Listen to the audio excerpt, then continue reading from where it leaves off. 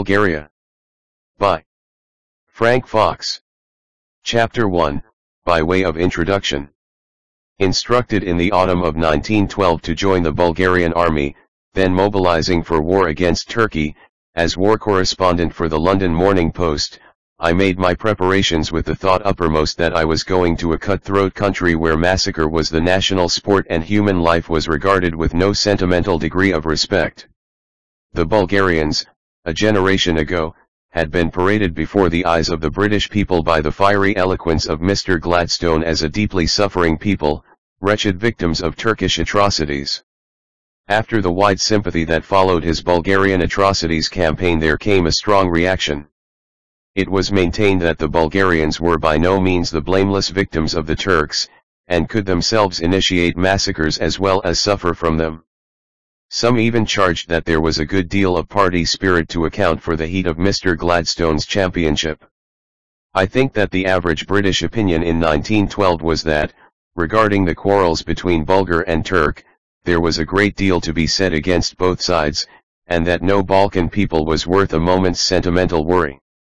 Let dogs delight to bark and bite, for 'tis th their nature to, expressed the common view when one heard that there had been murders and village burnings again in the Balkans.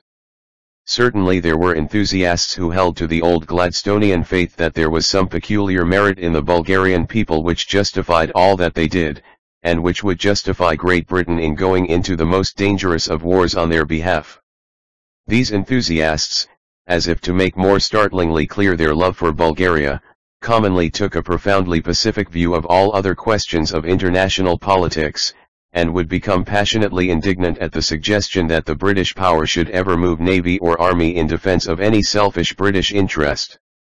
They were they still are, it may be said the leading lights of what is called the peace at any price party, detesting war and jingoism, and viewing patriotism, when found growing on British soil, with dry suspicion.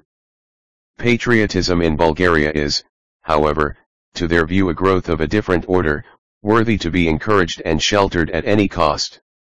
As a counterweight to these enthusiasts, Great Britain sheltered a little band, usually known as pro-Turks, who believed, with almost as passionate a sincerity as that of the pro-Bulgarians, that the Turk was the only gentleman in Europe, and that his mild and blameless aspirations towards setting up the perfect state were being cruelly thwarted by the abominable Bulgars and other Balkan riffraff. Good government in the Balkans would come, they held, if the tide of Turkish rule flowed forward and the restless, semi-savage, murderous Balkan Christian states went back to peace and philosophic calm under the wise rule of Kadi administering the will of the Caliphate but pro-Bulgarian and pro-Turk made comparatively few converts in Great Britain. They formed influential little groups and inspired debates in the House of Lords and the House of Commons, and published literature, and went out as missions to their beloved nationalities, and had all their affection confirmed again by the fine appreciation showered upon them. The great mass of British public opinion, however, they did not touch. There was never a second flaming campaign because of Turkish atrocities towards Bulgaria, and the pro-Turks never had a sufficient sense of humor to suggest a counter-campaign when Bulgarians made reprisals. In official circles the general attitude towards Balkan affairs was one of vexation alternating with indifference.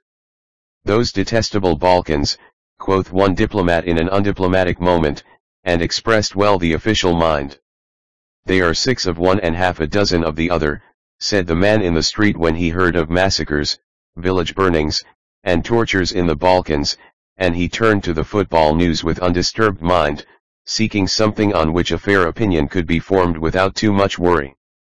The view of the man in the street was my view in 1912. I can recall being contented in my mind to know that at any rate one's work as a war correspondent would not be disturbed by any sympathy for the one side or the other. Whichever side lost it would deserve to have lost, and whatever reduction in the population of the Balkan Peninsula was caused by the war would be ultimately a benefit to Europe. In parts of America where the race feeling is strongest, they say that the only good nigger is a dead nigger. So I felt about the Balkan populations. The feelings of a man with some interest in flocks of sheep on hearing that war had broken out between the wolves and the jackals would represent fairly well the attitude of mind in which I packed my kit for the Balkans.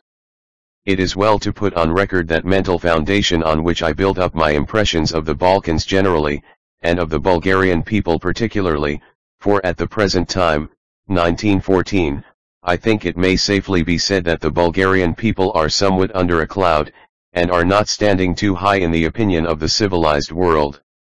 Yet, to give an honest record of my observations of them, I shall have to praise them very highly in some respects. Whilst it would be going too far to say that the praise is reluctant, it is true that it has been in a way forced from me, for I went to Bulgaria with the prejudice against the Bulgarians that I have indicated. And to make this explanation complete I may add that I came back from the Balkans not a pro-Bulgarian in the sense that I was anti-Greek or anti-Serbian or even anti-Turk, but with a feeling of general liking for all the peasant peoples whom a cruel fate has cast into the Balkans to fight out their national and racial issues, some of which are older than the Christian era. Yes, even the Turk, the much maligned Turk, proved to have decent possibilities if given a decent chance. Certainly he is no longer the terrible Turk of tradition. Most of the Turks I encountered in Bulgaria were prisoners of war, evidently rather pleased to be in the hands of the Bulgarians who fed them decently, a task which their own commissariat had failed in, or were contented followers of menial occupations in Bulgarian towns. I can recall Turkish bootblacks and Turkish porters, but no Turks who looked like warriors, and if they are cutthroats by choice, I do not believe they are, they are very mild-mannered cutthroats indeed. Coming back from the lines of Chatalja towards the end of 1912, I had, for one stage of five days, between Kirkkilis and Mustafa Pasha, a Turkish driver. He had been a Bulgarian subject, I gathered, before the war, and with his cart and two horses had been impressed into the transport service. At first with some aid from an interpreter, Afterwards mostly by signs and broken fragments of language, I got to be able to converse with this Turk. In the Balkans the various shreds of races have quaint crazy quilt patchworks of conversational language. Somehow or other even a British citizen with more than the usual stupidity of our race as to foreign languages can make himself understood in the Balkan Peninsula, which is so polyglottic that its inhabitants understand signs very well. My Turk friend, from the very first, filled my heart with sympathy because of his love for his horses. Since he had come under the war rule of the Bulgarians, he complained to me, he had not been allowed to feed his horses properly. They were fading away. He wept over them. Actual tears irrigated the furrows of his weather-beaten and unwashed cheeks. As a matter of fact the horses were in very good condition indeed, considering all the circumstances, as good, certainly, as any horses I had seen since I left Budapest. But my heart warmed to this Turkoman and his love for his horses. I had been seeking in vain up to this point for the appearance of the terrible Turk of tradition, the Turk, with his well-beloved Arabian steed, his quite secondary in consideration Circassian harem, the fierce, unconquerable, disdainful, cruel Turk, manly in his vices as well as in his virtues. My Turk had at least one recognizable characteristic in his love for his horses. As he sorrowed over them I comforted him with a flagon it was of brandy and water, and the Prophet, when he forbade wine, was ignorant of brandy, so Islam these days has its alcoholic consolation and I stayed him with cigarettes. He had not had a smoke for a month and, put in possession of tobacco, he plunged into a mood of rapt exultation, rolling cigarette after cigarette, chuckling softly as he inhaled the smoke, turning towards me now and again with a gesture of thanks and of respect. I had taken over the reins and the little horses were doing very well. A contented Turk. That day, though we had started late, the horses carried us 35 miles, and I camped at the site of a burned-out village. The Turk made no objection to this.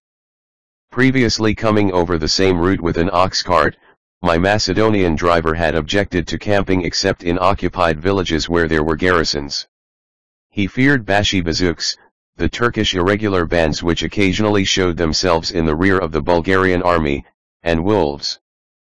Probably, too, he feared ghosts, or was uneasy and lonely when out of range of the village smells. Now I preferred a burned village site, because the only clean villages were the burned ones, and for the reason of water it was necessary to camp at some village or village site. Mr. Turk went up hugely in my estimation when I found that he had no objections to the site of a burned village as a camping place.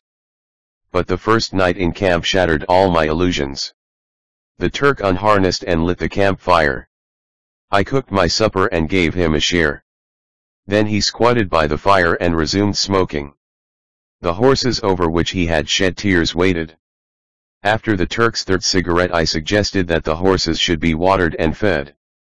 The village well was about 300 yards away, and the Turk evidently did not like the idea of moving from the fire. He did not move, but argued in Turkish of which I understood nothing. Finally I elicited the fact that the horses were too tired to drink and too tired to eat the barley I had brought for them. As a remedy for tiredness they were to be left without water and food all night. As plainly as was possible I insisted to the Turk that the horses must be watered at once, and afterwards given a good ration of barley. I dragged him from the fire to the horses and made my meaning clear enough. The Turk was stubborn. Clearly either I was to water the horses myself or they were to be left without water, and my old traditions of horse mastery would not allow me to have them fed without being watered. So this was the extent of the Turk's devotion to his horses. It was necessary to be firm, and I took up the cart whip to the Turk and convinced him almost at once that the horses were not too tired to drink. Mr. Turk did not resent the blows in the least. He refrained from cutting my throat as I slept that evening. Afterwards a mere wave of the hand towards the whip made him move with alacrity. At the end of the journey, when I gave him a good tip, he knelt down gallantly in the mud of Mustafa Pasha and kissed my hand and carried it to his forehead. So faded away my last hope of meeting the terrible Turk of tradition in the Balkans. Perhaps he exists still in Asia Minor. As I saw the Turk in Bulgaria and in European Turkey, he was a dull monogamic person with no fiery pride, no picturesque devilry, but a great passion for sweetmeats not merely his own Turkish delight, but all kinds of lollipops, his shops were full of Scotch and English confectionery. But the Bulgarian, not the Turk, is our theme. This introduction, however, will make it plain that, as the result of a direct knowledge of the Balkans, during some months in which I had the opportunity of sharing in Bulgarian peasant life, I came to the admiration I have now for the Bulgarian people in spite of a preliminary prejudice. And this conversion of view was not the result of becoming involved in some passionate political attitude regarding Balkan affairs. I am not now prepared to take up the view of the fanatic Bulgar worshippers who must not only exalt the Bulgarian nation as a modern chosen people, but must represent Serbian, Greek, and Turk as malignant and devilish in order to throw up in the highest light their ideas of Bulgarian saintliness. The Balkans are apt to have strange effects on the traveler. Perhaps it is the blood mist that hangs always over the Balkan plains and glens which gets into the head and intoxicates one, Perhaps it is the call to the wild in us from the primitive human nature of the Balkan peoples. Whatever the reason, it is a common thing for the unemotional English traveler to go to the Balkans as a tourist and return as a passionate enthusiast for some Balkan peninsula nationality. He becomes, perhaps, a pro-Turk, and thereafter will argue with fierceness that the Turk is the only man who leads an idyllic life in Europe today, and that the way to human regeneration is through a conversion to Turkishness. He fills his house with Turkish visitors and writes letters to the papers pointing out the savagery we show in the Turk's head competition for our cavalrymen at military tournaments. Or he may become a pro-Bulgar with a taste for the company of highly flavored Macedonian revolutionary priests and a grisly habit of turning the conversation to the subject of outrage and massacre. To become a pro-Serbian is not a common fashion, but pro-Albanians and pro-Montenegrins and Philhellenists are common enough. The word crank, if it can be read in a kindly sense and stripped of malice, covers all these folk. Exactly why the Balkans have such an effect in making cranks I have already confessed an inability to explain. The fact must stand as one of those things which we must believe if we read parliamentary debates and newspaper correspondence but cannot comprehend. But any crank view I disavow. Whether from a natural lack of a generous sense of partisanship, or a journalistic training, which crabs emotionalism, that acute observer of men, the late General Booth, said once of his Salvation Army work, you can never save a journalist, I came back from the Balkans without a desire to join a society to exalt any one of the little nationalities struggling for national expression in its rowdy life. But I did get to a strong admiration of the Bulgarian people as soldiers, farmers, roadmakers, and as friends. The evidence on which that admiration is based will be stated in these pages, and it is my hope that it will do a little to set the Bulgarian who is sometimes much overpraised and often much overabused in a right light before my readers but before dealing with the Bulgarian of today we must look into his antecedents. Chapter 2, Bulgaria and the Death of the Roman Empire. Probably not the least part of the interest which the traveler or the student will take in Bulgaria is the fact that it was the arena in which were fought the great battles of races declaring the doom of the Roman Empire. Fortunately, from old Gothic chronicles it is possible to get pictures valuable for vivid coloring rather than strict accuracy which bring very close to us that curious tragedy of civilization, the destruction of the power of Rome and the overrunning of Europe by successive waves of barbarians. In the 5th century before Christ, what is now Bulgaria was practically a Greek colony, and its trading relations with the north gave possibly the first hint to the Goths of the easiest path by which to invade the Roman Empire. The present Bulgarian towns of Varna, on the Black Sea, and Kusanchi, which has a literary history in that it was later a place of banishment for Ovid the poet, can be traced back as Greek trading towns through which passed traffic from the Mediterranean to the Scythians, i.e. the Goths of the north. Amber and furs came from the north of the river valleys, and caravans from the south brought in return silver and gold and bronze. Towards the dawn of the Christian era there began a swelling over of the Goths from the Baltic shores, sending one wave of invasion down towards Italy, another towards the Black Sea and the Aegean. Jordanes, the earliest Gothic historian, writing in the 6th century gives this account derived from Gothic folk songs of the movement of the invasion towards the Balkan Peninsula, probably about AD 170 in the reign of the fifth king after Birig, Philimar, son of Gadarages, the people had so greatly increased in numbers that they all agreed in the conclusion that the army of the Goths should move forward with their families in quest of more fitting abodes. Thus they came to those regions of Scythia which in their tongue are called Oium, whose great fertility pleased them much.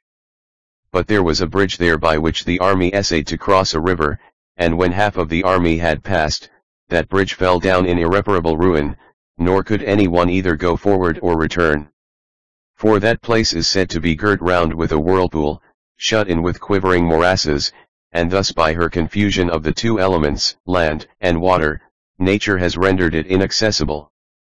But in truth, even to this day, if you may trust the evidence of passers-by, though they go not nigh the place, the far-off voices of cattle may be heard and traces of men may be discerned. That part of the Goths therefore which under the leadership of Philimar crossed the river and reached the lands of Oium, obtained the longed-for soil. Then without delay they came to the nation of the Spali, with whom they engaged in battle and therein gained the victory.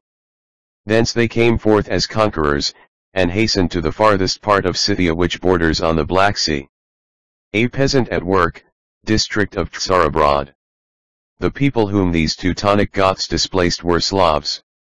The Goths settled down first on the Black Sea between the mouths of the Danube and of the Dniester and beyond that river almost to the Don, becoming thus neighbors of the Huns on the east, of the Roman Empire's Balkan colonies on the west, and of the Slavs on the north. It is reasonable to suppose that to some extent they mingled their blood somewhat with the Slavs whom they dispossessed, and that they came into some contact with the Huns also. It was in the third century of the Christian era that these Goths, who had been for some time subsidized by the Roman emperors on the condition that they kept the peace, crossed the Danube and devastated Moesia and Thrace. An incident of this invasion was the successful resistance of the garrison of Marcianople now Shumla to the invaders. In a following campaign the Goths crossed the Danube at Novi, now Novograd, and besieged Philippopolis, a city which still keeps its name and now, as then, is an important strategical point commanding the Thracian plain. It was Philippopolis which would have been the objective of the Turkish attack upon Bulgaria in 1912-13 if Turkey had been given a chance in that war to develop a forward movement. This city was taken by the Goths, and the first notable Balkan massacre is recorded, over 100,000 people being put to the sword within its walls. Later in the campaign the Emperor Decius was defeated and killed by the Goths in a battle waged on marshy ground near the mouth of the Danube. This was the second of the three great disasters which marked the doom of the Roman Empire, the first was the defeat of Varus in Germany, the third was to be the defeat and death of the Emperor Valens before Adrianople. Bulgaria, the scene of the second and third disasters, can accurately be described as having provided the death arena for Rome. Women of Portum, in the Plevna district. From the defeat of Decius, AD 251, may be said to date the Gothic colonization of the Balkan Peninsula. True, after that event the Goths often retired behind the Danube for a time, but, as a rule, thereafter they were steadily encroaching on the Roman territory, carrying on a maritime war in the Black Sea as well as land forays across the Danube. It was because of the successes of the Goths in the Balkans that the decision was ultimately arrived at to move the capital of the Roman Empire from Rome to Constantinople. During the first Gothic attack, after the death of Decius, Byzantium itself was threatened, and the cities around the Sea of Marmora sacked.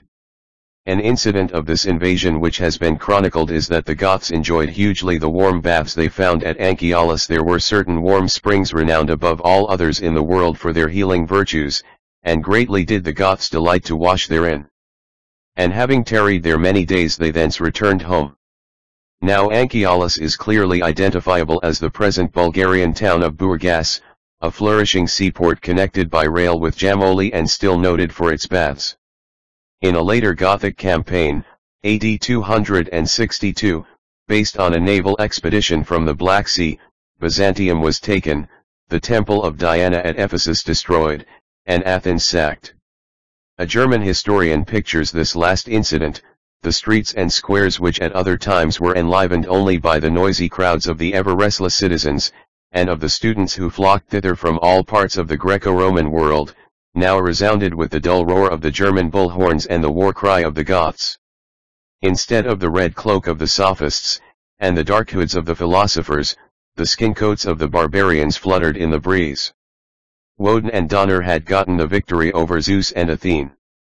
It was in regard to this capture of Athens that the story was first told. It has been told of half a dozen different sackings since that a band of Goths came upon a library and were making a bonfire of its contents when one of their leaders interposed, Not so, my sons, leave these scrolls untouched, that the Greeks may in time to come, as they have in time past, waste their manhood in poring over their wearisome contents.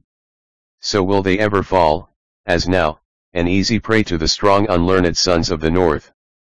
In the ultimate result the Goths were driven out of Athens by a small force led by Dexippus, a soldier and a scholar whose exploit revived memory of the deeds of Greece in her greatness. The capture of Athens deeply stirred the civilized world of the day, and Goth still survives as a term of destructive barbarism. A few years later, AD 269, the Goths began a systematic invasion of the Balkan provinces of the Roman Empire, attacking the Roman territory both by sea and by land. The tide of victory sometimes turned for a while, and at Naissus, now Nish in Servia, near the border of Bulgaria, the Goths were defeated by the Emperor Claudius. Their defeated army was then shut up in the Balkan mountains for a winter, and the Gothic power in the Balkans temporarily crushed. The Emperor Claudius, who took the surname Gothicus in celebration of his victory, announced it grandiloquently to the governor of Illyricum, Claudius to Brachus. We have destroyed 320,000 of the Goths, we have sunk 2,000 of their ships. The rivers are bridged over with shields, with swords and lances all the shores are covered. The fields are hidden from sight under the superincumbent bones, no road is free from them, an immense encampment of wagons is deserted. We have taken such a number of women that each soldier can have two or three concubines allotted to him. In the harvest fields near Sofia, but the succeeding emperor, Aurelian, gave up all Dacia to the Goths and withdrew the Romani stations into the province of Moesia made up of what is now eastern Serbia and western Bulgaria. This province was divided into two and renamed Dacia. One part, Dacia Mediterranea, had for its capital Sardica, now Sofia, the capital of Bulgaria. Then followed a period of comparative peace. The Roman emperors saw that on the Balkan frontier their empire had to be won or lost, and strengthened the defenses there. Thus Diocletian made his headquarters at Nicomedia. Finally, Constantine moved the capital altogether to Constantinople. Goth and Roman at this time showed a disposition to a peaceful amalgamation, and the Bulgarian population was rapidly becoming a Romano-Gothic one. Christianity had been introduced, and the Gothic historian Jordanes tells of a Gothic people living upon the northern side of the Balkan mountains, there were also certain other Goths, who are called Minores, an immense people, with their bishop and primate Wulfila, who is said, moreover, to have taught them letters, and they are at this day dwelling in Moesia, in the district called Nicopolitana one at the foot of Mount Haemus, a numerous race, but poor and unwarlike, abounding only in cattle. Of divers kinds, and rich in pastures and forest timber, having little wheat, though the earth is fertile in producing other crops. They do not appear to have any vineyards, those who want wine buy it of their neighbors, but most of them drink only milk. One around the modern town of Tirnova. A contemporary of the saintly Ulfilas, who surely should be accepted as the first national hero of the Bulgarians, states that Ulfilas had originally lived on the other side of the Danube and had been driven by persecution to settle in Bulgaria. This contemporary, Auxentius, records. And when, through the envy and mighty working of the enemy, there was kindled a persecution of the Christians by an irreligious and sacrilegious judge of the Goths, who spread tyrannous affright through the barbarian land, it came to pass that Satan, who desired to do evil, unwillingly did good, that those whom he sought to make deserters became confessors of the faith, that the persecutor was conquered, and his victims wore the wreath of victory. Then, after the glorious martyrdom of many servants and handmaids of Christ, as the persecution still raged vehemently, after seven years of his episcopate were expired, the blessed Ulfilas being driven from Barbaricum with a great multitude of confessors, was honorably received on the soil of Romania by the Emperor Constantius of blessed memory. Thus as God by the hand of Moses delivered his people from the violence of Pharaoh and the Egyptians, and made them pass through the Red Sea, and ordained that they should serve him on Mount Sinai, even so by means of Ulfilas did God deliver the confessors of his only begotten Son from the Barbarian land, and cause them to cross over the Danube, and serve him upon the mountains of Haemus like his saints of old. Ulfilas civilized as well as Christianized the Goths of Bulgaria, and was responsible for the earliest Gothic alphabet the Moeso-Gothic. He translated most of the scriptures into Gothic, leaving out of his translation only such war stories as the Book of Kings, judging that these would be too exciting for his Gothic flock and would incite them to war. A shopwoman of the district of Sofia. After a century of peace war broke out again between the Goths and the Roman Empire which may now be called rather the Greek Empire in AD 369. The course of the war was at first favorable to the Emperor Valens. All the independent Goths were driven back behind the Danube boundary, but were allowed to live there in peace. The Roman orator Themistius, in congratulating the Emperor Valens, put on record the extent of his achievement and of his magnanimity, but now, along almost all the frontiers of the empire, peace reigns, and all the preparation for war is perfect, for the emperor knows that they most truly work for peace who thoroughly prepare for war. The Danube shore teems with fortresses, the fortresses with soldiers, the soldiers with arms, the arms both beautiful and terrible. Luxury is banished from the legions, but there is an abundance of all necessary stores, so that there is now no need for the soldier to eke out his deficient rations by raids on the peaceful villagers. There was a time when the legions were terrible to the provincials, and afraid of the barbarians. Now all that is changed, they despise the barbarians and fear the complaint of one plundered husbandman more than an innumerable multitude of Goths. To conclude, then, as I began. We celebrate this victory by numbering not our slaughtered foes but our living and tamed antagonists. If we regret to hear of the entire destruction even of any kind of animal, if we mourn that elephants should be disappearing from the province of Africa, lions from Thessaly, and hippopotami from the marshes of the Nile, how much rather, when a whole nation of men, barbarians it is true, but still men, lies prostrate at our feet, confessing that it is entirely at our mercy, ought we not instead of extirpating, to preserve it, and make it our own by showing it compassion? Valens restored Bulgaria to the position of a Holy Roman province, even the Gothic minorities being driven across the Danube. But there was now to come another racial element into the making of Bulgaria the Huns. I can still recall the resentment and indignation of the Bulgarian officers in 1913 because a French war correspondent had, in a dispatch which had escaped the censor, likened the crossing of the Thracian plain by the great convoys of Bulgarian ox wagons to the passage of the Danube by the Huns in the 4th century. The Bulgarians, always inclined to be sensitive, thought that the allusion made them out to be barbarians. But it was intended rather, I think, to show the writer's knowledge of the early history of the Balkan Peninsula and of the close racial ties between the Bulgarians of today and the original Huns. We have seen how the Gothic invasion, coming from the Baltic to the Black Sea, pushed onto the borders of the Hun people living east of the Volga. These Huns now prepared an answering wave of invasion. To the Goths the Huns the first of the Tartar hordes to invade Europe were a source of superstitious terror. The Gothic historian Jordanes writes with frank horror of them, we have ascertained that the nation of the Huns, who surpassed all others in atrocity, came thus into being. When Philimir, fifth king of the Goths, after their departure from Sweden, was entering Scythia, with his people, as we have before described, he found among them certain sorcerer women, whom they call in their native tongue Haliaunas, whom he suspected and drove forth from his army into the wilderness.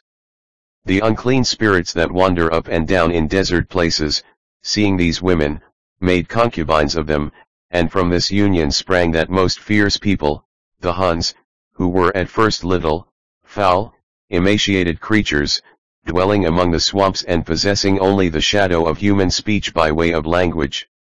According to Priscus they settled first on the eastern shore of the Sea of Azov, lived by hunting, and increased their substance by no kind of labor, but only by defrauding and plundering their neighbors.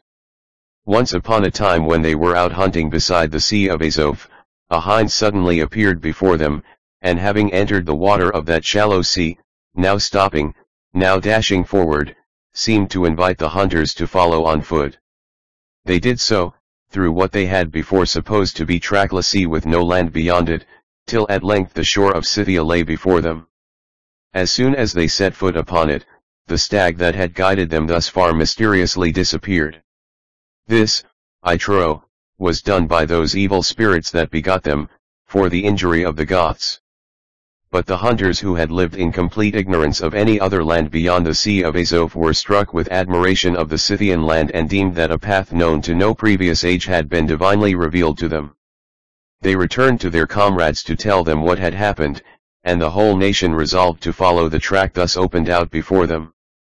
They crossed that vast pool, they fell like a human whirlwind on the nations inhabiting that part of Scythia, and offering up the first tribes whom they overcame, as a sacrifice to victory, suffered the others to remain alive, but in servitude.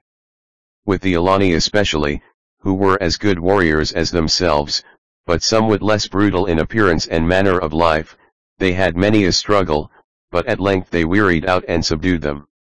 For, in truth, they derived an unfair advantage from the intense hideousness of their countenances. Nations whom they would never have vanquished in fair fight fled horrified from those frightful faces I can hardly call them, but rather shapeless black collops of flesh, with little points instead of eyes. No hair on their cheeks or chins gives grace to adolescence or dignity to age, but deep furrowed scars instead, down the sides of their faces, show the impress of the iron which with characteristic ferocity they apply to every male child that is born among them, drawing blood from its cheeks before it is allowed its first taste of milk. They are little in stature, but lithe and active in their motions, and especially skillful in riding, broad-shouldered, good at the use of the bow and arrows, with sinewy necks, and always holding their heads high in their pride. To sum up, these beings under the form of man hide the fierce nature of the beast. That was a view very much colored by race prejudice and the superstitious fears of the time. It suggests that at a very early period of Balkan history the different races there had learned how to abuse one another. English readers might contrast it with Matthew Arnold's picture of a Tartar camp in Sohrab and Rustum, the sun by this had risen, and cleared the fog.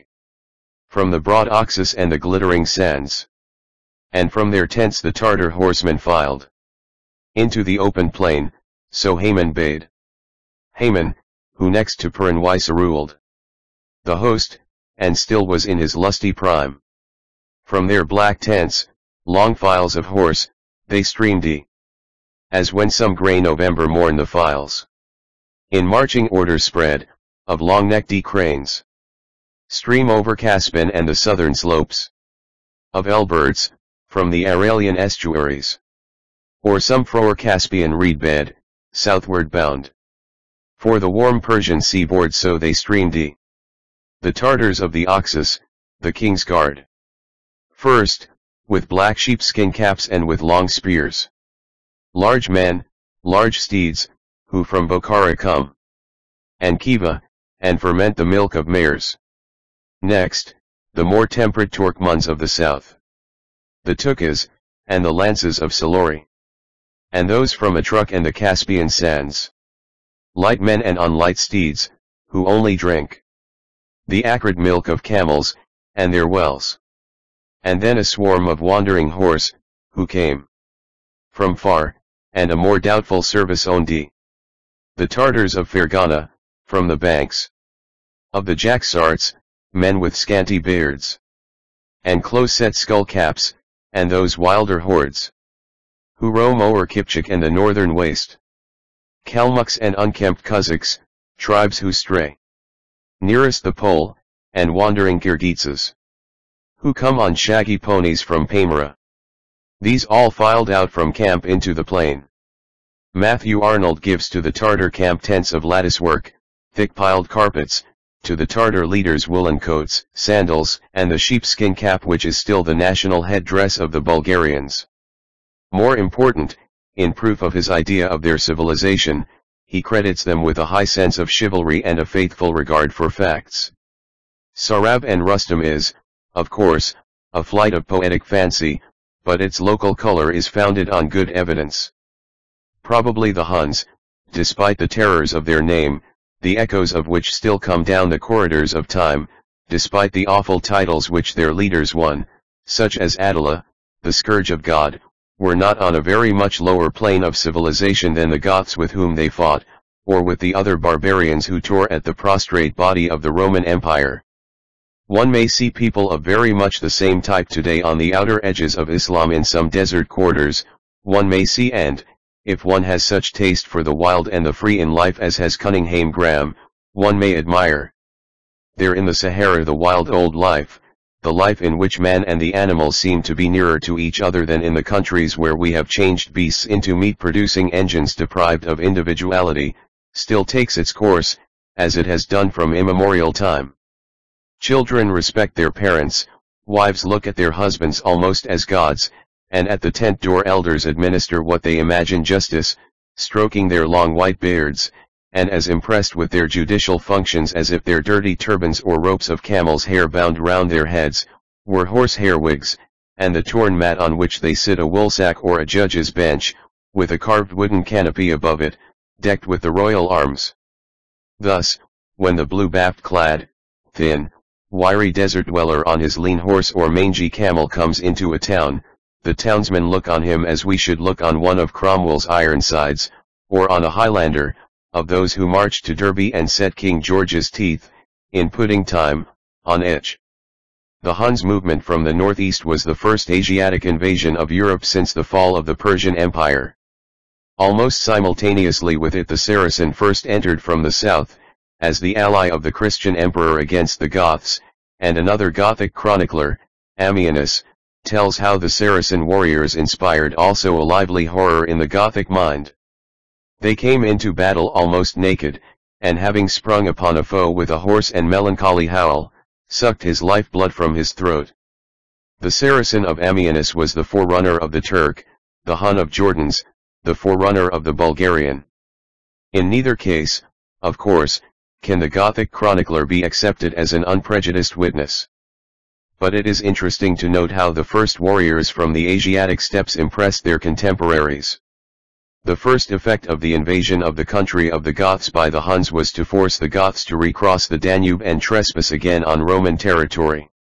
They sought leave from the Emperor Valens to do this.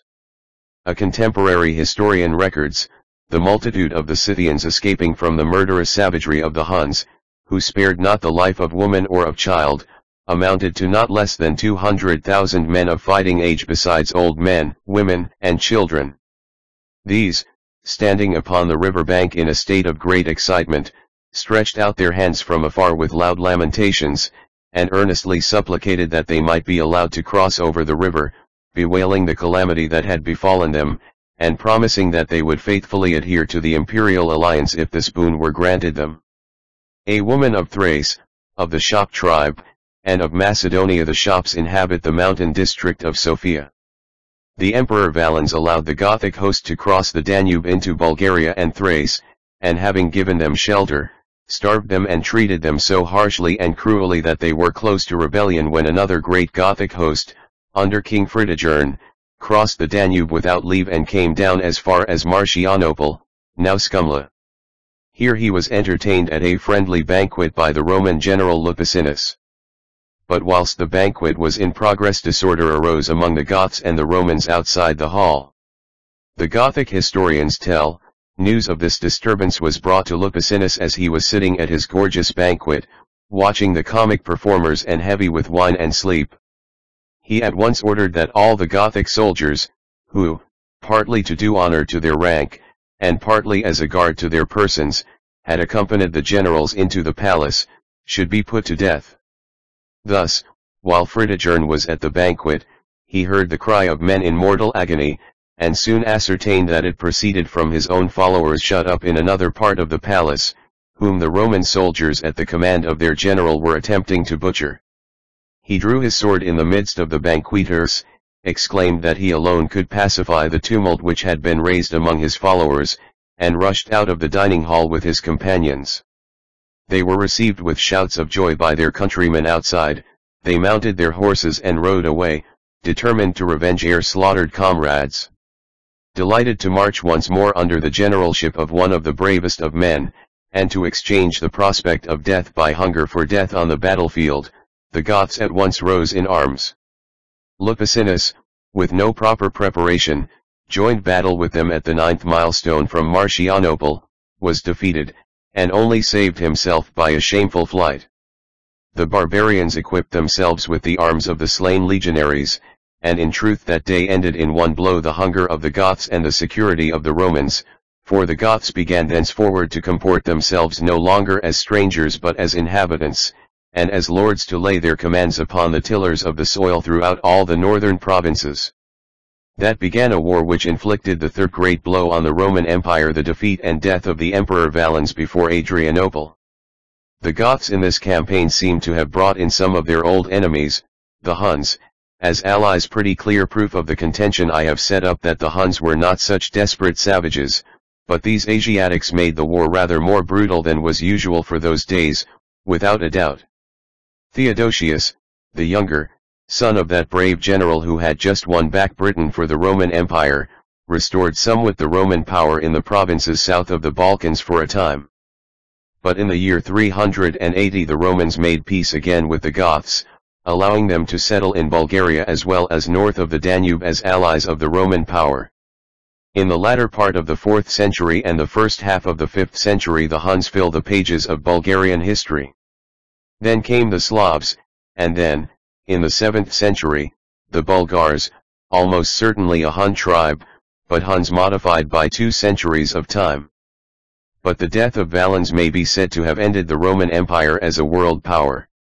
Let us retrace our steps a little and give the chief facts as to how a Bulgarian empire for a time a very short time replaced the Roman Empire over a great area of the Balkan Peninsula. Chapter 3, The Scrap Heap of Races. The historian, rightly, must always march under a banner inscribed Y.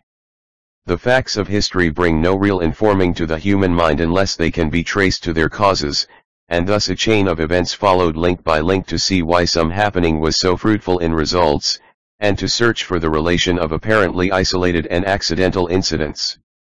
The Balkan Peninsula has today just emerged from a most bloody war.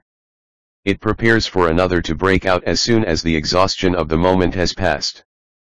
Since ever the pages of history were inscribed it has been vexed by savage wars. Why? There is an explanation near at hand and clear. In the Balkans there is a geographical area, which could house one nation comfortably, and is occupied by the scraps of half a dozen nations. 1. There are the remnants of the Turks who at one time threatened the conquest of all Europe. Back from the walls of Vienna they have been driven little by little until now they occupy the toe only of the Balkan Peninsula. But the days have not far departed when they held almost all the peninsula, and the present smallness of their portion dates back only from 1913. 2. There are the Greeks, heirs of the traditions of Philip and Alexander, and of the old Roman Empire. For centuries their national but not their racial existence was dormant under the heel of the Turk. Greek independence was restored recently, and since the War of 1912-1913 has established itself vigorously. 3. There are the Romanians, descendants of the old Roman colony of Trajan in Dacia. 4. There are the Bulgars, originally a Tartar people coming from the banks of the Volga, who entered Bulgaria in the 7th century as the Normans entered England at a later date, and who mingled with a Slav race they found there at first as conquerors, afterwards becoming the absorbed race. 5. There are the Serbs, somewhat akin to the Bulgars, whose original home seems to have been that of the Don Cossacks, who also came into the peninsula in the 7th century. They are of purer Slav blood than the Bulgars. 6. There are the Montenegrins, an offshoot of the Serbs, who in the 14th century, when the Serbian Empire fell, took to the hills and maintained their independence. Those are the six main racial elements. But there are other scraps of peoples the Albanians, for example, and the Macedonians, and tribes of Muslim Bulgars, and some Asiatic elements brought in by the Turks. So far, then, the answer to the question, why are the Balkans so often at war, is easy of answer.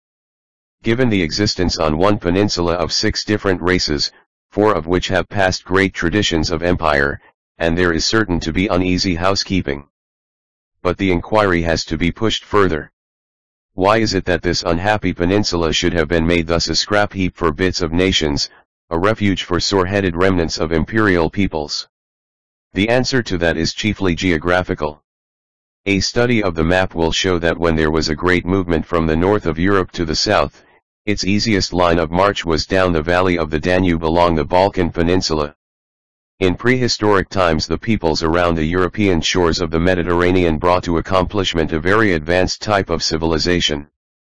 It owed its foundations to Egypt or to the Semitic peoples, such as the Phoenicians, the Tyrians, and the Carthaginians, whose race home was Asia Minor. Whilst this Mediterranean civilization was being shaped in the south in the north, in the forests or plains along the shores of the Baltic and of the North Sea, the Phaeacian Teutonic people were swelling to a mighty host and overflowing their boundaries. A flood of these people in time came surging south searching for new lands. The natural course of that flood was by the valley of the Danube to the Balkan Peninsula. Down that peninsula they cut their path not without bloodshed one may guess and founded the Grecian civilization.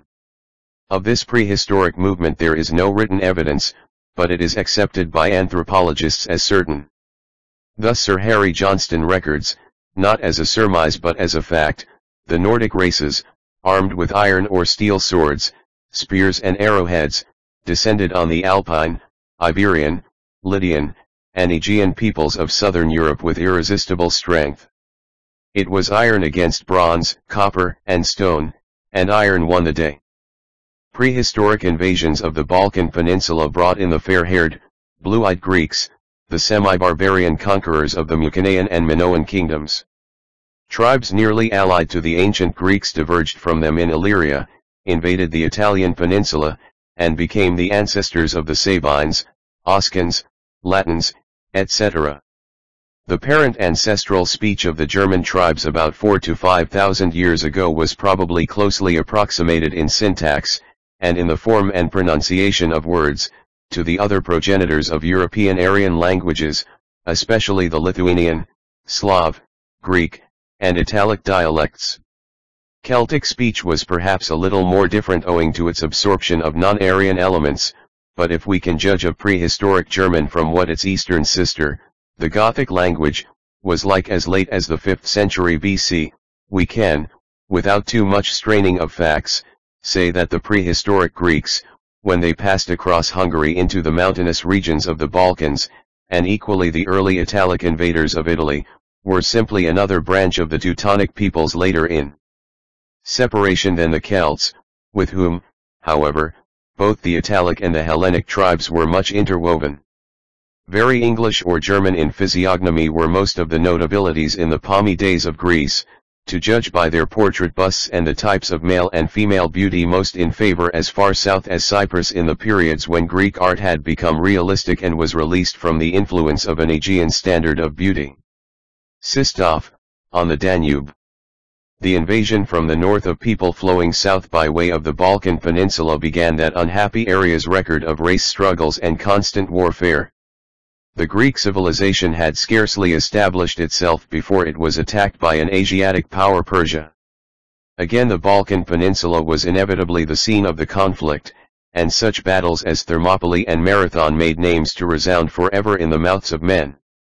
The peril from Persia over, the Balkan Peninsula, after seeing the struggles between the different Greek states for supremacy, was given another great ordeal of blood by Philip of Macedonia and Alexander the Great. Alexander carried a great invasion from Greece into the very heart of Asia, but founded no permanent empire. The next phase of Balkan history was under the Roman power. When the Roman strength had reached its zenith and entered upon the curve of decay, it was on the Balkan boundaries of the empire that the main attack came. Finally, the rulers of the Roman Empire found it necessary to concentrate their strength close to the point of attack, and the capital was moved from Rome to Constantinople, the Roman Empire became the Greek Empire. Thus, as we have seen in the previous chapter, the Balkan Peninsula was chosen as the arena in which an empire founded in the Italian peninsula was to die its long, uneasy death. The fate of this Greek empire had been hardly decided when a new racial element came on the scene, and over the tottering empire, already fighting fiercely with Bulgar and Serb for its small surviving patch of territory, strode the Turk in the full flush of his youthful strength, giving the last blow to the rule of the Caesars, and threatening all Christian Europe with conquest. Made thus by the fates the cockpit of the great struggles for world empire, the Balkan Peninsula was doomed to a bloody history, and the doom has not yet passed away. Perhaps it is some unconscious effect on the mind of the pity of this that makes the traveler to the Balkans feel so often a sympathy, almost unreasonable in intensity, for the Balkan peoples. The Balkan acres which they till are home to them. To civilization those acres are the tournament field for the battles of races and nations. What is now Bulgaria was in the days of Herodotus inhabited by Thracian and Illyrian tribes. They were united under the strong hand of Philip of Macedonia, and Bulgaria counts him the first great figure in her confused national history, and makes a claim to be the heir of his Macedonian empire. The Romans appeared in Bulgaria during the period of the Second War against Carthage. The Roman conquest of the Balkan country was slow, but shortly before the Christian era the Roman provinces of Moesia and Thracia comprised most of what is now Bulgaria. In the days of Constantine, who removed the capital of his empire to the Balkan peninsula, Roman civilization in what is now Bulgaria was already being swamped by barbarian invasions. The Goths and the Huns ravaged the land fiercely without attempting to colonize it. The Slavs were invaders of another type. They came to stay. It was at the beginning of the 3rd century that the Slavs made their first appearance, and, crossing the Danube, began to settle in the Great Plains between the river and the Balkan Mountains. Later, they went southwards and formed colonies among the Thraco-Illyrians, the Romanians, and the Greeks. This Slav occupation went on for several centuries. In the 7th century of the Christian era a Hunnish tribe reached the banks of the Danube. It is known that this tribe came from the Volga and, crossing Russia, proceeded towards ancient Moesia, where it took possession of the whole northeast territory of the Balkans between the Danube and the Black Sea. These were the Bulgars, or Bulgars. The Slavs had already imposed on the races they had found in the peninsula their language and customs. The Bulgars, too, assumed the language of the Slavs, and some of their customs. The Bulgars, however, gave their name to the mixed race, and assumed the political supremacy. The analogy I have before suggested of the Norman invasion of England and the Bulgar invasion of Bulgaria generally holds good. The Slavs were a people who tilled the soil, cherished free institutions, fought on foot, were gentle in character. The Bulgars were nomads and pastoralists, obeying despotic chiefs, fighting as cavalry. They came as conquerors, but in time were absorbed in the more stable Slavonic type. Without a doubt the Bulgars were racially nearly akin to the Turks' first cousins at least. Mingling with the Slavs they adopted their language and many of their customs but something of the Turk survives to this day in the character of the Bulgarian people. It shows particularly in their treatment of their women. Though the Bulgarian is monogamic he submits his wife to an almost harem discipline. Once married she lives for the family alone. Though she does not wear a veil in the streets it is not customary for her to go out from her home except with her husband, nor to receive company except in his presence, nor to frequent theaters, restaurants, or other places of public amusement. There is thus no social life in Bulgaria in the European sense of the term, and there is great scope there for a campaign for women's rights. The Bulgars taking command over the Slav population in Bulgaria began a warfare against the enfeebled Greek Empire. That empire gave up Moesia to the Bulgarian king, Isparik, and agreed to pay him a tribute, it being the custom of the degenerate descendants of the Roman Empire of the period thus to attempt to buy safety with bribes. The Emperor Justinian too stopped this tribute, and a war followed, in which the Bulgarians were successful, and Justinian lost his throne and was driven to exile. Later, Justinian made another treaty with the Bulgarians and offered his daughter in marriage to the new Bulgarian king, Tervel, and with Bulgarian help he was restored to his throne but war between the Bulgars and the empire was chronic. To quote a Bulgarian chronicler, the chief characteristics of the Bulgars were warlike virtues, discipline, patriotism, and enthusiasm. The Bulgarian kings brought their victorious armies to the gates of Constantinople, whose very existence they threatened. The Greek emperor sought their friendship, and even consented to pay them tribute. Bulgaria attained her greatest empire in the reign of King Krum. Between King Isparik and King Krum, however, Bulgaria had many ups and downs. The Bulgarian king, Kormisos, once almost reached the walls of Constantinople. But trouble among his own people prevented his victories being pushed home. Then a series of civil wars in Bulgaria weakened the nation, and a great section of it migrated to Asia Minor. The Roman Emperor, Constantine V, took this occasion to exact a full revenge for previous Bulgar attacks on Constantinople. The Bulgar army was routed, and an invading force carried the torch into every Bulgarian town. A new Bulgar king, Sirig, restored his country's position somewhat by a secretly plotted massacre of all its enemies within its boundaries. The Empress Irene then ascended the imperial throne at Constantinople and found herself unable to withstand the Bulgar power, and went back to the system of paying tribute to the Bulgarians as the price of safety. King Krum next ascended the throne of Bulgaria and, capable and savage warrior as he was, raised its power vastly. He defeated and slew the Greek emperor, Nicephorus, in battle, and captured Sofia, 809, the present capital of Bulgaria. Warfare was savage in those days, and between the Bulgars and the Greek emperors particularly savage the defeated imperial army was massacred to a man, from the emperor down to the foot soldier. King Krum afterwards used the skull of the descendant of the Caesars as a drinking cup. A siege of Constantinople followed the defeat and death of the emperor Nicephorus.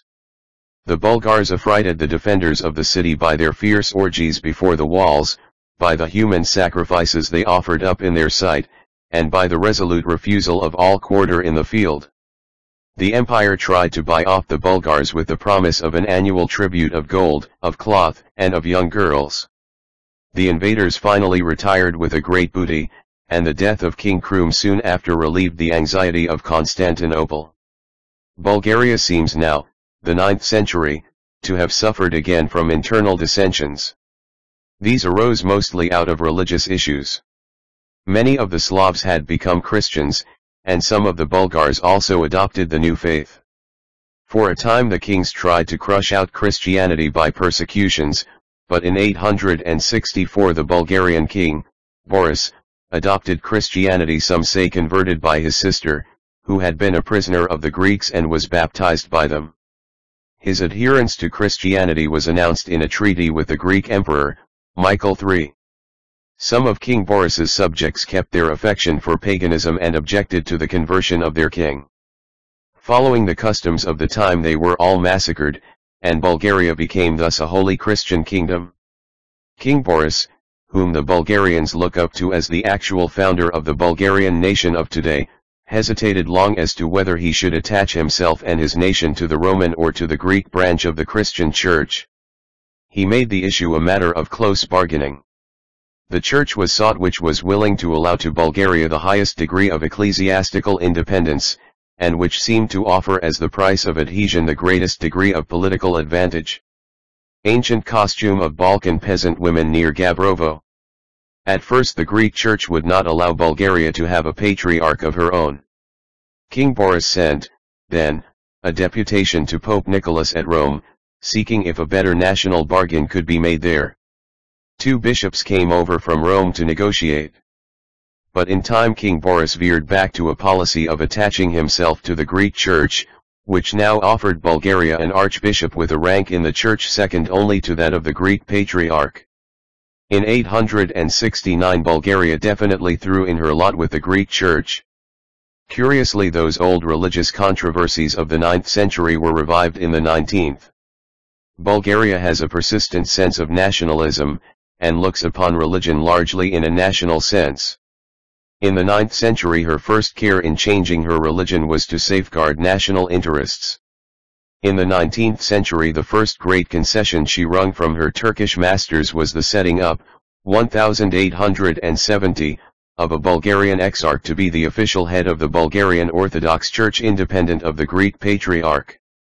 A little later in the days of her freedom, when to her Roman Catholic ruler, King Ferdinand, was born a son, named Boris after the first Christian king of Bulgaria, the Bulgarians had him transferred in 1896 from the Roman to the Greek Church as a matter of national policy.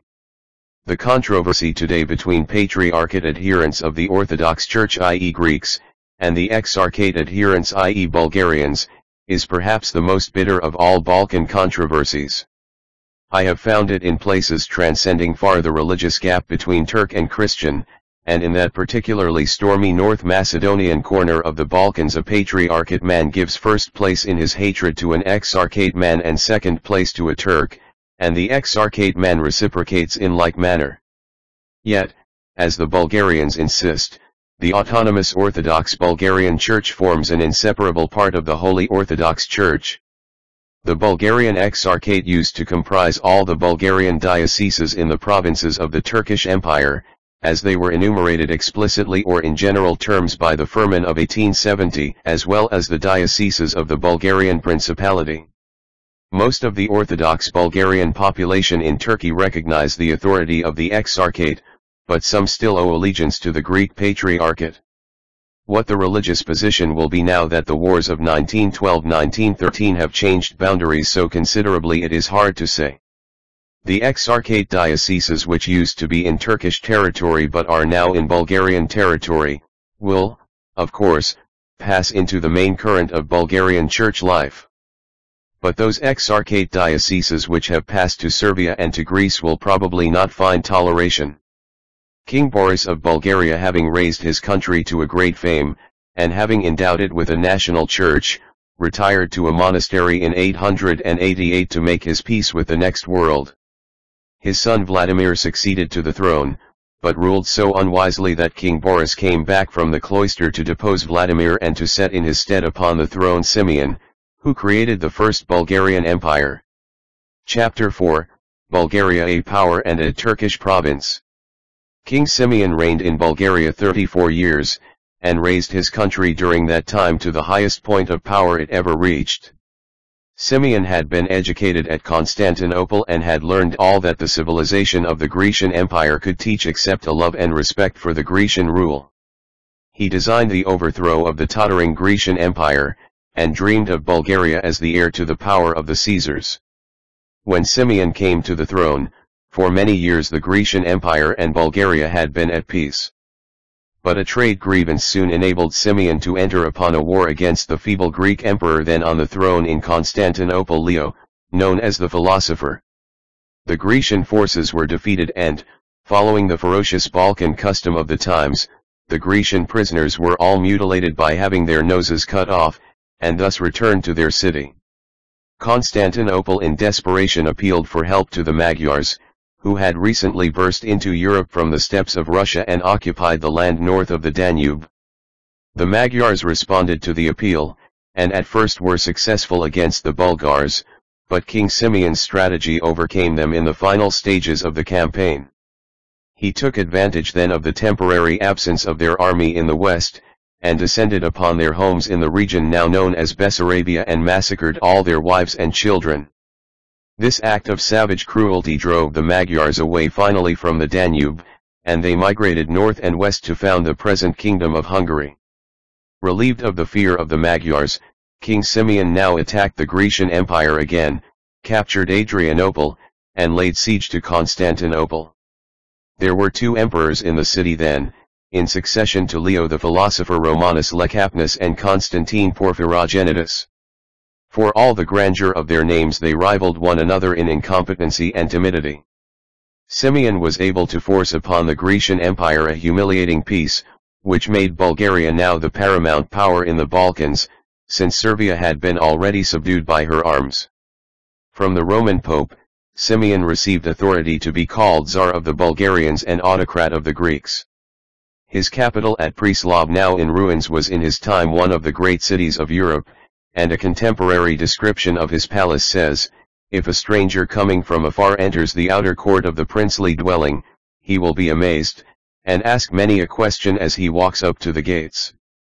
And if he goes within, he will see on either side buildings decorated with stone and wainscoted with wood of various colors. And if he goes yet farther into the courtyard he will behold lofty palaces and churches, bedecked with countless stones and wood and frescoes without, and with marble and copper and silver and gold within. Such grandeur he has never seen before, for in his own land there are only miserable huts of straw. Beside himself with astonishment, he will scarce believe his eyes.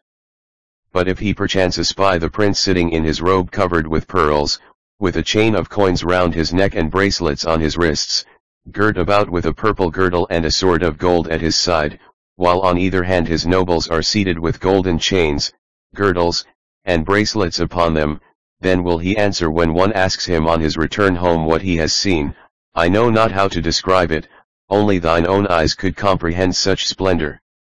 Under Simeon, art and literature flourished, in a Middle Ages sense, in Bulgaria, the Cyrillic alphabet still used in Russia, Bulgaria, and Serbia had supplanted the Greek alphabet and had added to the growing sense of national consciousness.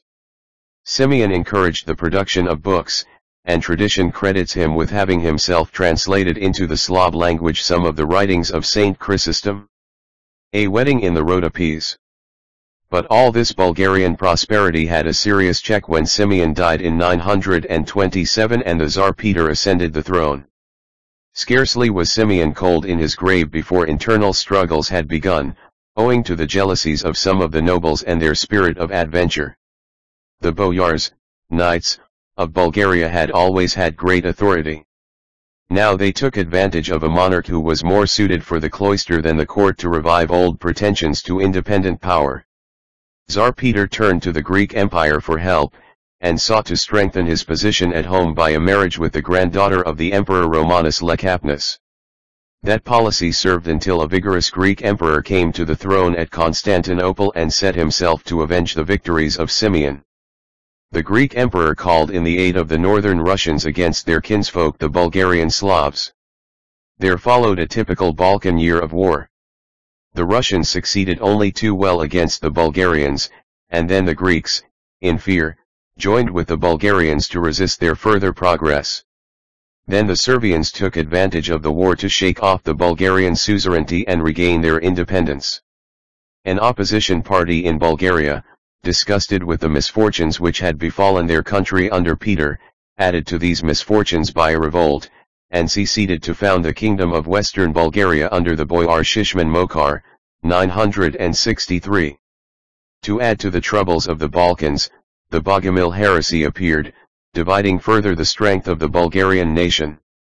The Bogomils were the first of a long series of Slavonic fanatics, ancestors in spirit of the Doukhobors, the Stundists, and the Tolstoyans of our days, preaching the hermit life as the only truly holy one, forbidding marriage as well as war and the eating of meat. It was with such dissensions among the Christian states of the Balkans that the way was prepared for the coming of the Turk to the peninsula. In 969 Boris II, followed Peter on the Bulgarian throne. He was faced by a new Russian invasion and by an attack from Tsar David of western Bulgaria. This latter attack he beat off, but was overwhelmed before the tide of Russian invasion and himself captured in battle. The Russians passed over Bulgaria to attack Constantinople, and that brought the Greeks into line with the Bulgarians to resist the invader. The Emperor John Tzimisces made bold war upon the Russians, and captured from them their Bulgarian prisoner, the Tsar Boris II. The Greek emperor made no magnanimous use of his victory. He deposed the Bulgarian Tsar and the Bulgarian Patriarch, emasculated the Tsar's brother, and turned Bulgaria into a Greek province. Only in the rebel province of West Bulgaria did Bulgarian independence at this time survive, and from that province there arose in time a deliverer, the Tsar Samuel, who was the fourth son of that boyar Shishman who founded the western Bulgarian kingdom. At the beginning of his reign, in 976, Samuel had control only over the territory which is now known as Macedonia, but soon he united to it all the old empire of Bulgaria, and stretched the sway of his race over much of the land which is now comprised in Albania, Greece, and Serbia. He began, then, a stern war with the Greek emperor, Basil II, known to history as the Bulgar Slayer, against whom is alleged a cruelty horrible even for the Balkans. Capturing a Bulgarian army of over 10,000 men, Basil II had all the soldiers blinded, leaving to each of their centurions, however, one eye, so that the mutilated men might be led back to their own country. A realistically horrible picture in the Sofia National Gallery commemorates this classic horror. The war between the Tsar Samuel and the Emperor Basil II was marked by fluctuating fortunes. At first the Bulgarians were altogether successful, and in 981 Basil was so completely defeated that for 15 years he was obliged to leave Samuel as the real master of the Balkan Peninsula. Then the tide turned. Near Thermopylae, Samuel was decisively defeated by the Greeks, and soon after found his empire reduced to the dimensions of Albania and West Macedonia. War troubles that the Greeks had with Asia brought to the Tsar Samuel a brief respite, but a campaign in 1014 this was the one marked by the blinding of the captive Bulgarian army shattered finally his power. He died that year heartbroken, it is said, at the sight of the return of his blinded army. Thus, to quote a Bulgarian chronicle, in 1015 Bulgaria was brought to subjection. A new state of things began for the Bulgarians, who till then had never felt the control of an enemy. The people longed for liberty, and there were many attempts at revolt. Towards 1186, two brothers, John and Peter Asen, raised a revolt and succeeded in re-establishing the ancient kingdom, choosing as capital Tirnova, their native town. It was then that Tirnova became what it still remains, the historic town of Bulgaria. The reign of John and Peter Asen was a brilliant time for Bulgaria. Art and literature flourished as never before, and commerce developed to a considerable extent. Once more the Bulgarian Empire was respected and feared abroad. But this Bulgarian Empire was doomed to as short a life as its predecessor, though for a brief while it held out the illusionary hope of permanency. Bulgaria, from the Danube to the Rhodope Mountains, was won from the Greeks, and John Asen was powerful enough to dream of entering into alliance with the Emperor Frederick Barbarossa. An assassin's sword, however, ended John Asen's life prematurely. He was followed on the throne by his brother Peter. He, too, was assassinated, and was succeeded by his brother Kalohan, who had all the warlike virtues of John Asen, and re-established the Bulgarian Empire with territories which embraced more than half the whole Balkan Peninsula. Seeking to add to the reality of power some validity of title, Kalohan entered into negotiations with the Pope of Rome, made his submission to the Roman Church, and was crowned by a papal nuncio as king. It was about this time that Constantinople was captured by the Crusaders, and Count Baldwin of Flanders ascended the throne of the Caesars. The Greeks, driven from their capital but still holding some territory, made an alliance with Kalohan, and once again Greek and Bulgar fought side by side, defeating the Franks and taking the Emperor Baldwin prisoner. Then the alliance ended never, it seems, can Bulgar and Greek be long at peace and a war raged between the Greek Empire and Bulgaria, until in 1207 Kalohan was assassinated. A brief period of prosperity continued for Bulgaria while John Asen II was on the throne. He was the most civilized and humane of all the rulers of ancient Bulgaria, and there is no stain of a massacre or a murder remembered against his name. He made wars reluctantly, but always successfully. An inscription in a church at Tirnova records his prowess, in the year 1230, I, John Asen, Tsar and autocrat of the Bulgarians, obedient to God in Christ, son of the old Asen, have built this most worthy church from its foundations, and completely decked it with paintings in honor of the forty holy martyrs, by whose help, in the twelfth year of my reign, when the church had just been painted, I set out to Romania to the war and smote the Greek army and took captive the Tsar Theodore Komnenos. With all his nobles. And all lands have I conquered from Adrianople to Durazzo, the Greek, the Albanian, and the Servian land.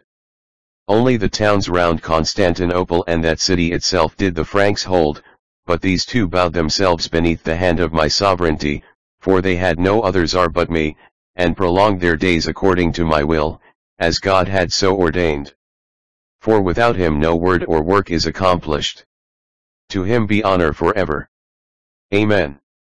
John Asen too was a great administrator as well as a great soldier whilst he declared the Church of Bulgaria independent, repudiating alike the churches of Rome and of Constantinople, he tolerated all religions and gave sound encouragement to education. With his death passed away the last of the glory of ancient Bulgaria. Her story now was to be of almost unrelieved misfortune until the culminating misery of the Turkish conquest.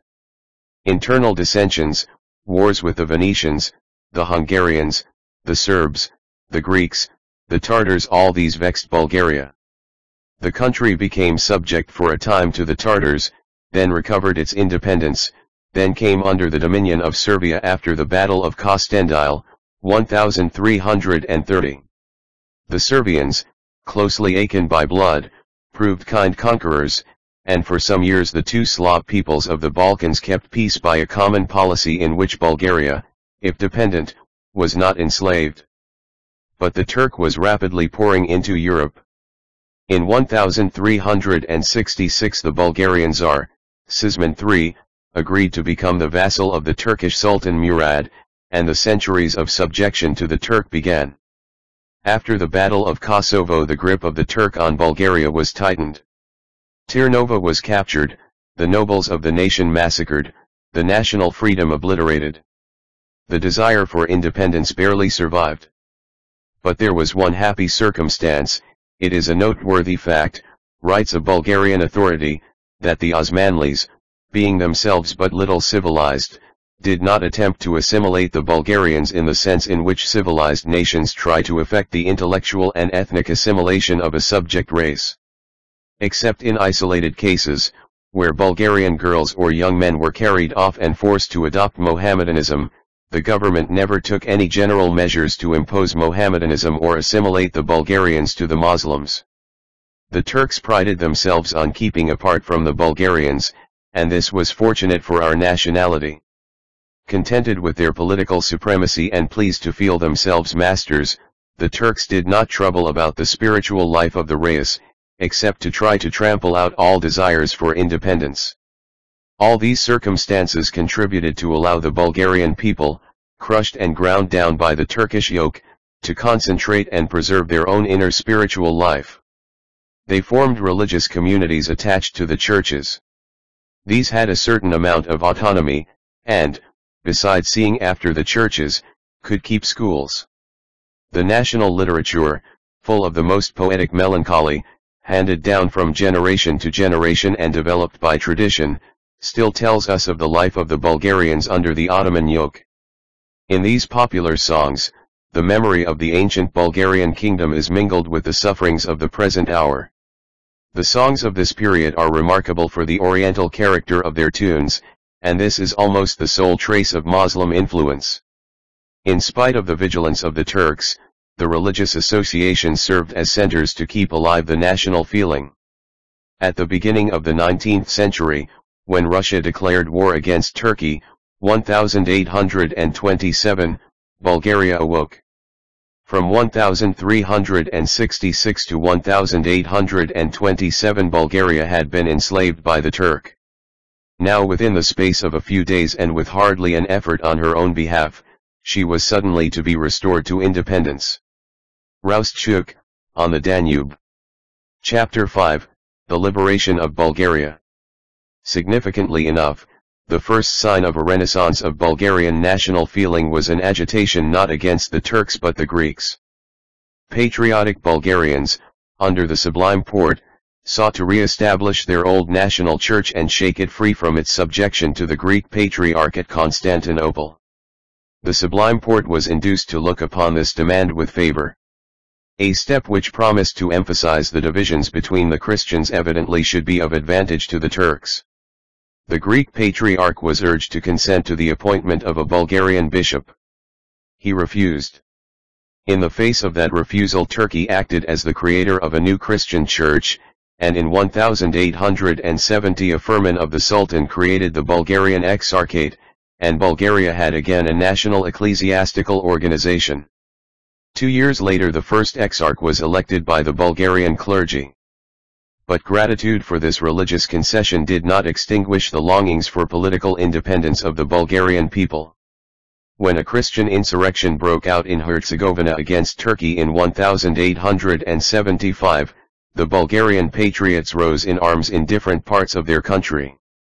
The massacres of Batok were the Turkish response, those Bulgarian atrocities which sent a shudder through all Europe and set a term to Turkish rule over the Christian populations in her European provinces. I have been recently in the Balkans with the veteran war artist, Mr. Frederic Villiers, who has personal recollections of those times of massacre and atrocity.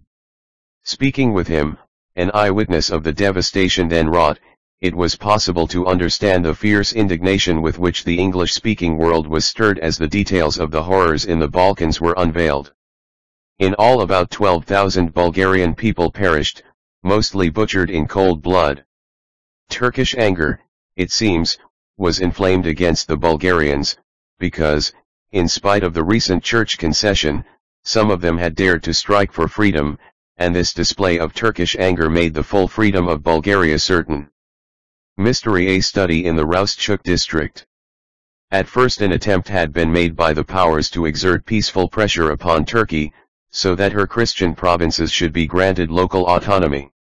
The project of the powers for Bulgaria proposed that the districts inhabited by Bulgarians should be divided into two provinces, the eastern province, with Tirnovo as capital, was to include the Sanjaks of Roustchuk, Tirnovo, Talcha, Varna, Sliven, Philippopolis, not including Sultanari and Ahicalebai, the Kazas of Kirkkilis, Mustafa Pasha and Kasilagach, and the western province, with Sofia as capital, the Sanjaks of Sofia, Vidin, Nis, Uskub, Monastir, the three Kazas of the north of Sirs, and the Kazas of Strumitsa, Tikvesh, Velis, and Kastoria. Districts of from 5 to 10,000 inhabitants were to stand as the administrative unit. Christian and Mohammedans were to be settled homogeneously in these districts. Each district was to have at its head a mayor and a district council, elected by universal suffrage, and was to enjoy entire autonomy as regards local affairs. Several districts would form a sanjak with a prefect at its head who was to be Christian or Mohammedan, according to the majority of the population of the sanjak. He would be proposed by the Governor-General, and nominated by the Porte for four years. Finally, every two sanjaks were to be administered by a Christian Governor-General nominated by the Porte for five years, with consent of the powers. He would govern the province with the help of a provincial assembly, composed of representatives chosen by the district councils for a term of four years, at the rate of one deputy to 30 or 40,000 inhabitants. This assembly would nominate an administrative council of 10 members. The provincial assembly would be summoned every year to decide the budget and the taxes. The armed force was to be concentrated in the towns and there would be local militia beside. The language of the predominant nationality was to be employed, as well as Turkish. Finally, a commission of international control was to supervise the working of these proposals. The Porte promised reforms on these lines, but did not go beyond promising. The task of forcing her to end a cruel tyranny was one for the battlefield. The Russo-Turkish War broke out on April 12, 1877, and what Turkey had refused to yield of her own accord was wrested from her by force of arms, in the preliminary Treaty of San Stefano. By this treaty, Bulgaria was made an autonomous principality subject to Turkey, with a Christian government and national militia. The Prince of Bulgaria was to be freely chosen by the Bulgarian people and accepted by the Sublime Porte, with the consent of the powers. It was agreed that an assembly of notables, presided over by a Russian commissioner and attended by a Turkish commissioner, should meet at Philippopolis or Tirnovo before the election of the prince to draw up a constitutional statute similar to those of the other Danubian principalities agreed to after the Treaty of Adrianople in 1830. The Treaty of San Stefano brought into being on paper a Bulgaria greater in area than the Bulgaria of 1912, and greater even than the Bulgaria of 1914. But the treaty was not ratified. Other European powers, alarmed at the prospect of Russia becoming supreme in the Balkans through the aid of a Bulgarian vassal state, interfered, and the Congress of Berlin substituted for the Treaty of San Stefano. The Treaty of Berlin.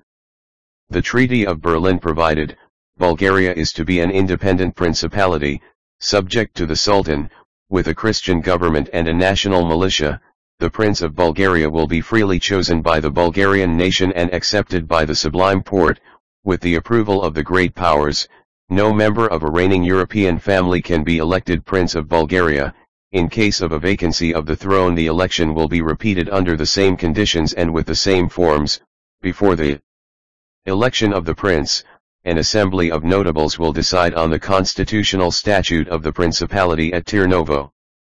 The laws will be based on principles of civil and religious liberty.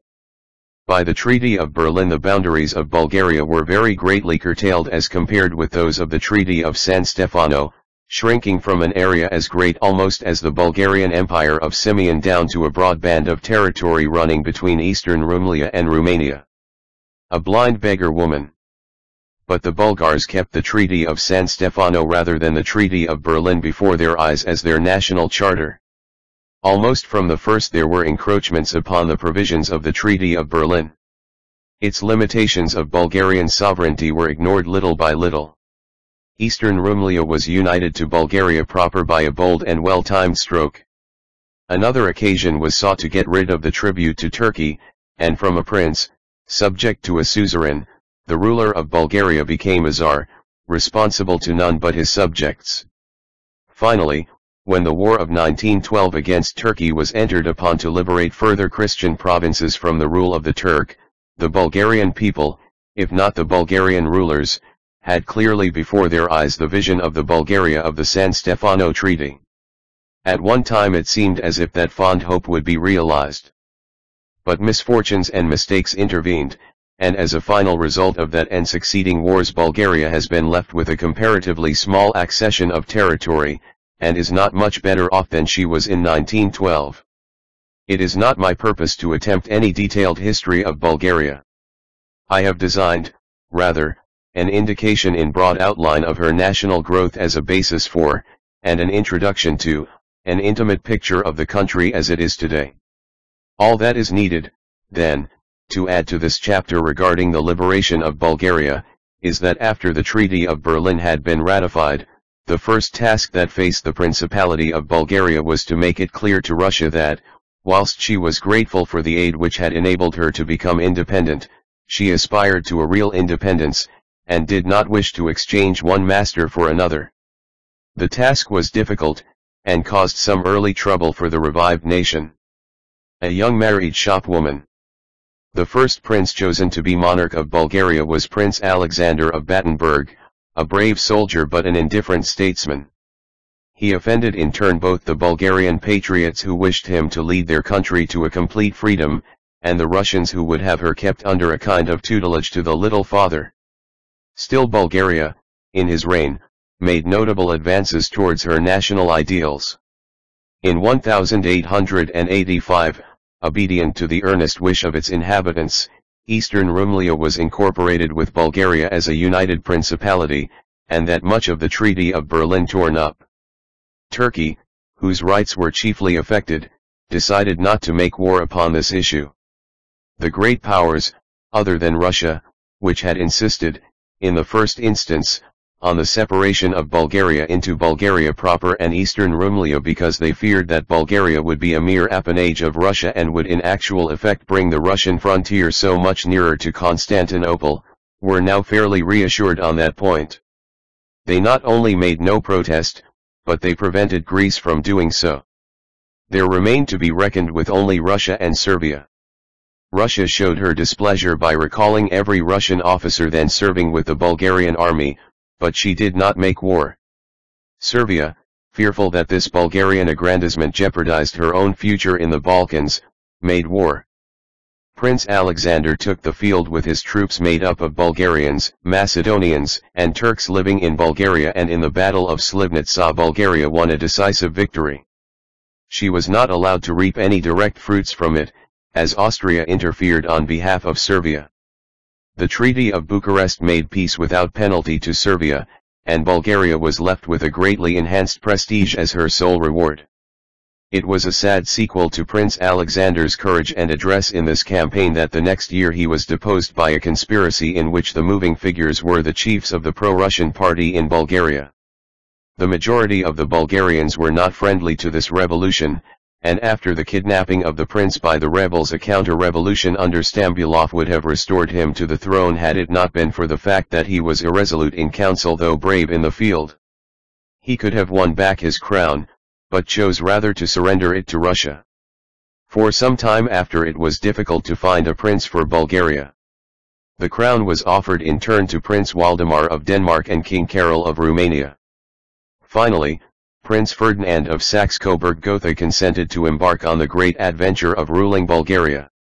Wealthy, descended from the old French royal house on his mother's side, and connected with the Austrian and German royal houses on his father's, handsome and youthful, Prince Ferdinand had splendid qualifications for his new responsibility. He showed, too, from the outset, a fine diplomatic skill and successfully steered his country through the perilous days which followed his accession. Russia at first refused to sanction the choice of him as prince, and that involved the other powers in a policy of refusing him recognition. He was thus, in a sense, a boycotted monarch. With steady and patient skill Prince Ferdinand worked to overcome the obstacles which stood in the way of Bulgarian national aspirations, aided much by the masterful statesmanship of Stambulov. A good understanding was come to with Turkey, still Bulgaria's suzerain power, and in 1890 Turkey made the important concession to Bulgaria of appointing Bulgarian bishops in Macedonia. In 1893 Prince Ferdinand married Princess Marie-Louise of Parma, and the next year an heir was born to them, Prince Boris. A reconciliation with Russia followed. A Bulgarian market town. Bulgaria now made steady and peaceful progress, the only cloud on her sky the sorrows of her CO religionists in Macedonia. In 1908 advantage was taken of the Young Turk Revolution in Turkey for the Bulgarian prince to denounce all allegiance to Turkey, and Bulgaria was declared fully independent and Ferdinand was crowned at Tirnovo as Tsar of the Bulgarians. Turkey was not able to protest, and her confessed weakness nourished to powerful strength the general desire of the Christian peoples in the Balkans to free their CO religionists in Thrace and Macedonia from the rule of the Moslem. The Balkan League was formed, and Bulgaria, Greece, Montenegro, and Serbia prepared to force from Turkey by war what the great powers had so far failed to secure by diplomacy the relief of Macedonia from oppression and misrule. It was during the War of 1912-1913 that I had an opportunity of studying the Bulgarian people at close hand, as I accompanied the Bulgarian forces as war correspondent. Chapter 6, The War of 1912-1913 I can still recollect the glad surprise which a first sight of Sofia gave to me. With the then conventional view of the Balkan states, I had expected, on leaving Budapest, to cut away altogether from civilization. Paved streets, solid and good, if not exactly handsome, buildings, first-class hotels and cafes, electric trams and comfortable, cheap cabs, luxurious public baths, well-stocked stores, a telephone system, water supply, drainage each one of these was a surprise. I had expected a semi-barbaric eastern town. I found a modern capital, small but orderly, clean, and well managed. That enthusiastic friend of the Balkan nationalities, Mr. Noel Buxton, MP, writing of Sofia and other Balkan capitals, becomes quite lyrical in his praise, their capitals, he writes, have at all times an aspect of reality, industry, and simplicity. There is little needless wealth to show, and nothing which, in the West, would be called luxury. Everyone is a worker, and everyone a serious politician. There are no drones, and none who spend their lives in the pleasures, refinements, luxuries, vices, the idle amusements of the great cities of Europe. The buildings represent utility, means fairly adapted to ends, but with no cumbrous decoration or ponderous display. These capitals are bureaucratic settlements, devoted to the deliberate ends of national government with a minimum of waste, strictly appropriated to use alone, rendering their service to the nation as a counting house renders its service to a great factory. Peasants walk their streets in brilliant village dresses. No one thinks a rational country costume inappropriate to the pavement of the capital. This is an index to the idea of purpose which pervades the town, there is none of the sense that a different costume is needed for urban life, an idea which arises from the association of towns with pleasure and display. Blessing the Lamb on St. George's Day. Few sights can be more inspiring to the lover of liberty and national progress than a view of Sofia from the hill where the great seminary of the National Church overlooks the plain. There at your feet is spread out the unpretentious seat of a government which stands for the advance of European order in lands long blighted with barbarism. Here resides, and is centered, the virile force of a people which has advanced the bounds of liberty. From here, symbolized by the rivers and roads running down on each side, has extended, and will further extend, the power of modern education, of unhampered ideas, of science, and of humanity. From this magnificent viewpoint Sofia stretches along the low hill with the dark background of the Balkan beyond. Against that background now stands out the new embodiment of Bulgarian and Slavonic energy, genius, and freedom of mind, the great cathedral, with its vast golden domes brilliantly standing out from the shade behind them.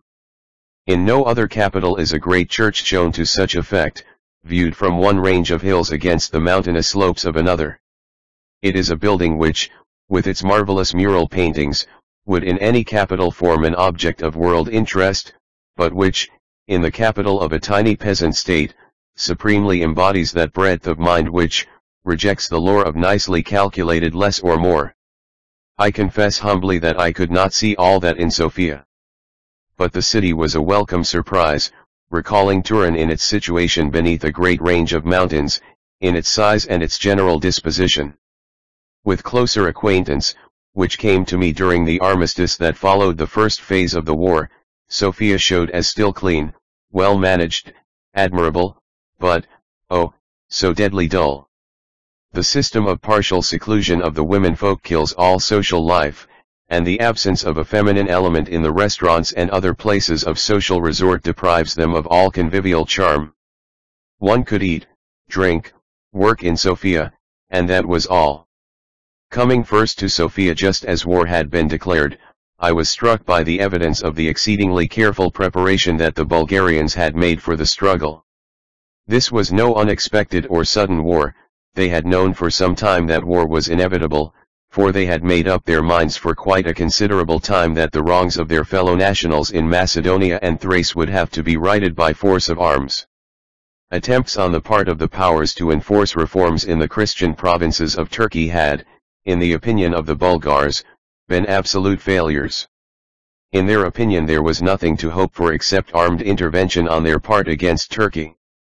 And, believing that, they had made most careful preparation, extending over several years, for this struggle. That preparation was in every sense admirable. For instance, it had extended, I gathered from informants in Bulgaria, to this degree, that they formed military camps in winter for the training of their troops. Thus they did not train solely in the most favorable time of the year for maneuvers, but in the unfavorable weather too, in case that time should prove favorable for their war. I think the standard of their artillery arm, and the evidence of the scientific training of their officers, prove to what extent their training beforehand had gone. Most of the officers in high command I met at the front had been trained at the military college at St. Petrograd, some of them at the military college at Turin, and others again at a military college which had been established at Sofia. Of this last named the head was Colonel Jostov, who was chief of staff to General Dmitriev, the great conquering general of this war, and a singularly able soldier. He was the chief professor of the military college at Sofia, and judging by the standard he set, the military college must have reached a high degree of efficiency. The cathedral, Sofia. The Balkan League having been formed, and the time being ripe for the war, Bulgaria was quite determined that war should be. The Turks at that time were inclined to make reforms and concessions, they had an inclination to ease the pressure on their Christian subjects in the Christian provinces. Perhaps knowing perhaps not knowing that they were unready for war themselves, but feeling that the Balkan states were preparing for war, the Turks were undoubtedly willing to make great concessions. But whatever concessions the Turks might have offered, war would still have taken place. I do not think one need offer any harsh criticism about a nation coming to such a decision as that. If you have made your preparation for war perhaps a very expensive preparation, perhaps a preparation which has involved very great commitments apart from expense it is not reasonable to suppose that at the last moment you will consent to stop that war. I was much struck with the wonderful value to the Bulgarian generals of the fact that the whole Bulgarian nation was filled with the martial spirit was, in a sense, wrapped up in the colors. Every male Bulgarian citizen was trained to the use of arms. Every Bulgarian citizen of fighting age was engaged either at the front or on the lines of communication. Before the war, every Bulgarian man, being a soldier, was under a soldier's honor, and the preliminaries of the war, the preparations for mobilization in particular, were carried out with a degree of secrecy that, I think, astonished every court and every military department in Europe. The secret was so well kept that one of the diplomatists in Romania left for a holiday three days before the declaration of war, feeling certain that there was to be no war. Bulgaria has a newspaper press that, on ordinary matters, for delightful irresponsibility, might be matched in London. Yet not a single whisper of what the nation was designing and planning leaked abroad. Because the whole nation was a soldier, and the whole nation was under a soldier's honor, absolute secrecy could be kept. No one abroad knew anything, either from the babbling of pro-Turks, or from the newspapers, that this great campaign was being designed by Bulgaria. The secret service of Bulgaria before the war had evidently been excellent. They seemed to know all that was necessary to know about the country in which they were going to fight, and I think this very complete knowledge of theirs was in part responsible for the arrangements which were made between the Balkan allies for carrying on the war. The Bulgarian people had made up their minds to do the lion's share of the work and to have the lion's share of the spoils, for the Bulgarian people knew the state of corruption and rottenness to which the Turkish nation had come. When I reached Sofia, the Bulgarians told me they were going to be in Constantinople three weeks after the declaration of war. That was the view that they took of the possibilities of the campaign. And they kept their program as far as Chatalja fairly closely. Having declared war, the Bulgarians invaded Turkey along two main lines, by the railway which passed through Adrianople to Constantinople and by the wild mountain passes of the north between Yamboli and Kirk there was great enterprise shown in this second line of advance and it was responsible for all the great victories won. Taking Kirk by surprise the Bulgarian forces kept the Turkish vanguard on the run until Lulburgas, where the Turkish main army made a stand and the decisive battle of the campaign was fought. The Turks were utterly routed and fled in confusion towards Constantinople by Chorlu. Had an enterprising pursuit on the part of the Bulgarians been possible, the Bulgarian army undoubtedly would have then entered Constantinople and the Christmas Mass would have been said at St. Sophia. But the strength of the Bulgarian attack was exhausted by the tremendous exertions of marching and fighting which they had already made and a long pause to recuperate was necessary. That pause enabled the Turks to remarshal their forces and to make a stand at the fortified lines of Chatalja some 20 miles as the crow flies from Constantinople. Against those lines a Bulgarian attack was finally launched, but too late. The entrenched Turks were strong enough to withstand the attack of the Bulgarian forces. My diary of these three critical days of the campaign reads, Ermenek Shwa, headquarters of the 3rd Bulgarian Army, November 17, Sunday. The Battle of Chatalja has been opened. Today, General Dmitriev rode out with his staff to the battlefield whilst the bells of a Christian church in this little village rang. The day was spent in artillery reconnaissance, the Bulgarian guns searching the Turkish entrenchments to discover their real strength. Only once during the day was the infantry employed, and then it was rather to take the place of artillery than to complete the work begun by artillery. It seems to me that the Bulgarian forces have not enough big gun ammunition at the front. They are 10 days from their base and shells must come up by ox wagon the greater part of the way. Ermenek Shwa, November 18th. This was a wild day on the Chatalja Hills. Driving rain and mist swept over from the Black Sea, and at times obscured all the valley across which the battle raged.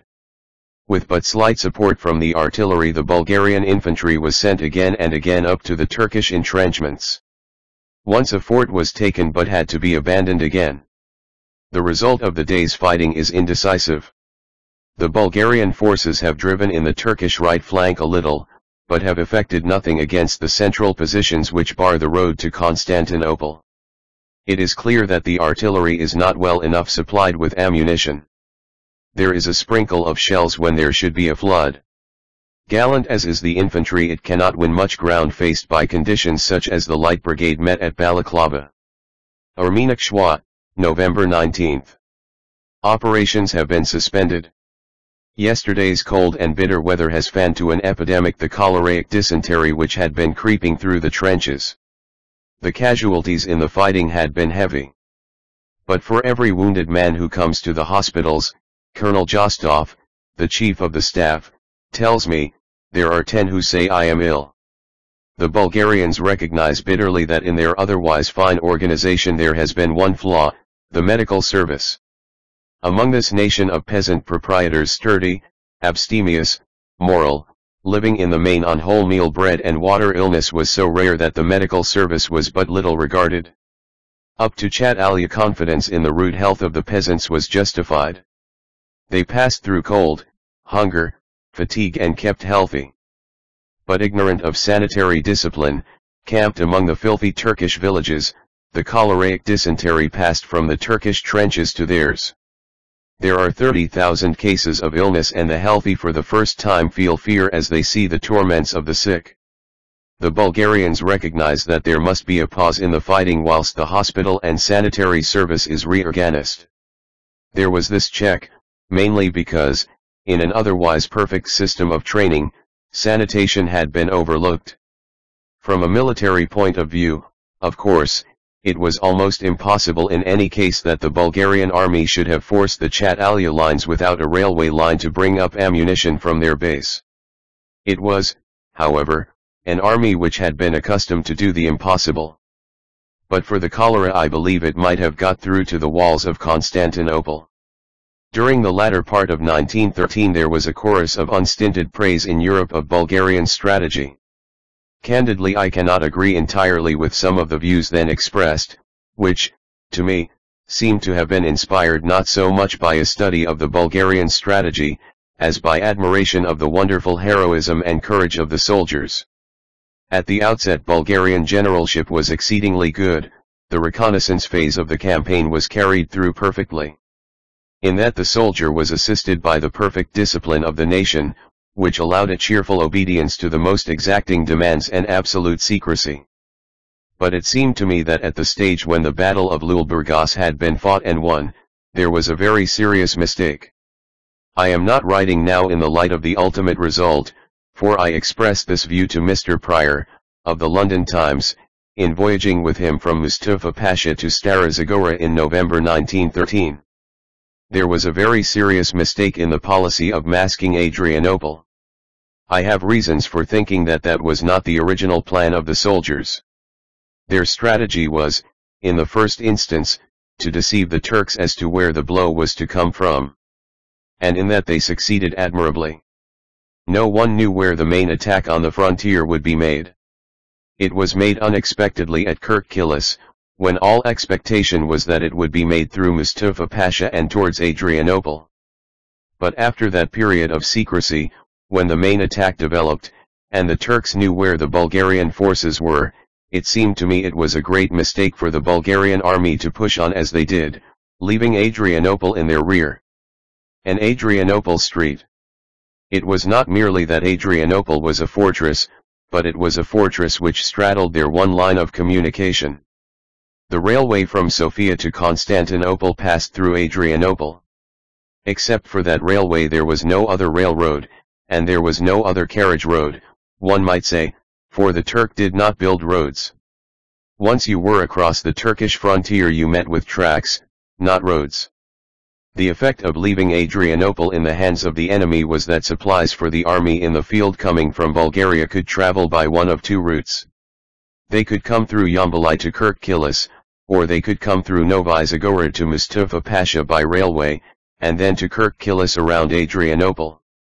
From Kirk Killis to the railhead at Sielniki, close to Chatalja, they could come not by railway but by a tramway, a very limited railway. If Adrianople had fallen, the railway would have been open. The Bulgarian railway service had, I think, something over 100 powerful locomotives at the outset of the war, and whilst it was a single line in places, it was an effective line right down to as near Constantinople as they could get.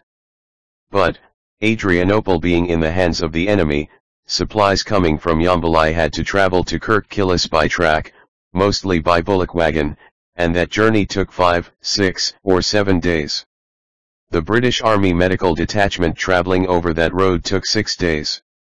If one took the other road one got to Mustafa Pasha comfortably by railway. And then it was necessary to use bullock or horse transport from Mustafa Pasha to Kirk Killis. That journey I took twice, once with an ox wagon, and afterwards with a set of fast horses, and the least period for the journey was five days. From Kirk Killis there was a line of light railway joining the main line. But on that line the Bulgarians had only six engines, and, I think, 32 carriages, so that, for practical purposes, the railway was of very little use indeed past Mustafa Pasha. Whilst Adrianople was in the hands of the enemy, the Bulgarians had practically no line of communication. My reason for believing that it was not the original plan of the generals to leave Adrianople masked is, that in the first instance I have a fairly high opinion of the generals, and I do not think they could have designed that, but I think rather it was forced upon them by the politicians saying, we must hurry through, we must attempt something, no matter how desperate it is, something decisive. But, apart from the high opinion I have of the Bulgarian generals, the fact remains that after Adrianople had been attacked in a very half-hearted way, and after the main Bulgarian army had pushed onto the lines of Chatalja, the Bulgarians called in the aid of a Serbian division to help them against Adrianople. I am sure they would not have done that if it had not been their wish to subdue Adrianople.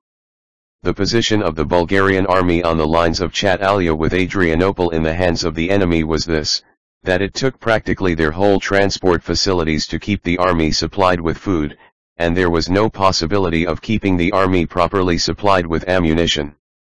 So if the Bulgarian generals had really designed to carry the lines of Chatalja without first attacking Adrianople, they miscalculated seriously. But I do not think they did. It was probably a plan forced upon them by political authority, feeling that the war must be pushed to a conclusion somehow. Why the Bulgarians did not take Adrianople quickly in the first place is, I think, to be explained simply by the fact that they could not.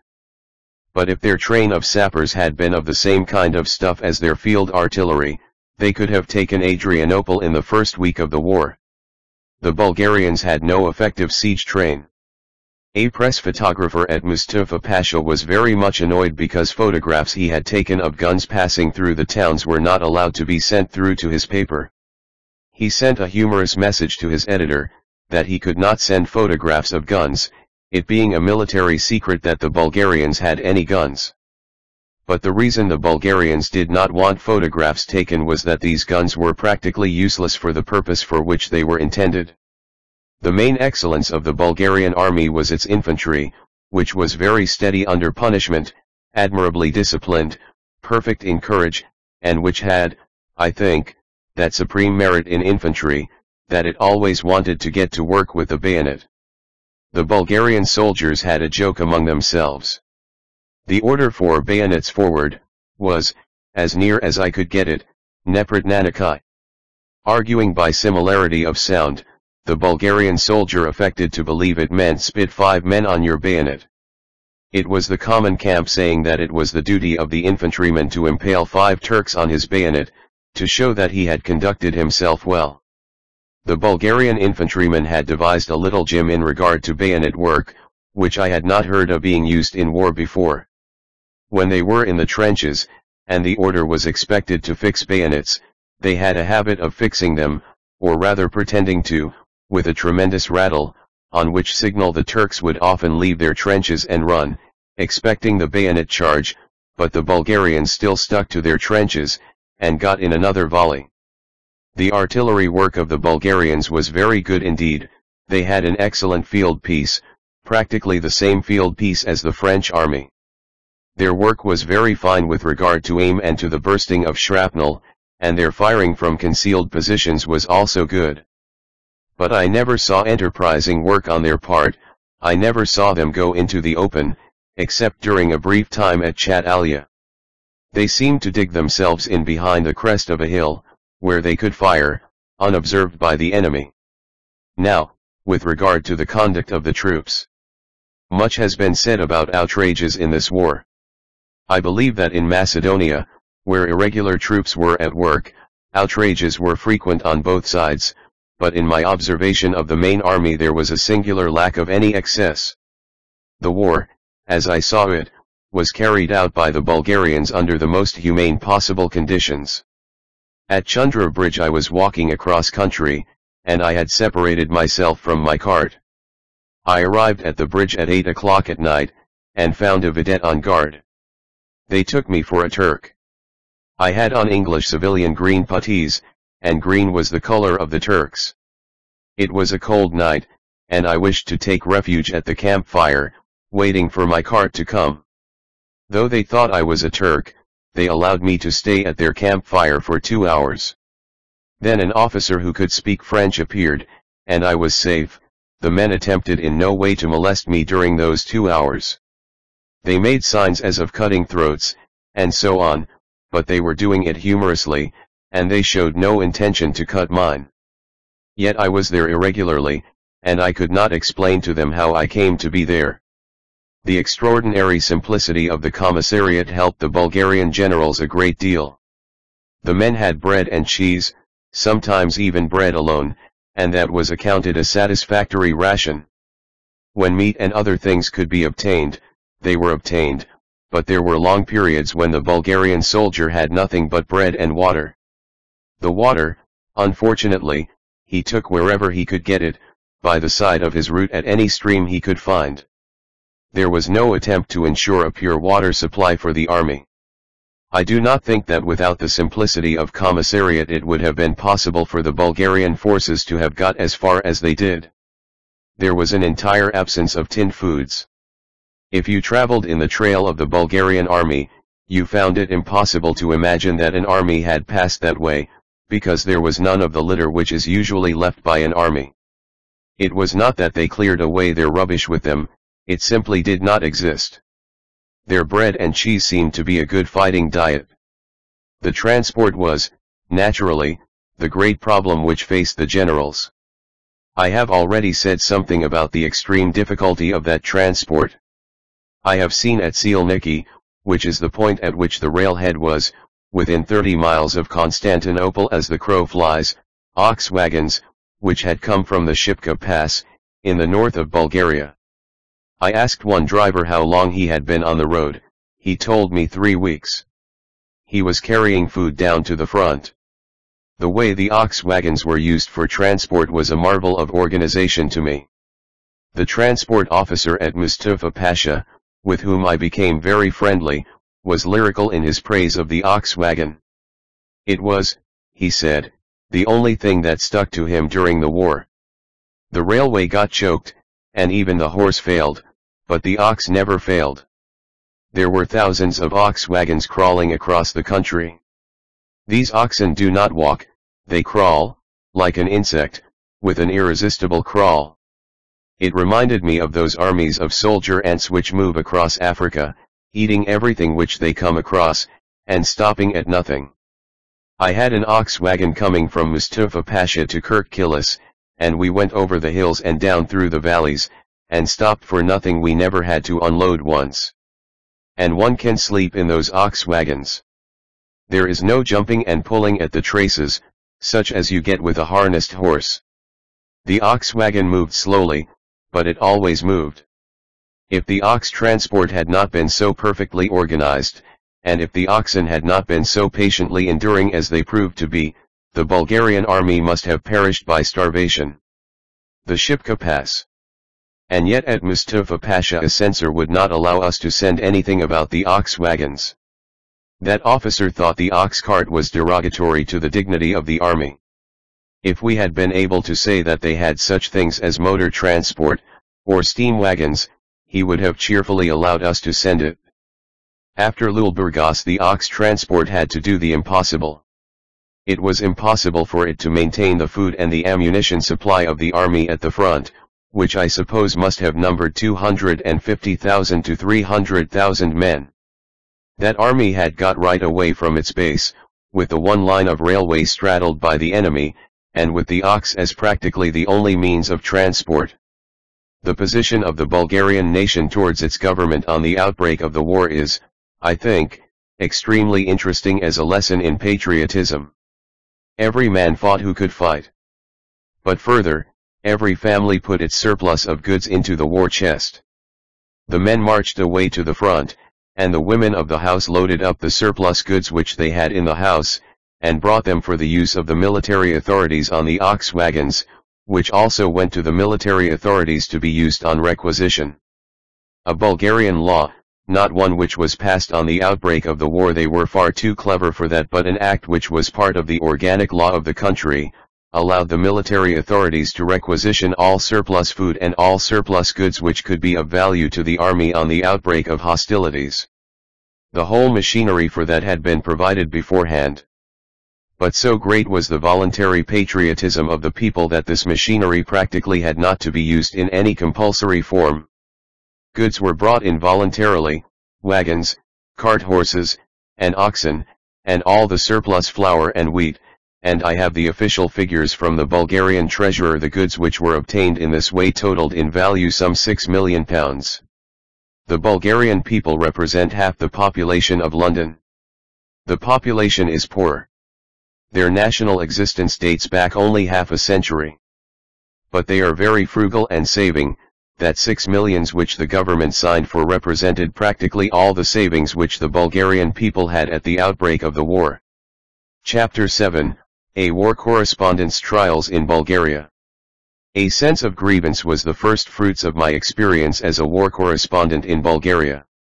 It was the general policy of the Bulgarian army and the Bulgarian military authorities to prevent war correspondents seeing anything of their operations. They wished nothing to interfere with the secrecy of their plans. There were only three British journalists who succeeded, in the ultimate result, in getting to the front and seeing the final battle of the first phase of the war, at Chatalja. There were over a hundred correspondents who attempted to go. Perhaps as I was one of three who succeeded, I do not think I, personally, have any reason to complain. But I found a good deal of vexation in the Bulgarian policy, which was to prevent any knowledge of their plans, their dispositions, their strategy, and their tactics, from getting beyond the small circle of their own general staff. Even some of their generals in the field were kept in partial ignorance. Officers of high standing, unless they were on the general staff, knew little of the general plan, they were informed only about the particular operations in which they were engaged.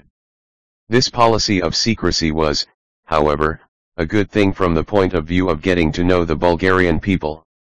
If the military authorities had given me facilities to go with the army and see its operations I should have become familiar with the headquarters staff, perhaps with a few regimental officers, but not with the great mass of the army nor with the Bulgarian people generally but the refusal of facilities to accompany the army cast upon me the responsibility of trying to get through somehow to the front, and in the process of getting through I want to knowledge of the peasant soldiers and their home life.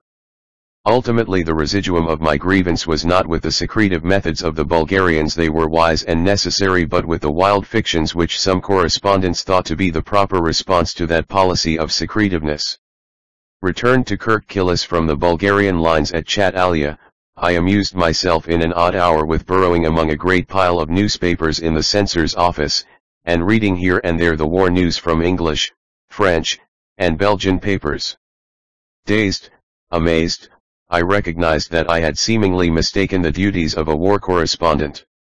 For some six weeks I had been following an army in breathless, anxious chase of facts, wheedling censors to get some few of those facts into a telegraph office, learning then, perhaps, that the custom at that particular telegraph office was to forward telegrams to Sofia, a 10 days journey, by bullock wagon and railway, to give them time to mature.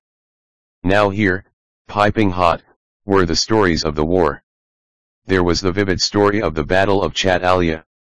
This story was started seven days too soon, had the positions and the armies all wrong, the result all wrong, and the picturesque details were in harmony but for the purposes of the public it was a very good story of a battle.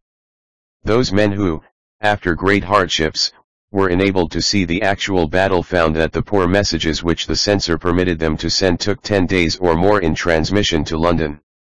Why have taken all the trouble and expense of going to the front? Budapest, on the way there, is a lovely city, Bucharest also, and charming Vienna was not at all too far away if you had a good staff map and a lively military imagination. In yet another paper there was a vivid picture scenery, date, Greenwich time, and all to give an air of artistic verisimilitude of the signing of the peace armistice. The armistice had not been signed at the time, was not signed for some days after. But it would have been absurd to have waited, since our special correspondent had seen it all in advance, right down to the embrace of the Turkish delegate and the Bulgarian delegate, and knew that some of the conditions were that the Turkish commissariat was to feed the Bulgarian troops at Chatalja and the Bulgarian commissariat the Turkish troops in Adrianople. If his paper had waited for the truth that most charming story would never have seen the light. So, in a little book I shall one day bring out in the Attractive Occupations series on how to be a war correspondent, I shall give this general advice. 1. Before operations begin, visit the army to which you are accredited, and take notes of the general appearance of officers and men. Also learn a few military phrases of their language. Ascertain all possible particulars of a personal character concerning the generals and chief officers. To return then to a base outside the country. It must have good telegraph communication with your newspaper. For the rest you may decide its locality by the quality of the wine, or the beer, or the cooking. 3. Secure a set of good maps of the scene of operations. It will be handy also to have any books which have been published describing campaigns over the same terrain. 4. Keep in touch with the official bulletins issued by the military authorities from the scene of operations. But be on guard not to become enslaved by them. If, for instance, you wait for official notices of battles, you will be much hampered in your picturesque work. Fight battles when they ought to be fought and how they ought to be fought. The story's the thing. 5. A little sprinkling of personal experience is wise, for example, a bivouac on the battlefield, toasting your bacon at a fire made of a broken down gun carriage with a bayonet taken from a dead soldier. Mention the nationality of the bacon. You cannot be too precise in details. A young widow at her husband's grave. Ko-Ko's account of the execution of Nanki-Poo is, in short, the model for the future war correspondent. The other sort of war correspondent, who patiently studied and recorded operations, seems to be doomed. In the nature of things it must be so. The more competent and the more accurate he is, the greater the danger he is to the army which he accompanies. His dispatches, published in his newspaper and telegraphed promptly to the other side, give to them at a cheap cost that information of what is going on behind their enemy's screen of scouts which is so vital to tactical, and sometimes to strategical, dispositions.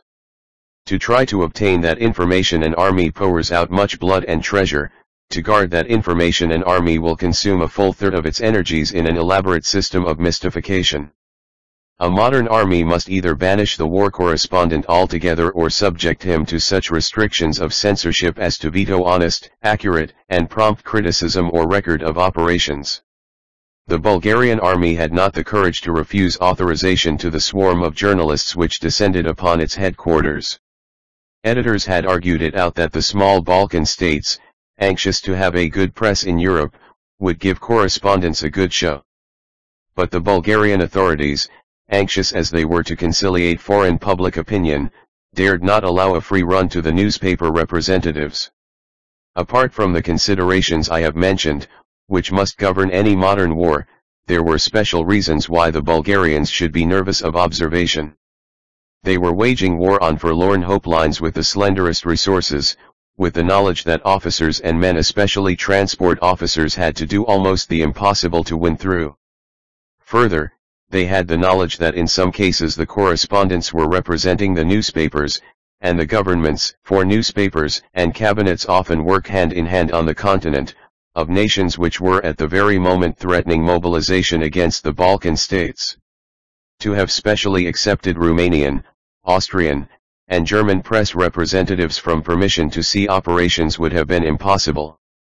The method was adopted of authorizing as many press correspondents as cared to apply, then carefully pocketing them where they could see nothing, and instituting such a rigorous censorship as to guard effectively against any important facts, gleaned indirectly, leaking out. A few managed to earn enough of the Bulgarian confidence to be allowed to go through to the front and see things. But, even then, the censorship and the monopoly of the telegraph line for military messages prevented them from dispatching anything. Some of the correspondence one in particular overcame a secretive military system and a harsh censorship by the use of a skilled imagination and of a friendly telegraph line outside the area of censorship. At the staff headquarters at Stara Zagora during the early days of the campaign, when we were all straining at the leash to get to the front, waiting and fussing, he was working, reconstructing the operations with maps and a fine imagination, and never allowing his paper to want for news. I think that he was quite prepared to have taken pupils for his new school of war correspondence. Often he would come to me for a yarn in halting French on both sides and would explain the campaign as it was being carried on. One eloquent gesture he habitually had a sweeping motion which brought his arms together as though they were gathering up a bundle of spears, then the hands would meet in an expressive squeeze. It is that, he said, it is Napoleonic. Probably the censor at this stage did not interfere much with his activities, content enough to allow fanciful descriptions of Napoleonic strategy to go to the outer world. But, in my experience, facts, if one ascertains something independently, were not treated kindly. Why not? I asked the censor vexedly about one message he had stopped. It is true.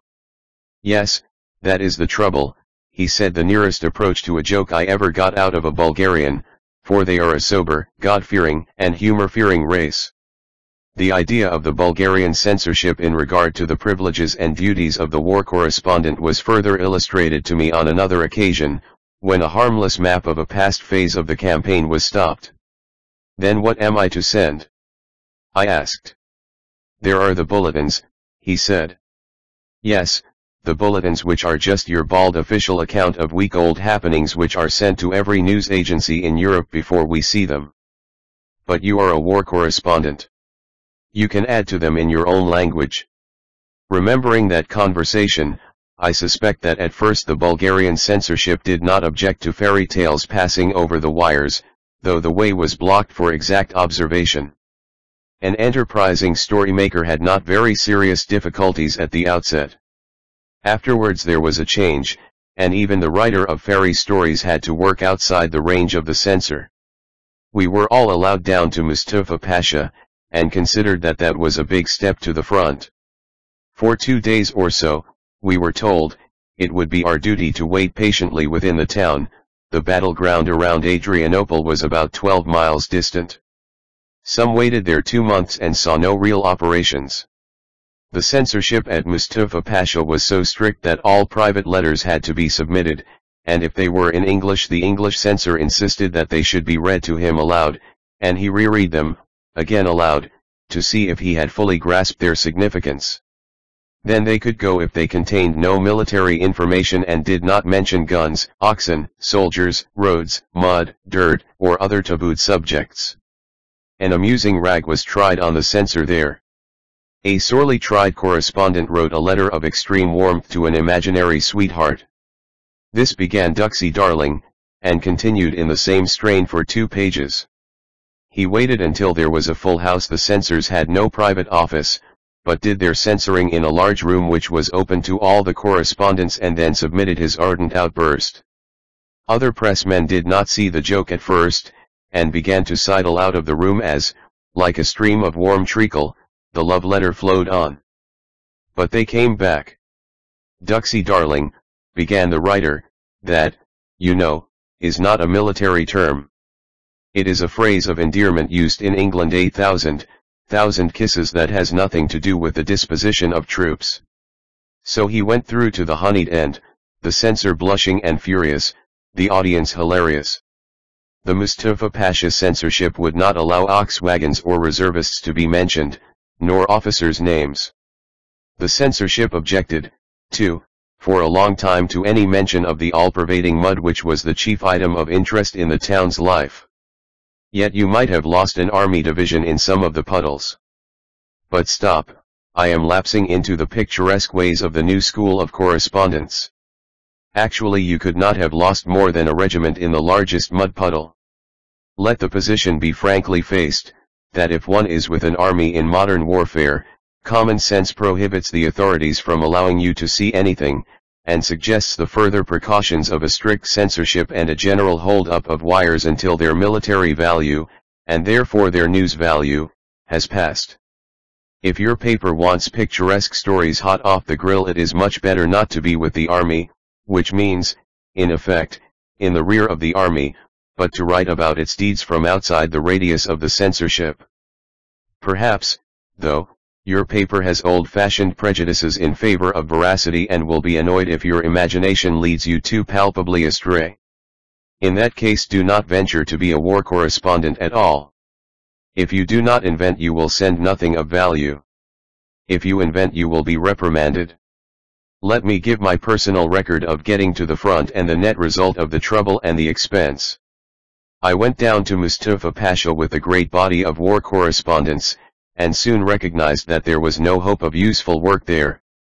The attacking army was at a standstill and a long, wearisome siege its operations strictly guarded from inspection was in prospect. I decided to get back to staff headquarters, then at Stara Zagora, and just managed to catch the staff before it moved on to Kirk Killis. By threatening to return to London at once I got a promise of leave to join the Third Army and to see some fighting. The promise anticipated the actual granting of leave by two days. It would be tedious to record all the little and big difficulties that were then encountered through the reluctance of the military authorities to allow one to get transport or help of any kind. But four days later I was marching out of Mustafa Pasha on the way to Kirk Killis by way of Adrianople, a bullock wagon carrying my baggage, an interpreter trundling my bicycle, I riding a small pony. The interpreter was gloomy and disinclined to face the hardships and dangers, mostly fancied, of the journey. Beside the driver, a Macedonian, marched a soldier with fixed bayonet. Persuasion was necessary to force the driver to undertake the journey, and a friendly transport officer had, with more or less legality, put at my command this means of argument. A mile outside Mustafa Pasha the soldier turned back, and I was left to coax my unwilling helpers on a four days journey across a war-stricken countryside, swept of all supplies, infested with savage dogs, fortunately well fed by the harvest of the battlefields, liable to ravage by roving bands. That night I gave the Macedonian driver some jam and some meat to eke out his bread and cheese.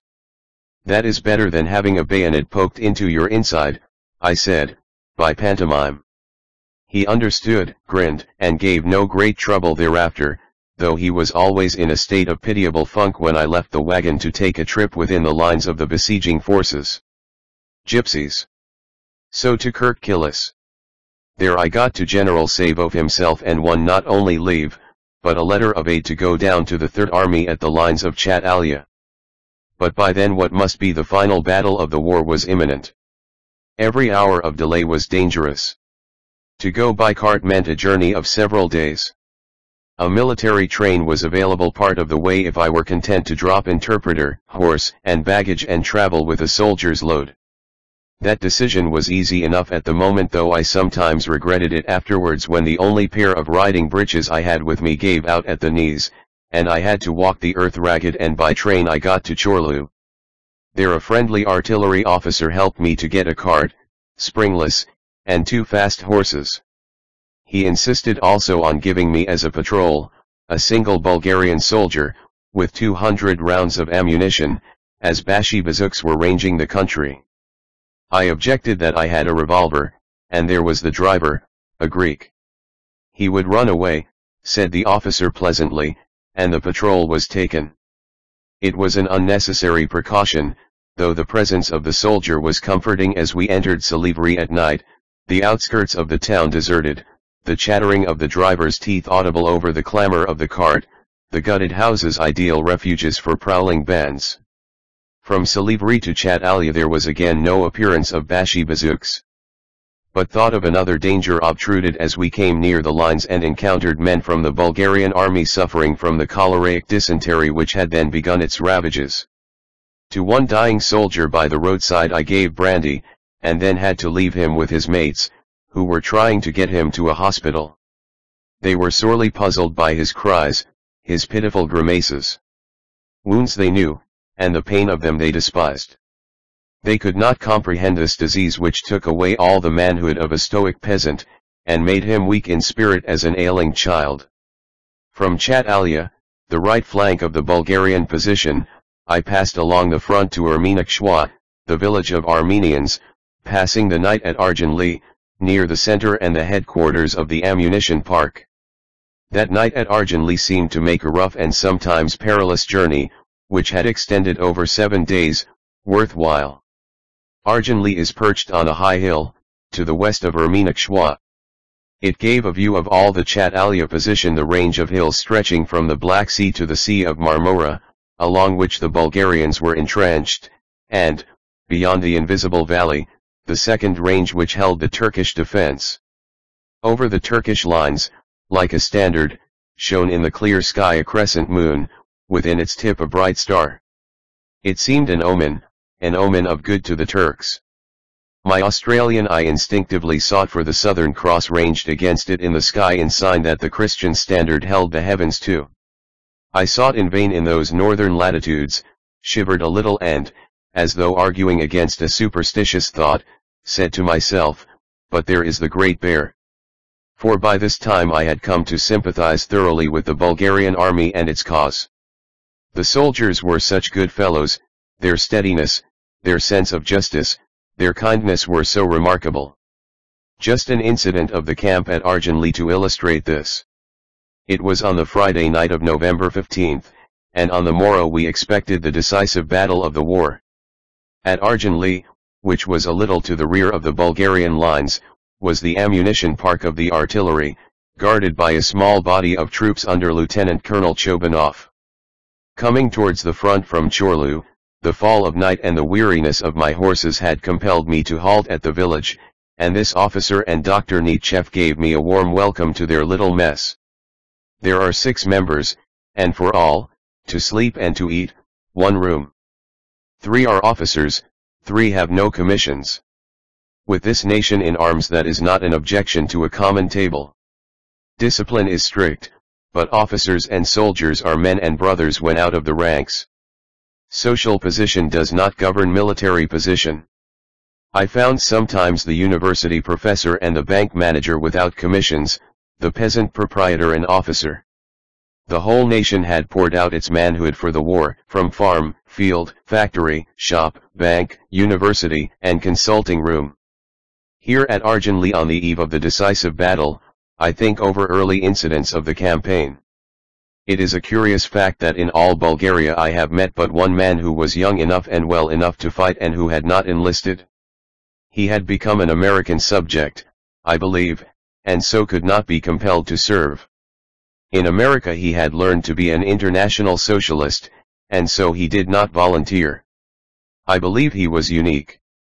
With half the population of London, Bulgaria had put 350,000 trained men under arms.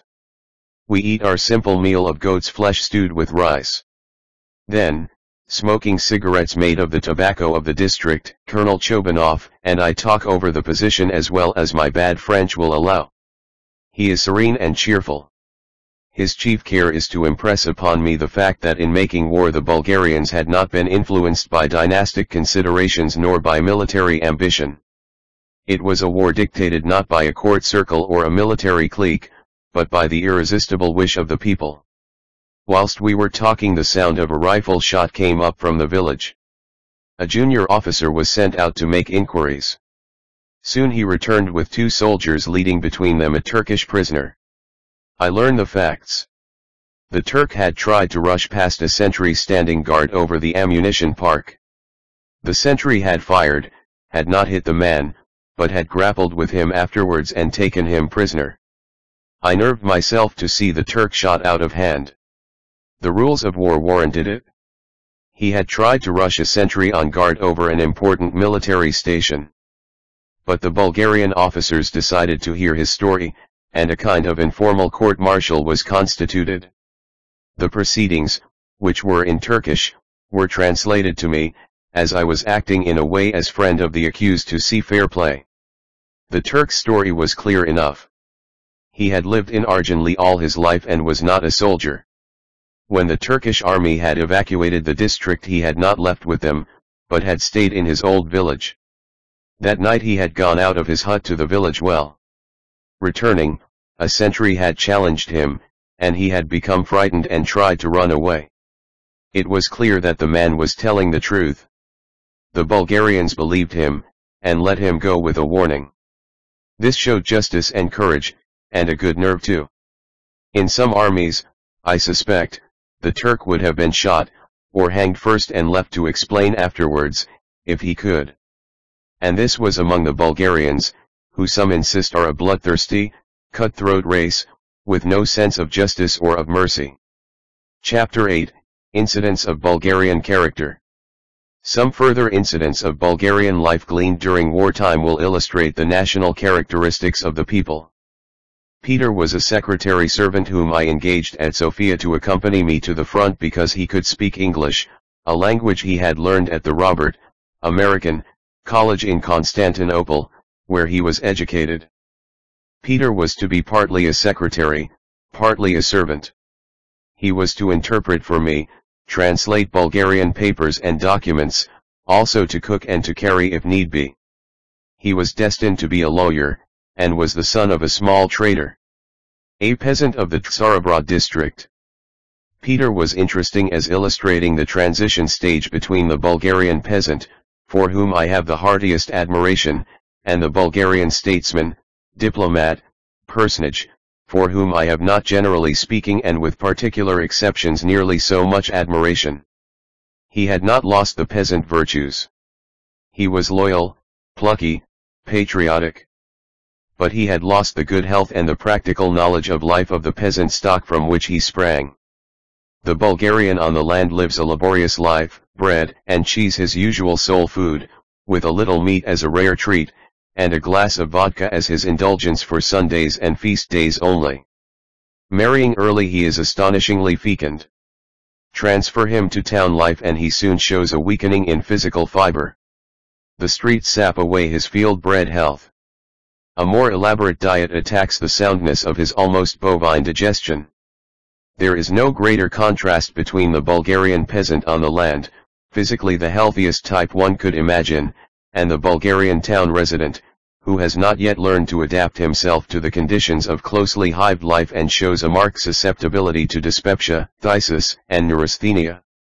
The Bulgarian peasant has the nerves, the digestion of an ox. The Bulgarian town dweller, the son or grandson of that peasant, might pass often for the tired out progeny of many generations of city workers. Peter could not serve in the army because his lungs were affected. That was why he was available as my secretary servant.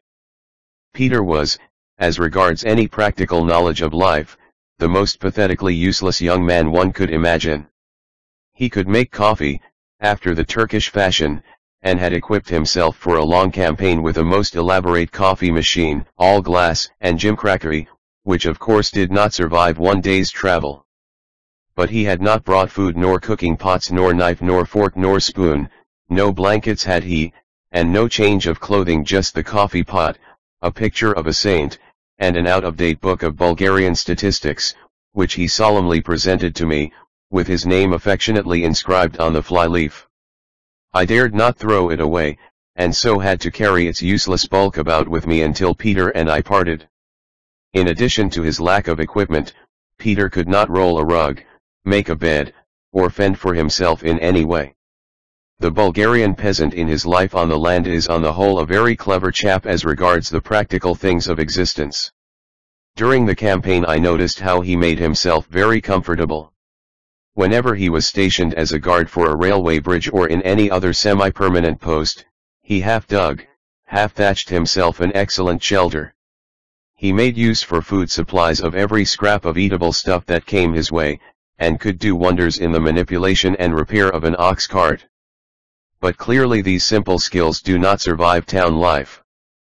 Peter was only one example of many that I encountered. The problem that troubles Bulgaria today and will trouble her for some time to come is that of finding from her almost exclusively peasant population enough statesmen, lawyers, priests, teachers, leaders generally who will have substituted for peasant virtues and peasant abilities the savoir-faire of the cultivated European. They show a tendency to lose the one before they gain the other. My life with Peter was brief. He was such a good fellow that I was quite willing to retain him, even though I had to be the servant really, and his services were only useful as interpreter.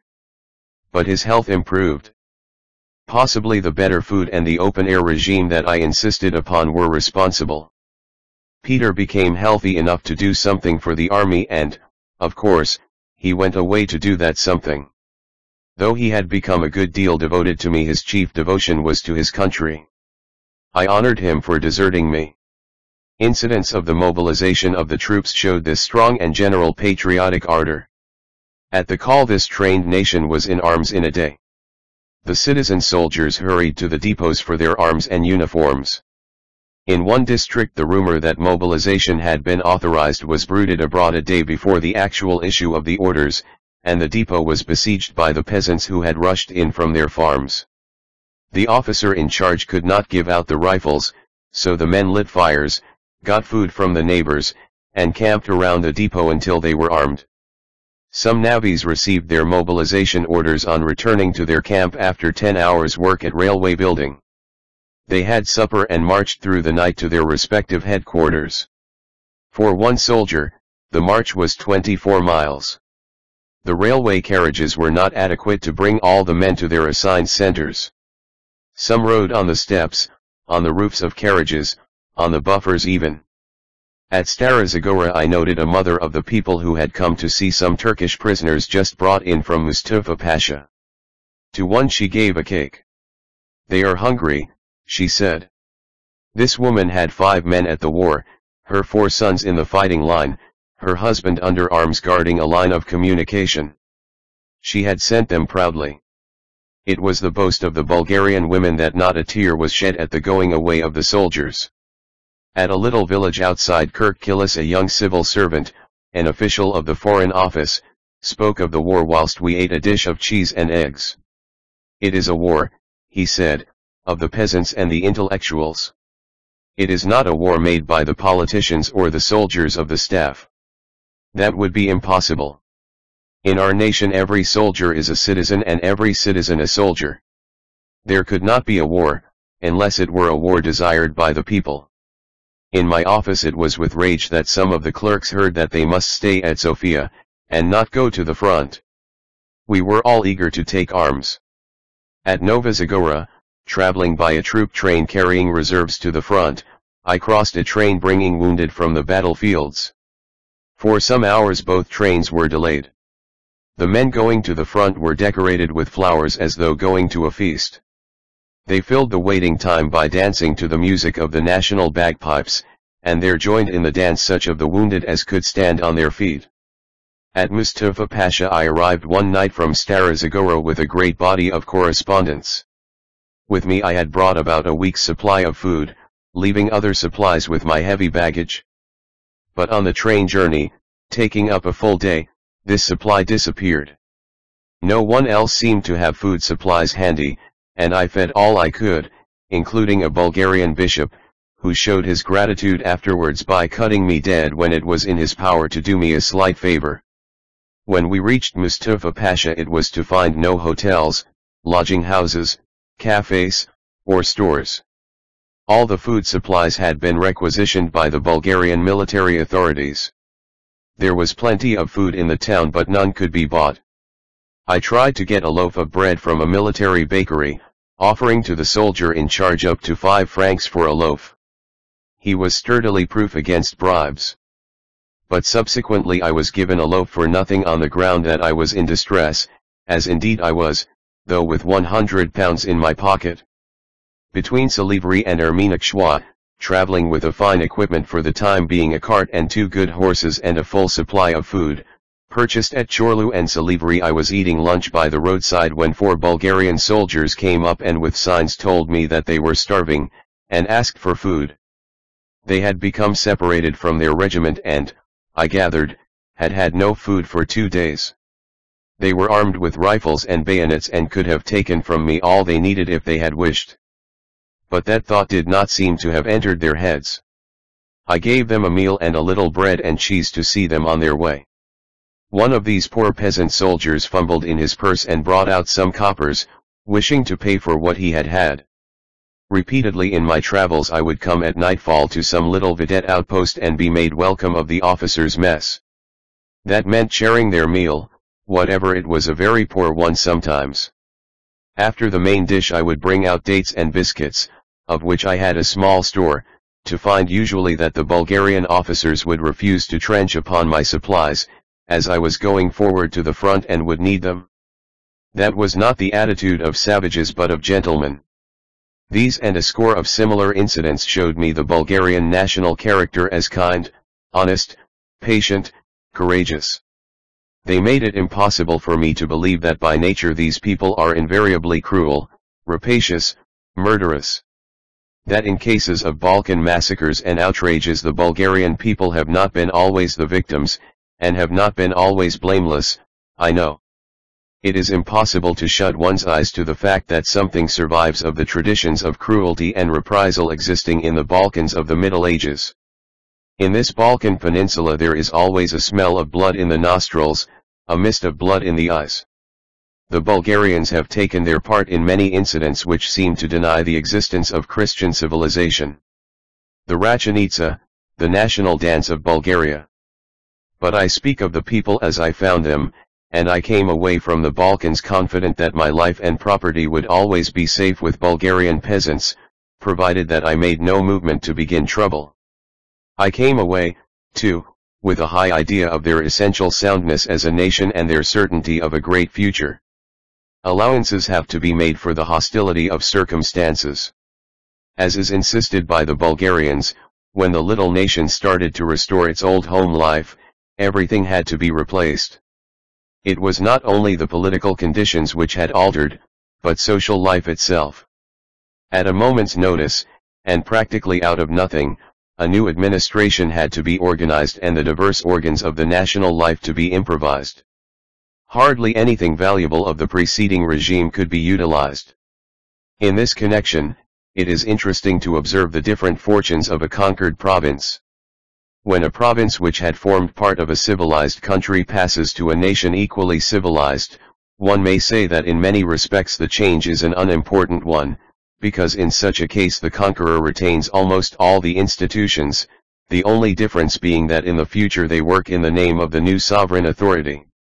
The political condition of such a province is the only thing which is affected, the administrative and judicial system and the wealth continuing as before.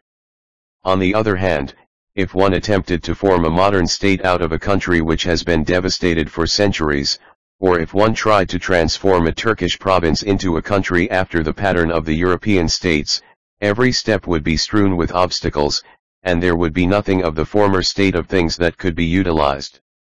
In such a case, the only thing to be done would be to borrow from other nations the experience which they have accumulated during their long efforts, and to transplant it into the desolated land.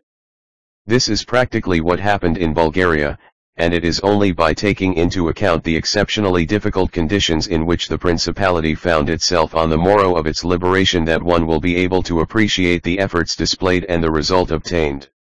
In one particular there is to a British observer a marked failing in the Bulgarian character, the Bulgars are very nervous to keep up appearances and that makes them appear snobbish and deceitful at times.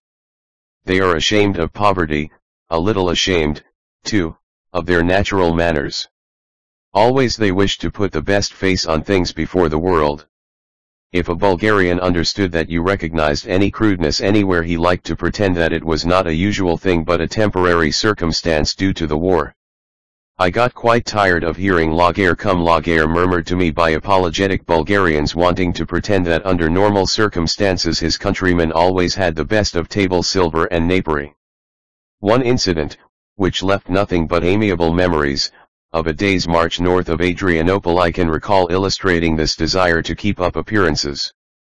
After an anxious day I had got to a Bulgarian camp, was welcomed by an officer and brought around to a little hut where the mess was established. My new-made friend knocked at the door and explained things in Bulgarian. I heard a scuffle and could not help seeing through the window two young officers who were comfortably enjoying supper with their coats off rushing to get into full uniform. Until they were dressed properly there was no admittance to the stranger. That showed on the whole a good feeling of pride, but sometimes Bulgarian sensitiveness to criticism and desire to appear grand was a little trying. I suppose, however, it is natural in a new people. In most things, however, the Bulgarian is intensely practical. That sturdy panegyrist of the Bulgars, Mr. Noel Buxton, MP, insists upon this practicality even when its effects were notably absent, the Bulgarian mind, he writes, is practical. It is no doubt still debated, among European military experts, whether the army succeeded through a well-organized transport or in spite of the want of it. The foreign Red Cross contingents at the front were inclined to the latter view. Judged by English or by German standards, the system, or want of system, employed led them to suppose that success came from muddling through. They found that nothing was prepared for their arrival, and no classification of the wounded carried out. But it may be doubted whether the Bulgarian mind does not include some elements of equality which is really higher than statistical efficiency. It calls for a more affectionate eye towards the Bulgar people than I possess to be blind to the fact that in their medical and sanitary arrangements for the campaign against the Turks they were woefully deficient. The excuse of ignorance is the only one that will serve. The only alternative to that would be a complete recklessness for life. In the Bulgarian camps sanitary precautions were absolutely lacking, and on the battlefields the provision for dealing with the wounded was shockingly inadequate. When I came back from Chatalja to Kirk Killis, King Ferdinand sent his private secretary for me as an independent witness of the state of things at the front. I took the occasion to acquaint His Majesty frankly with the ghastly consequences that had followed from the absence of all precautions to ensure a wholesome water supply, from the neglect of latrine regulations in the camps and other failures in the medical and sanitary service. I had no reason to feel that my frankness was resented, and I believe that, too late in the day, an effort at reform was made. Certainly since then there has been reform, and if Bulgaria should unhappily have to enter upon another campaign probably the medical and sanitary services will be brought to a high pitch of organization. Yes, the Bulgarian is very practical in mind but he has suffered, and has yet to suffer again perhaps, from lack of experience to instruct his practical mind. If the national pride would allow of it, an excellent thing for Bulgaria would be to import half a dozen skilled officials from, say, England and France to nurse her departments through the stage of infancy. The nation has plenty of natural genius but makes mistakes through inexperience. Chapter 9, The Tragedy of 1914 When the war between the Balkan states and the Turkish Empire was brought to a close for the time being by an armistice signed on the battlefield of Chatalja, to which Bulgaria, Serbia, and Turkey were parties, and by the summoning of the Conference of London, to which Greece also was a party, the prospects for Bulgaria's future were singularly bright. As a power in the Balkans Turkey had ceased to exist. She had been driven out of all Albania, Macedonia, Epirus, and Thrace, except that beleaguered garrisons held the fortresses of Scutari, Janina, and Adrianople and the Dardanelles forts, whilst behind the lines of Chatalja a small area of Turkish territory remained under the crescent. The area held by the Bulgarian armies was greater at this time than the territory assigned to her by the Treaty of San Stefano, and promised to be extended as the result of the peace negotiations. In the war which had just been waged the exploits of Bulgarian arms had attracted the widest attention in Europe. Public opinion in most of the capitals of the world assigned the future hegemony of the Balkan Peninsula to the Bulgarian nation. But all this fair-seeming prospect was the prelude to one of the greatest national tragedies in history. I cannot better preface a relation of the facts of that tragedy than by giving a summary of the position early in 1914, as it was given anonymously by a noted Bulgarian diplomat to the National Review. He wrote, it is too late for pretending that all is well with the Balkan League. Even in official quarters, where pessimism is generally discouraged, it is no longer denied that relations between the Allies have reached a critical stage. It would form a sad epilogue to a noble story if what began as a crusade of liberation were to end in fratricidal strife. Nominally, the quarrel turns on the interpretation of treaties and their bearing on the situation created by the war but underneath all these arguments there lurk preoccupations far transcending the scope of written or oral agreements. The question at stake is nothing less than the future balance of power in the Balkans. The map of the Balkans has been transformed beyond recognition, and Turkey has practically ceased to exist as a European power, but those who expected it to inaugurate an era of tranquility have been disappointed. The failure of the war as an instrument of pacification is largely due to the very magnitude of its military success. Had the victories of the Allies been less decisive, conditions might have arisen more favorable to the cause of Balkan Union. The sudden collapse of Turkey left a void which has upset the entire scheme of things existing. A bagpiper. The passions which the war has engendered are only partly due to lust for territorial aggrandizement. Mere thirst after conquest would have never produced such perversions of moral sense had it not been backed by the sentiment of fear and jealousy. This is clearly proved by the fact that feelings have reached their highest point of intensity where this latter element loomed largest. The Bulgarians have exhibited a degree of self-control which is in marked contrast with the conduct of other allies. This equanimity is the more surprising in view of the fact that the position of Bulgaria is well nigh desperate. For months past, the brunt of the war has fallen almost entirely on her.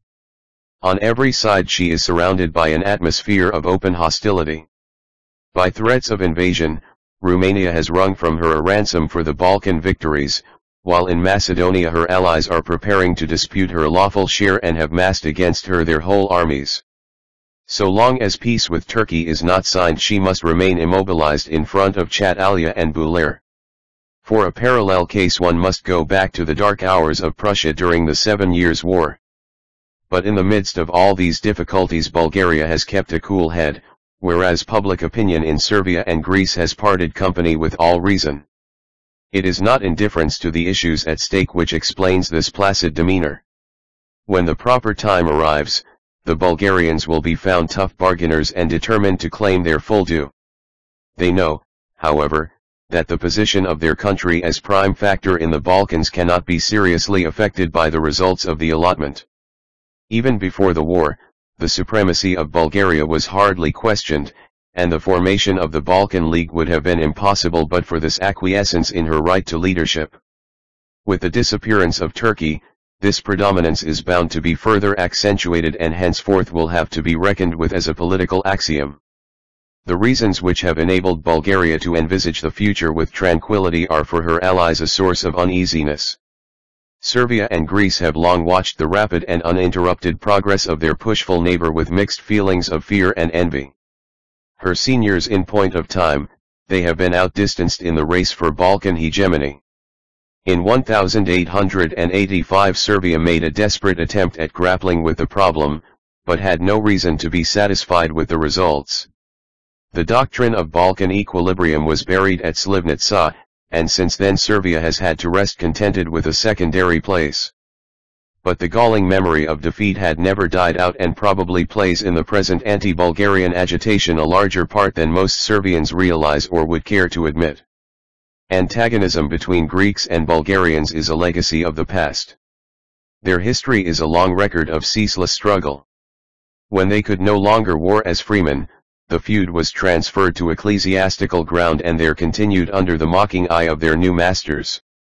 Since their restoration to independent life, they have not been able to revert to the old tradition owing to Turkey's presence as buffer state. This involuntary truce, however, has not turned hatred into love. They are once more to have a common frontier and will thus be brought in direct contact.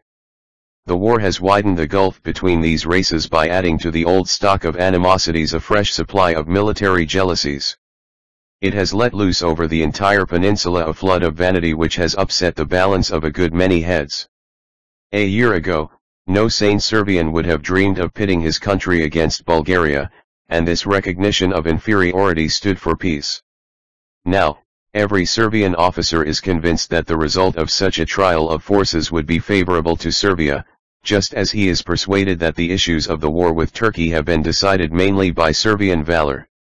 If this is the way in which Serbians are wearing their laurels, it can be imagined what the effect of recent events has been on impressionable Greece. To the trepidation with which the war was entered has succeeded the feeling of boundless self-reliance. All sense of reality and proportion has been banished, and there is no exploit which seems beyond the reach of Greek effort.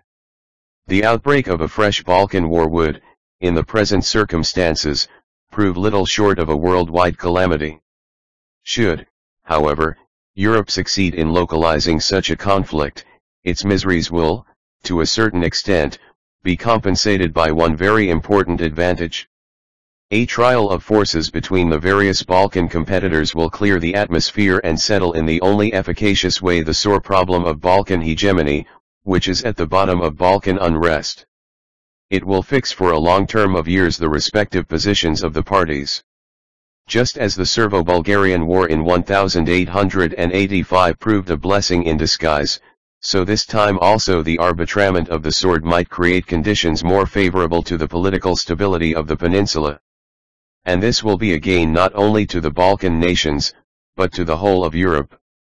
The last thing of which that Bulgarian writer dreamt was the actual result of the fresh Balkan War, which did break out and which ended in the humiliation of Bulgaria. He contemplated the necessity of palliating to European minds the enormity of a fratricidal war between allies who had sanctioned their war against Turkey as a struggle of the cross against the crescent, but he had no idea that there was the barest possibility that Bulgaria would have to suffer complete defeat instead of explaining victory. The Conference of London which endeavored to arrange a peace after the first phase of the Balkan War met first in December 1913. I watched closely its deliberations, had several friends among the delegates, and was in a position to see at close hand the play of jealousies and ambitions which made its work futile. From the first the very desperation of Turkey raised a difficulty to quick peace negotiations. She had lost so much as to be practically bankrupt, and was in the position of a reckless man with no more possible losses to suffer, anxious by any expedient to postpone the day of payment in the hope that something would turn up in his favor. That anything should turn up seemed in reason impossible, but Oriental fatalism despises reason, and in this case Oriental fatalism was right judged by the final event. The sessions of the London Conference found a vividly contrasting setting in London. In Constantinople the meetings would have had an appropriate stage. It was a contest of Oriental against semi-Oriental diplomacy, and staid British officials, who had duties in connection with the conference, lived for weeks in an atmosphere of bewilderment, wondering if they were still in the 20th century or had wandered back to the Baghdad of the Middle Ages. The first effort of the Turkish delegates was to gain time. On any point that arose they wanted instructions from their government and pressed for an adjournment. When, after a few days, the conference assembled again, the instructions had not arrived, and there was need for another adjournment. At the next meeting the instructions had arrived, but they were written so illegibly that they could not be deciphered, and so there was another adjournment. This illegible dispatch's excuse had not even the merit of being novel it was used many years before in an Egyptian negotiation. To the desperate attempts of the Turks to waste time the diplomats of the Balkan states replied with but little patience or suavity. They did not recognize fully that they were present at a deathbed, and that the patient had some excuse for taking an unconscionable time in dying. Their patience was not increased by the knowledge of the fact that the time secured by these evasive excuses was being used in desperate attempts to sow dissensions among the Allies and to beat up support in some European capital for the forlorn Turkish Empire. It was over the question of the cession of Adrianople to Bulgaria that the chief trouble arose, and the Turkish delegates made a great point of the fact that at Adrianople was the parent mosque of Islam in Europe and the burial place of the first sultans. This plea for their holy places aroused some sympathy in Europe. I suggested to Dr. Danev, the chief Bulgarian delegate to the conference, that he should allow me to publish that Bulgaria would allow the Turks to retain the holy places in Adrianople as an extraterritorial area under the control of the Muslim Caliph. Dr. Danev liked the proposal, but at first would only allow it to go out as an unofficial hint that probably Bulgaria would consent to such an arrangement. Then, finding that the concession was popular, he fathered it directly, and it was made one of the terms of peace which the powers tried to force upon Turkey. Peace seemed assured when finally the Turkish Porte agreed, under pressure from the powers, to a treaty of peace, which left to Turkey on the European mainland only the territory lying south and east from a line drawn between Midia, on the Black Sea, to Rodosto on the Sea of Marmora. But a revolution in Turkey upset this arrangement, and the peace conference was broken up and the war resumed. In this second phase of the Balkan War against Turkey, 1914, the efforts of the Balkan League were practically confined to attacks upon the fortresses still held by the Turks in the conquered territories. Scutari, Janina, Adrianople fell after fierce battles. The revolution clearly had done nothing to restore the military strength of the Turks. Now another effort was made to end the war, and the peace conference resumed its sessions in London. Whilst during the 1913 session all the delay had been caused by Turkey, now Turkey shared the willingness of Bulgaria to sign a peace on terms dictated by the powers, which left to Turkey the territory behind the Midia-Rodosto line, and reserved for a European decision the fate of the Aegean Islands and the boundaries of an independent state of Albania which was to be set up. But both Serbia and Greece were reluctant now to assent to such peace conditions. Both felt a grievance about the creation of an independent Albania which deprived them of a great stretch of territory on the Adriatic which they had hoped to share. Both felt that yet another war was necessary to settle issues as to the division of the spoil with Bulgaria. To the delays for which Serbia and Greece were responsible there was an added complication arising from the attitude of Romania. That kingdom which had taken no active part in the late war, but which had secretly nursed a boundary grievance against Bulgaria dating back from the War of Liberation, when Russia robbed Romania of Bessarabia and proposed to pay her with Bulgarian territory without actually doing so now announced that she must be a party to any new Balkan settlement, and mobilized her forces to give accent to the demand she had been making for some time for a territorial concession from Bulgaria. The diplomacy of Bulgaria under these difficult circumstances was deplorable.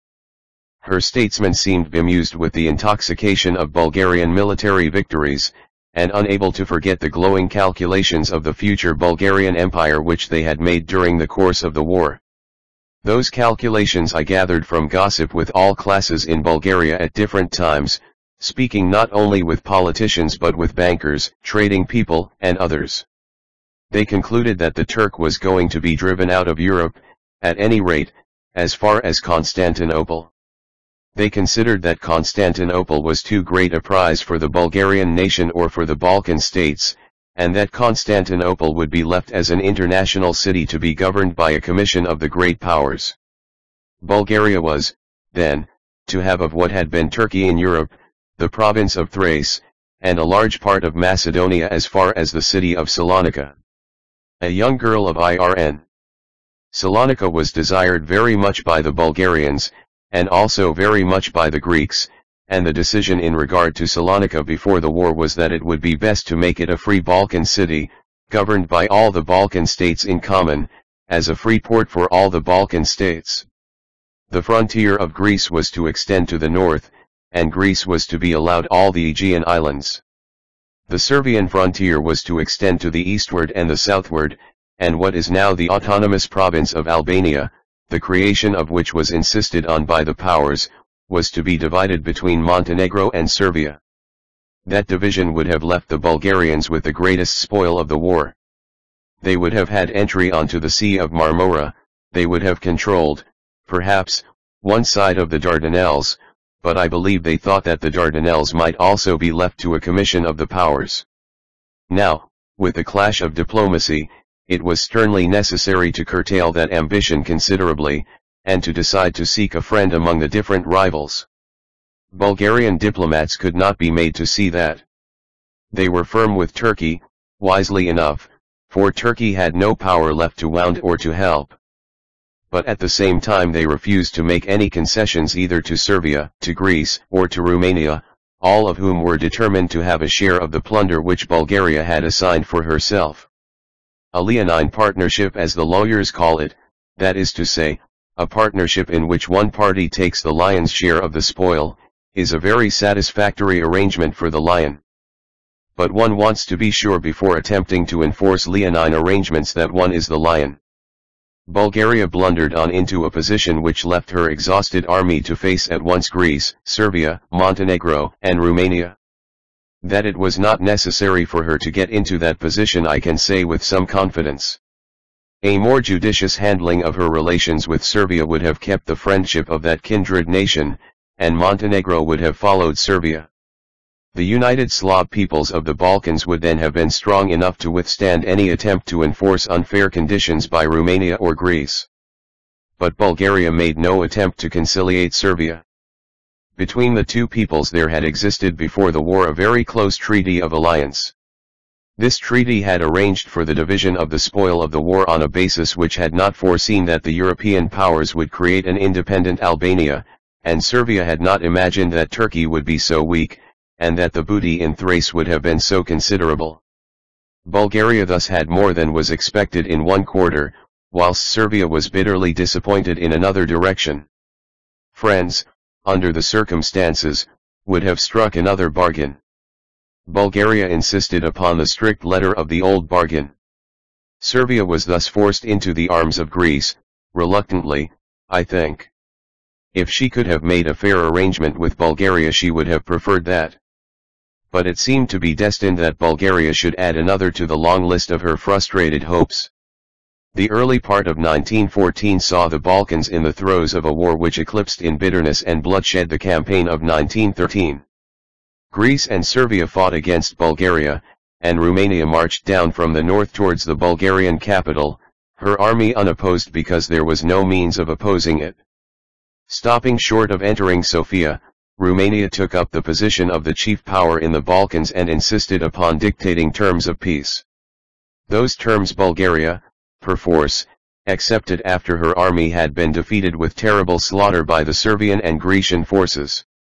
She was forced to give up territory in all directions, to Romania on the north, to Serbia on the west, to Greece on the south.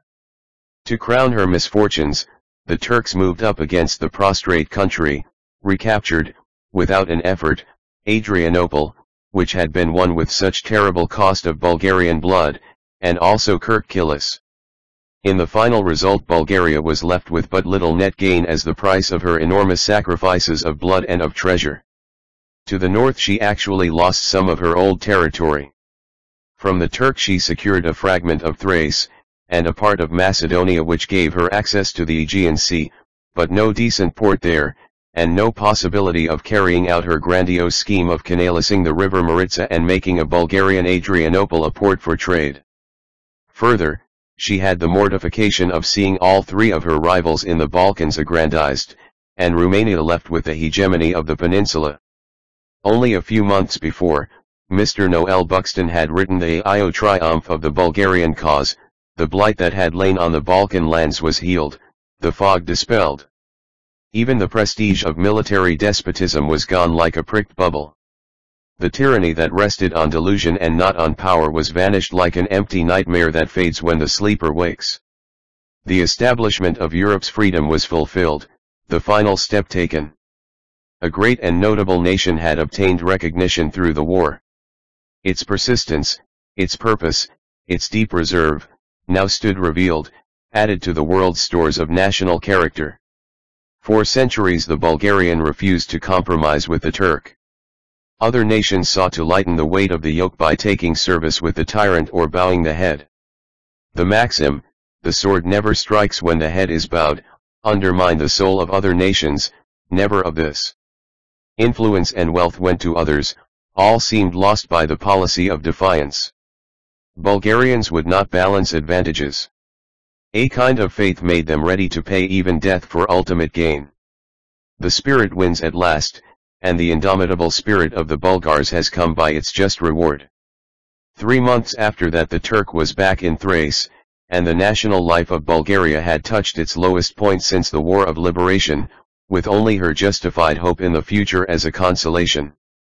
Chapter 10, Some Facts for the Tourist and the Economist Bulgaria is in the main tableland or plain land sheltered by lofty mountains. On the north it is bounded by the Danube until the town of Silistra is reached, when an artificial frontier cuts down from the river to the Black Sea coast.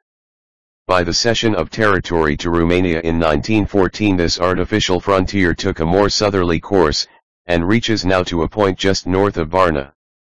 The coast of the Black Sea bounds Bulgaria on the east, and she has there two ports, Varna and Burgas.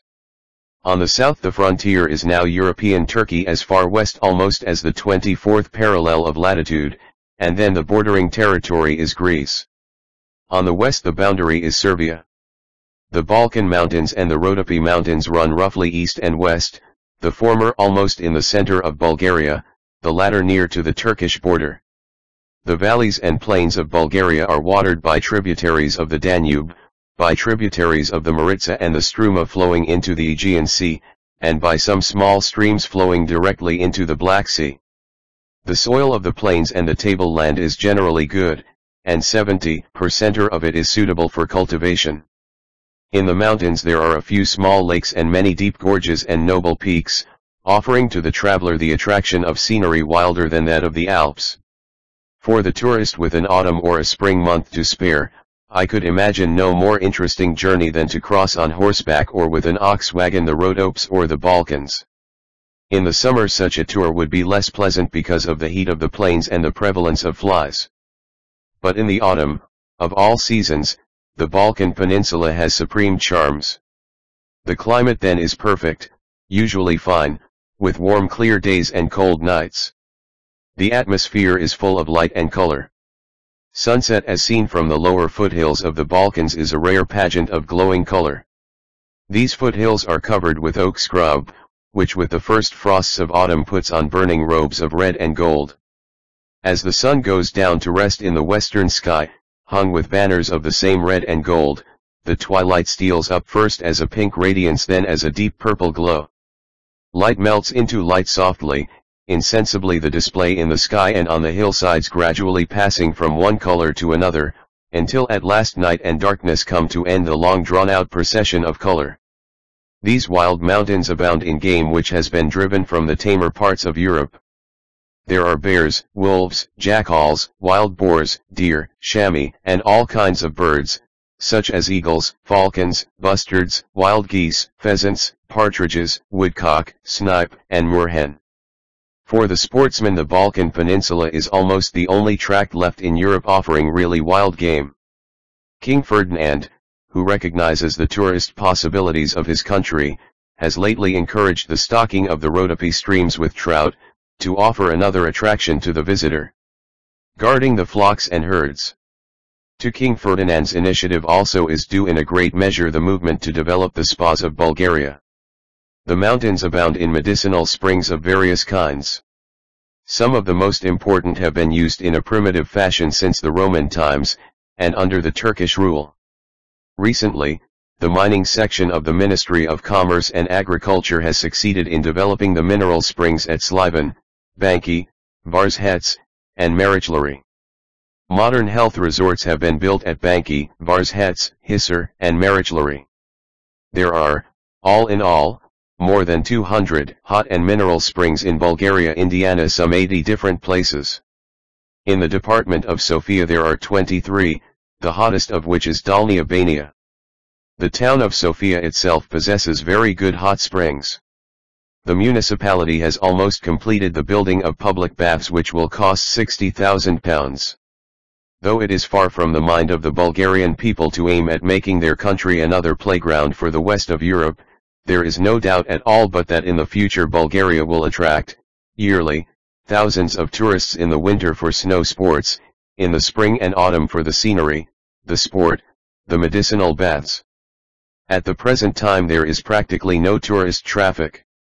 Travelers wishing to explore early a new country may be confident of getting in the capital, Sofia, excellent hotel accommodation, and in the chief towns, such as Stara Zagora and Philippopolis, decent and clean accommodation. But to see Bulgaria properly it is necessary to take to horseback or wagon. At the capital it is possible to engage guides who speak English, and to hire horses or oxen for transport at an astonishingly cheap rate. The horse carts of the country are springless and not too comfortable.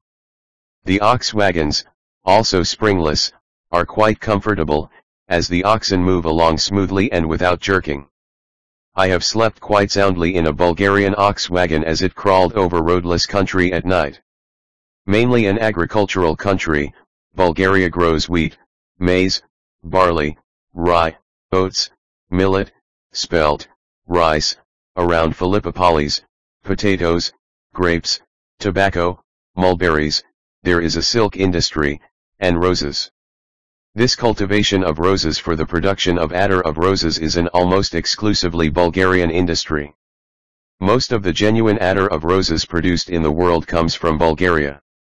The production is a government monopoly, and I believe that if care is taken to secure flasks of attar with the government seal the purchaser may be sure of getting the genuine article.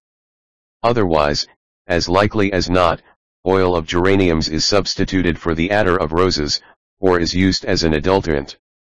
The rose valleys are grouped around Stara Zagora, and a visit to the farms in the flowering season late spring should be an incident of a Balkan tour. The exports of Bulgaria are chiefly cereals, and the imports manufactured goods of all kinds. But by a system of high protection and bonuses efforts are being made to establish manufacturing industries in the country. The oldest Bulgarian industry is weaving, which has existed from ancient times as a home industry. The wool of the country was worked up into cloths, carpets, braids, serges, etc., which were in request throughout the Ottoman Empire. The most important weaving centers are Pirdop, Panagiaurict, Karlovo, Sopot, Koprivchtitsa, Klisura, Kalofer, Gabrovo, Trevna, Sliven, Kotel, and Samokov. Under Turkish rule, these towns supplied cloth to the imperial army. Bulgarian cloths were then held in esteem, and there was a demand for them in Greece and in Asia Minor. In 1880 some capitalists decided to start modern workshops. The example was given by the towns of Gabrovo and Sliven, where there are now large factories, organized on modern principles. There are as many as 26 factories in other towns, among others, at Samokov and Kazanlik. Bulgaria holds the first place for weaving in the Balkan Peninsula. Lately, in addition to the making of woolens, cotton spinning has been introduced, and there are several mills now working. So pronounced has been the growth of industrialism in Bulgaria that labor legislation has been already found necessary. There are laws making regulations for the employment of apprentices, for the maximum number of hours in the working day, and the age of apprentices. The law of 1905 regulating the work of women and children lays down conditions for the employment of children under 15, and for women of all ages, occupied in factories, mines, quarries, workshops, and other industrial undertakings. Children of either sex who have not attained the age of 12 years must not be employed in factories, workshops, at pit mouths, in quarries, or sewers. However, children under 12, but in no case under 10, may be employed in certain undertakings. Children under 15 and women under 21 cannot be employed in the subterranean parts of mines or quarries. The working day for children is limited to 8 hours, night work is forbidden to women, and to children under 15. On Sundays all industrial establishments must close. In addition to these laws protecting workers there are laws protecting employers against foreign competition and granting them various bonuses. The general privileges, allowed to all industrial enterprises, are the use of water power, without payment, where this is not on a private property. Exemption from customs duties for such machines and parts of machines, tools, and accessories, needful for the installation of enterprise, as are not made in the principality. Exemption from customs duties for such building materials as are not found or made in the country. Exemption from customs duties for raw material, when it is imported in order to be exported again, after having been worked up or finished off. A free grant of land belonging to the state, the province, or parish, for the installation of the factory. Machinery, tools, coal, benzene, etc., for the factories are carried by the state railways at a rate 35% or below the lowest usual charge for those commodities. The law compels all public institutions to buy from native sources, even if native commodities should be as much as 15% or dearer than similar articles manufactured abroad. Some industries have in addition special privileges allowed to them, such as exemptions from land taxation, monopoly privileges in certain districts, cheap coal from the state mines, etc. The Bulgarian national system aims at supplementing the agricultural resources of the country with industrial enterprises in every possible way. But agriculture is not neglected by the government, and a special department exists to encourage improvement in cultivation and cattle raising. This department has set up departmental councils, which distribute seeds every year. They make considerable grants to improve the breed of cattle. They also encourage progress in the farmers by organizing competitions for poultry rearing, fruit growing, etc. Scholarships have been granted to a number of young men who wish to take up farming, so as to allow them to study methods in foreign agricultural schools. Further, there is an agricultural bank which, curiously enough, dates back from the Turkish days. In 1863, Mithat Pasha, governor of the Danubian Vilayet, i.e. Bulgaria, prepared a scheme for the creation of urban banks, which were intended to assist the rural population. The scheme having been approved by the Turkish government, several of these banks were established. The peasants were allowed to repay in kind the loans which were advanced to them, the banks themselves selling the agricultural products. With the object of increasing the capital of the banks, a special tax was introduced obliging the farmers to hand every year to these institutions part of their produce in kind. These banks advanced money at 12% or interest instead of up to 100% or as the usurers generally did. The Turkish government afterwards extended the reform to the whole empire, and obliged the peasants to create similar banks in all the district centers. During the Russo-Turkish War several of these banks lost their funds, the functionaries of the Turkish government having carried them away, as well as the securities and other property belonging to the bank's clients. After the war, the debtors refused to pay, and only part of the property of the banks was restored by means of the issue of new bonds. In 1894 the Bulgarian government passed a law setting on a firm foundation these agricultural banks, and they have continued since to do good work for the peasant proprietors. The Bulgarian is a great road maker. He is always at work on new railroads and carriage roads. I traveled twice in 1913 between Mustafa Pasha and Kirk Kilis, the country was then in Bulgarian occupation, with an interval of about a month between the journeys. During that month the Bulgarians had made a wonderful improvement in the road. Before, it had stopped short about a mile out of Mustafa Pasha and dwindled into a mere cart track. After a month of Bulgarian work it had been so much improved as to make 24 hours difference in the time of the journey. This improvement was carried through in time of war when there was much occupation for the national energy in more important directions. In other places I noted the Bulgarian's passion for a good road, and the roads in his own country were excellent. The road-making instinct is a great proof of a stable sense of civilization. An old street in Philippopolis. The Bulgarian railways are, with the quays at the ports, the property of the state, and are managed by a general board of state railways and ports. There are over 3,000 railway servants 14 lines traversing the country east to west and north to south, and some 72 railway stations. Both Varna and Burgas are connected by railway with the main lines. The lines have been constructed very cheaply, about 7,500 pounds a mile, considering the nature of the country which they traverse. They may be said to be profitable to the state since they return about 2.5% interest on their cost of construction, despite the fact that they give many concessions to encourage local industries. The postal, telegraphic, and telephonic facilities in Bulgaria are quite equal to the average of Europe. There are about 200 post offices, about 7,000 miles of telegraph wires, and 600 miles of long-distance telephone. The Postal and Telegraph Administration yields a small surplus to the treasury. As to the trade of Bulgaria the present is a difficult time to calculate its value, but before the war the imports were of an annual value of about 4 million pounds, and the exports of an annual value of about 4,500,000 pounds. The chief import trade is from Austria. England, Turkey, and Germany then follow in that order. The chief markets for Bulgarian exports are Turkey, England, Germany, and Austria. The chief financial institution of the country is the Bulgarian National Bank, which is a state institution, 87% of its profits going to the Bulgarian government. There are also state savings banks which are much favored by the thrifty peasantry, there being about 30,000 depositors. The monetary units which have been adopted by Bulgaria are the lef, having the value of 1 franc, and the stotinka, centime, being the hundredth part of a lef.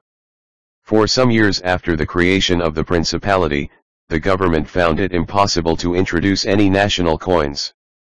It had to permit the circulation of all kinds of foreign money Serbian, Romanian, Russian, etc. In 1881 the government put into circulation 2 million francs of Bulgarian copper money, but these, as well as the 12 millions of silver money which were issued in 1883-1884, proved quite insufficient to drive away the foreign money, so that the latter continued to be used in all commercial transactions. It was not until 1887 that the government prohibited the circulation of Serbian and Romanian coins. Later Russian money was also prohibited, and there is now a purely national currency. On the outbreak of the war in 1913 a moratorium was declared, and the internal finance of the country was managed on a paper currency. The confidence of the people kept this paper money at its full value. I was never able to get any concession in exchanging English gold for paper. Bulgaria, notwithstanding all the preoccupations of a young nation, finds time to encourage the arts. As the illustrations to this volume will show, there is a flourishing school of native art in Bulgaria. To Nicholas Pavlovich, born 1835, died 1889, belongs the honor of having been the father of modern Bulgarian art.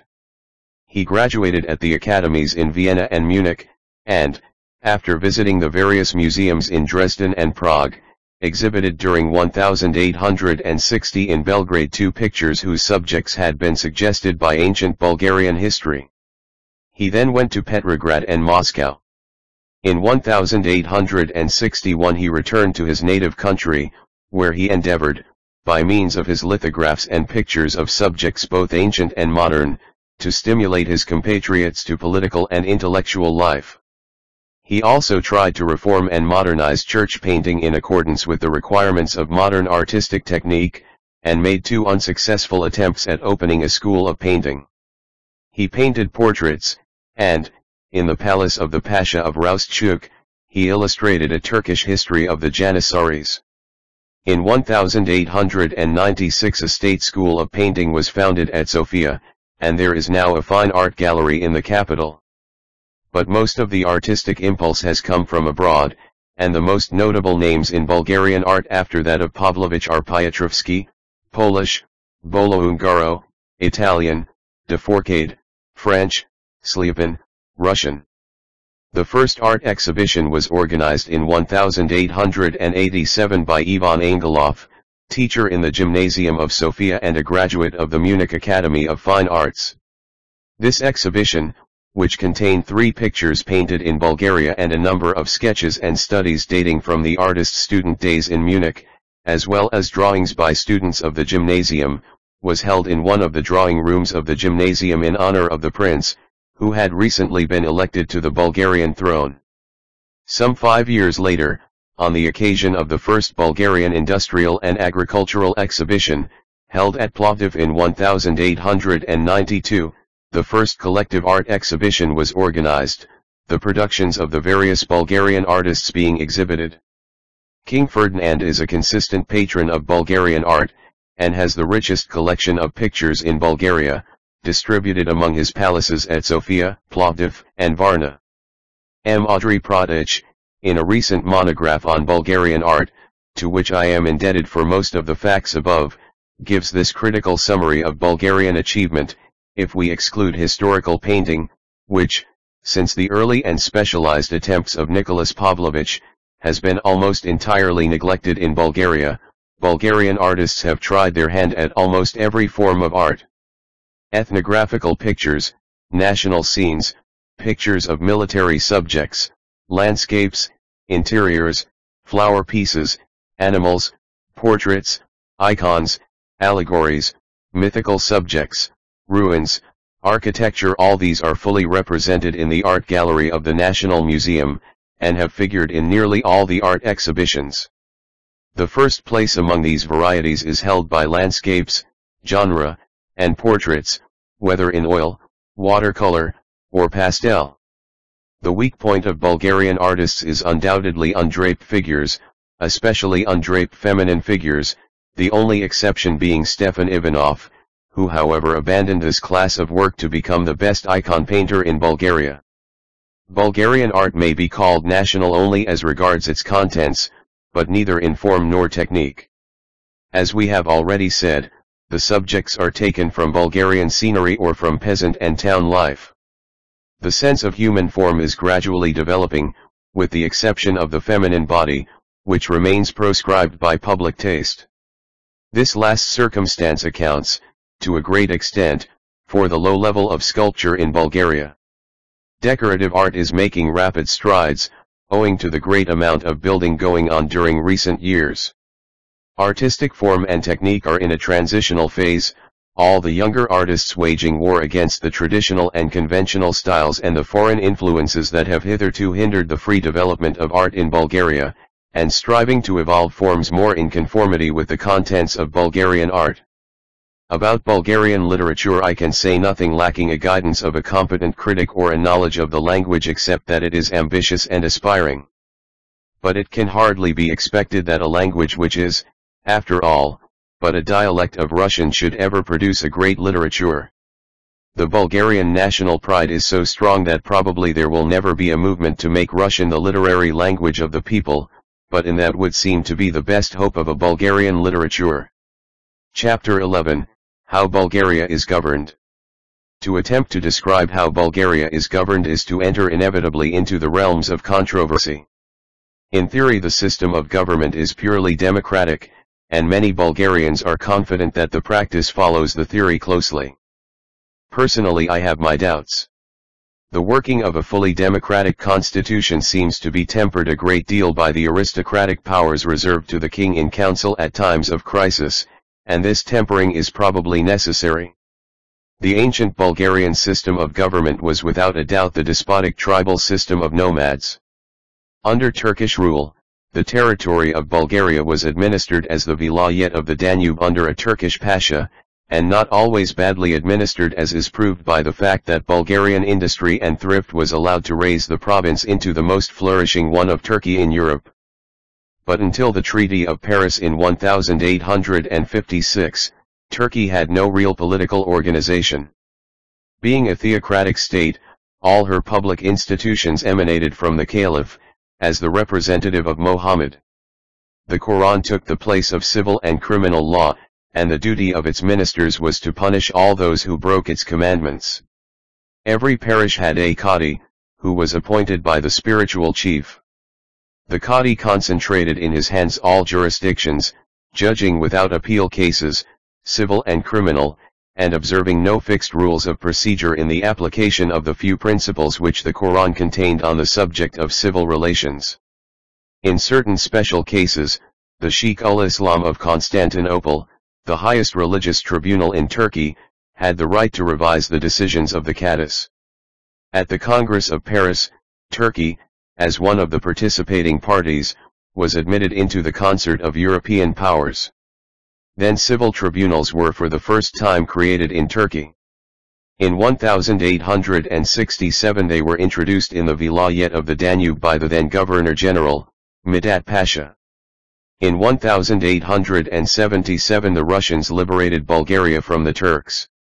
After the Treaty of Berlin Prince Dondukov-Korsakov framed a provisional system of government for Bulgaria.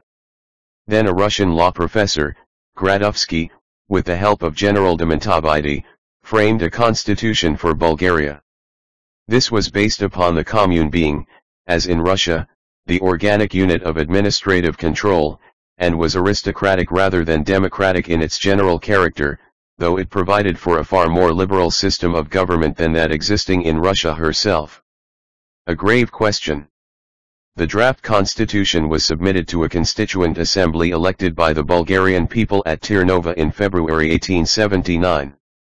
The assembly elected a committee of 15 members to consider the draft. This committee revised the draft, making it less democratic than before.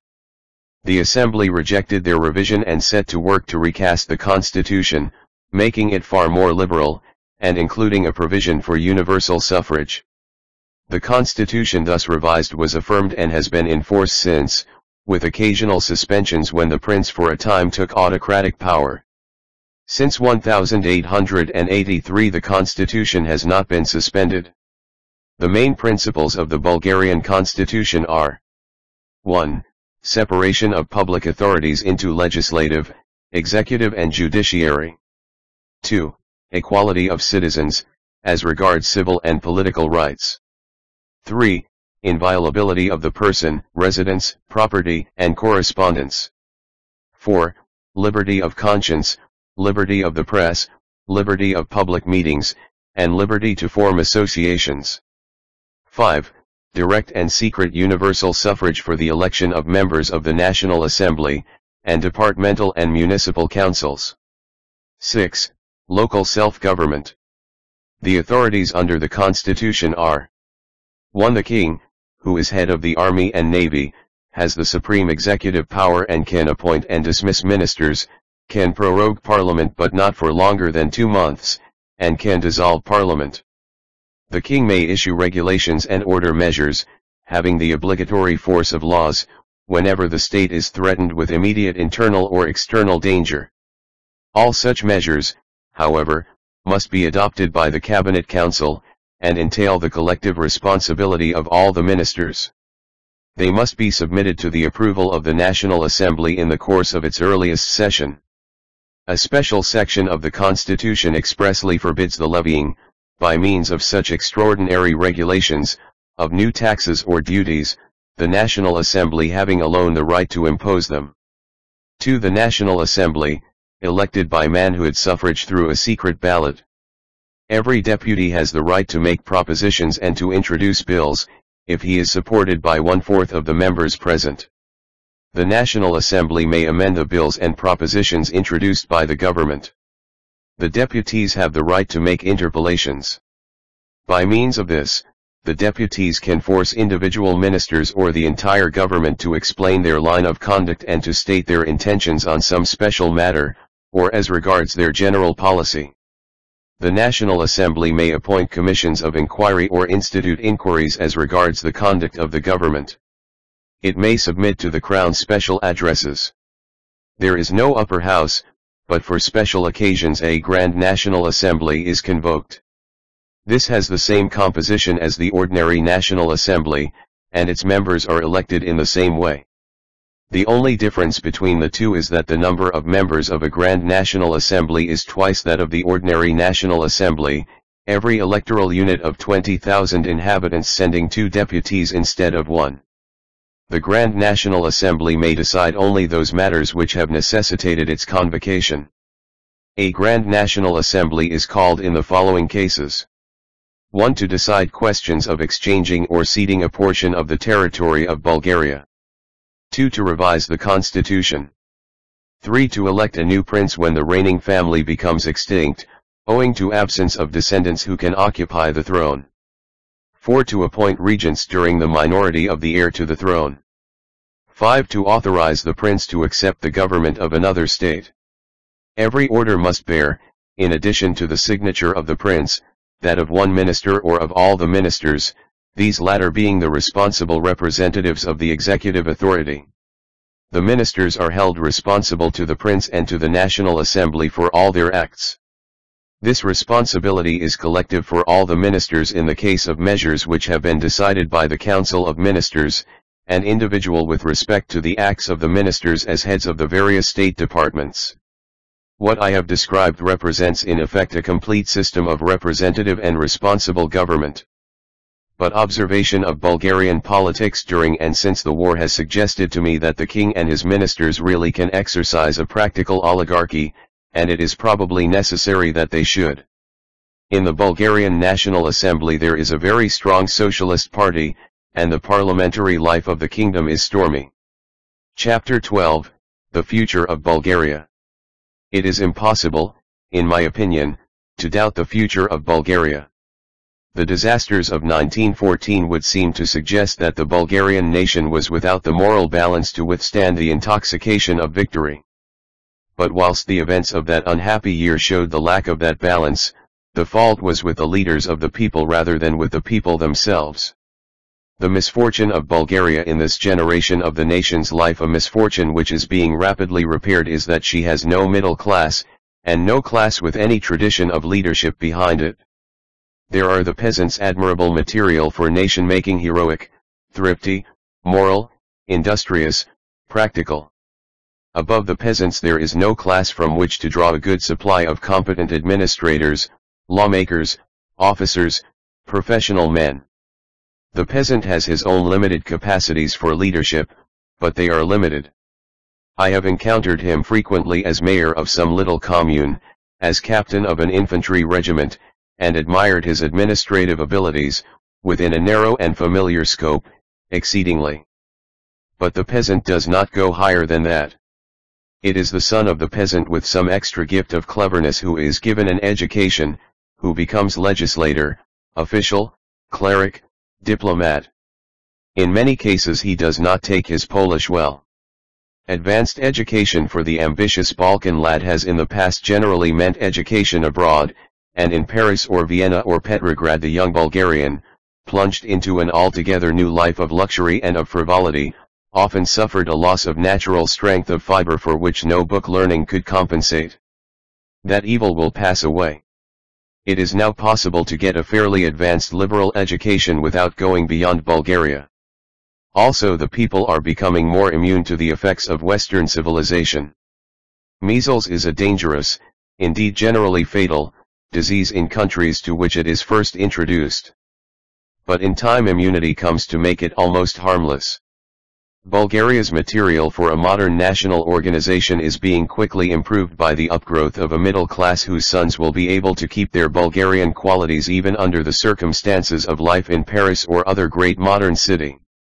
In future, then, the courage of the people is likely to have a wiser, more reasonable leadership, and, with that, it will do wonders but I do not wish to be misunderstood as representing that today the official classes and the leaders of the Bulgarian nation are generally unworthy or incompetent.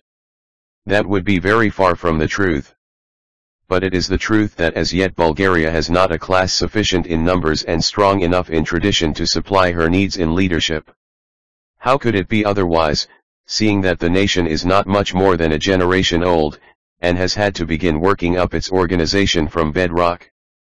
The events of 1913-1914 have left Bulgaria weak in her greatest element of national strength in the numbers of her citizens. The wars with the Turks and the subsequent war with the other Balkan states, the ravages of cholera and, one may unhappily conclude too, the ravages of hunger after the dreadful ordeals of the successive campaigns, have taken heavy toll of Bulgarian manhood. But the country will stock up quickly. Its birth rate is the highest in the world, and its effective birth rate, i.e. the proportion of survivals of those born, is also the highest. If only a period of peace can be secured, all will be well in time. A young man of the Shumla district. Poor as were her acquisitions of territory compared with her hopes from the war, Bulgaria at least won a free outlet to the open sea. Her ports on the Black Sea were always felt to be of limited use, because traffic to and from them had to pass through the Dardanelles and was therefore at the mercy of Turkey in case of war. But now Bulgaria has free access to the Aegean Sea, and though without a good port has a possible port there. Considerations of strategic position and of territorial acquisition are, however, of minor importance in considering Bulgaria's future. It is in the character of the Bulgarian race and the conditions of life encouraging the growth of that sturdy character in which the hopes of that future are bound up. The young Bulgarian is born usually in the country, and usually also as one of a large family. Here is an interesting table compiled before the war showing at once the proportion of urban and rural population and the prevalence of large families in Bulgaria. The Bulgarian infant in the beginning of life will have no handicap of artificial feeding. The feeding bottle is practically unknown in his country. From the very early age of three this Bulgarian infant may begin to go to school. Primary education is obligatory. The infant schools are for the preparation of the children for the primary schools. Infants between the ages of 3 and 5 years are admitted in the lower divisions, and those between 5 and 6 in the higher division.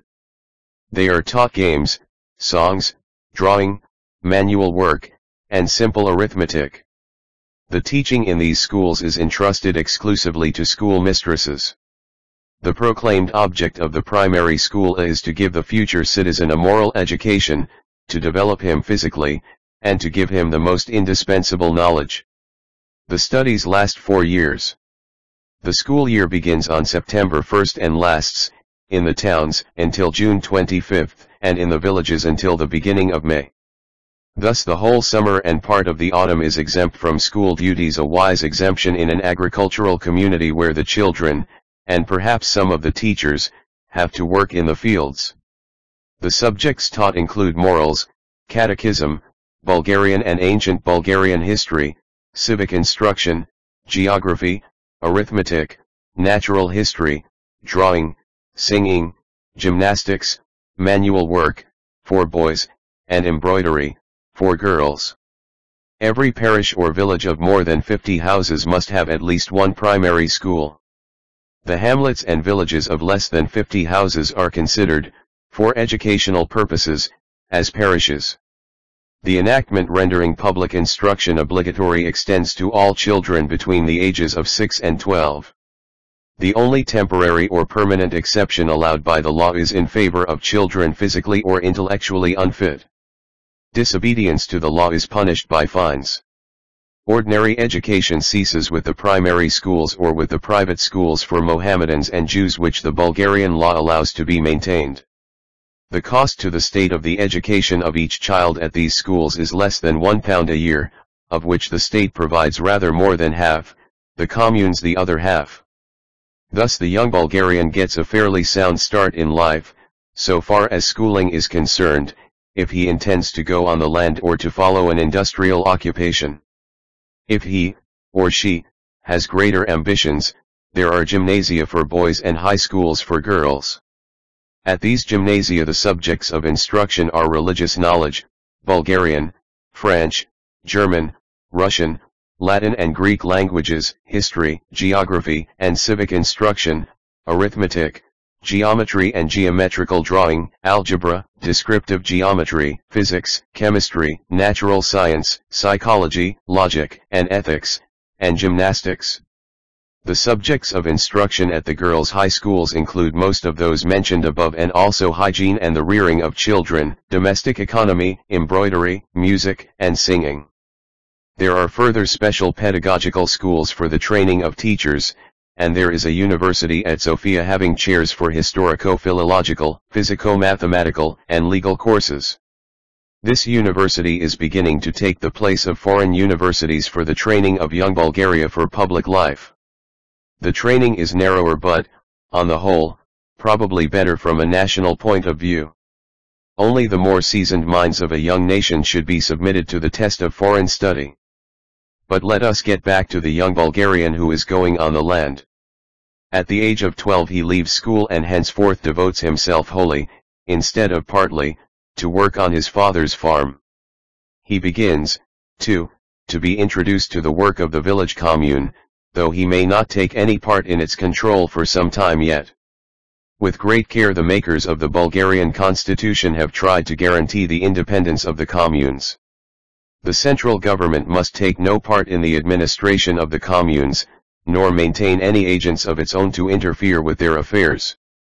The commune, which forms the basis of the state fabric, enjoys thus a complete autonomy. It is the smallest unit in the administrative organization of the country.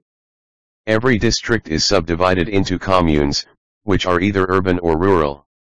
Every Bulgarian subject must belong to a commune and figure in its registers, or else he is a vagrant and punishable as such.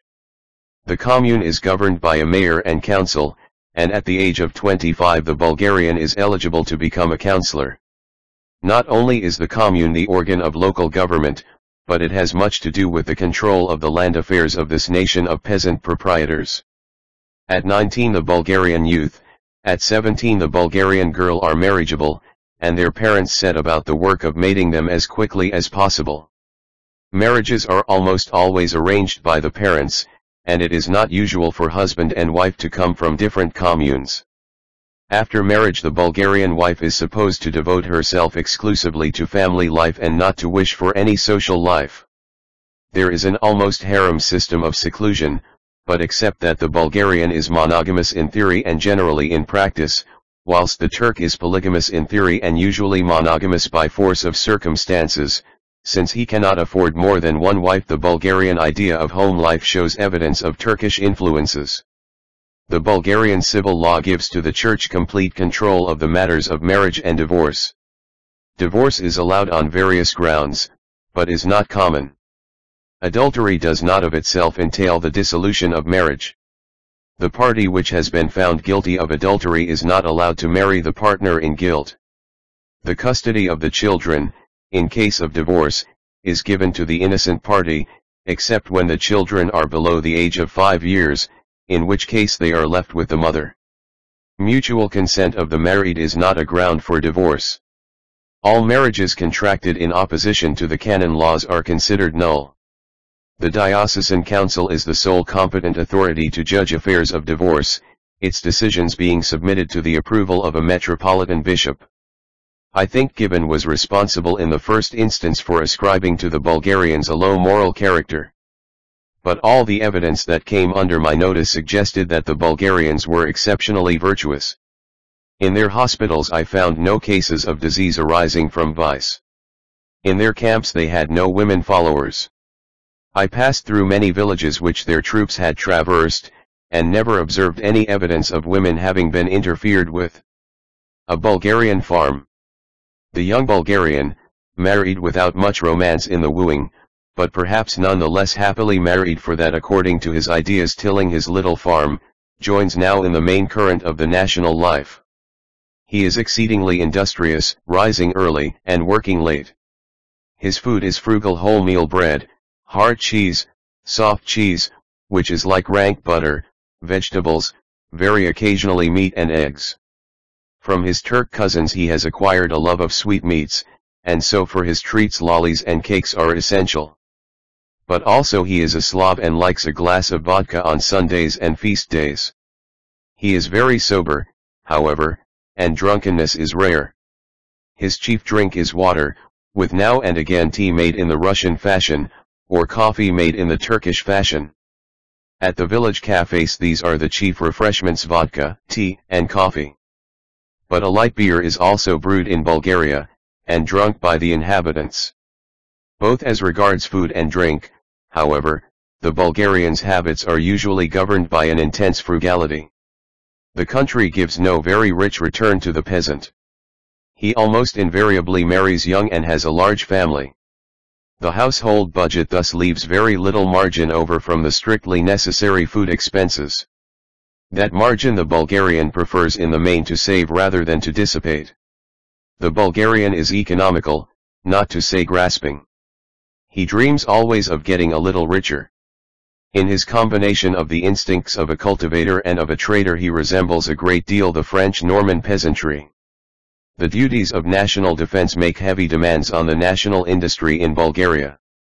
Training for military service is universal and compulsory there is no hope at all that there will be any lightening of military burdens for some time to come, since the 1914 wars have left Bulgaria in a position which the national pride refuses to accept as final. The burdens are borne cheerfully. The patience of the Bulgarian peasant soldiery during the awful campaigns of 1913 and 1914 was heroic, and their steadiness in the field showed how well they had profited by their training. For this Bulgarian nation, so frugal, industrious, persevering and courageous there must be a splendid future. It has all the essential elements of greatness and must overcome in time the misfortunes of the past. If but the fates will shield Bulgaria for a time from the desperate policy of attempting any new war of revenge or of enterprise, her growing economic strength, her superiority in industry and in application to other peoples of the peninsula will in time assert themselves, and give her a strong position in the Balkans. Chapter 13, The Responsibility of Europe. As this book goes to the press there is again war in the Balkans. It is only a little war certainly, as yet confined within the limits of the autonomous state of Albania, that quaint creation of the ambitions of Austria and Italy, which in its foundation suggested the custom of one of the old Fiji cannibal tribes that of keeping alive and fattening a victim whom it was intended to eat. Austria desires the Adriatic shore of the Balkan Peninsula, so does Italy.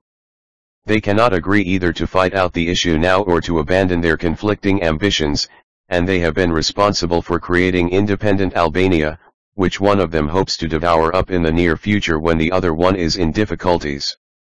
This war, small as it now is, threatens, however, to spread to a great one, and though the danger may pass away now for the moment, it is certain that one near day Albania will be the cause of another Balkan war, for it is to kindle that war that she has been brought into existence. Even today the position is immediately threatening. The creation of Albania gave to Montenegro, to Serbia, and to Greece a serious disappointment.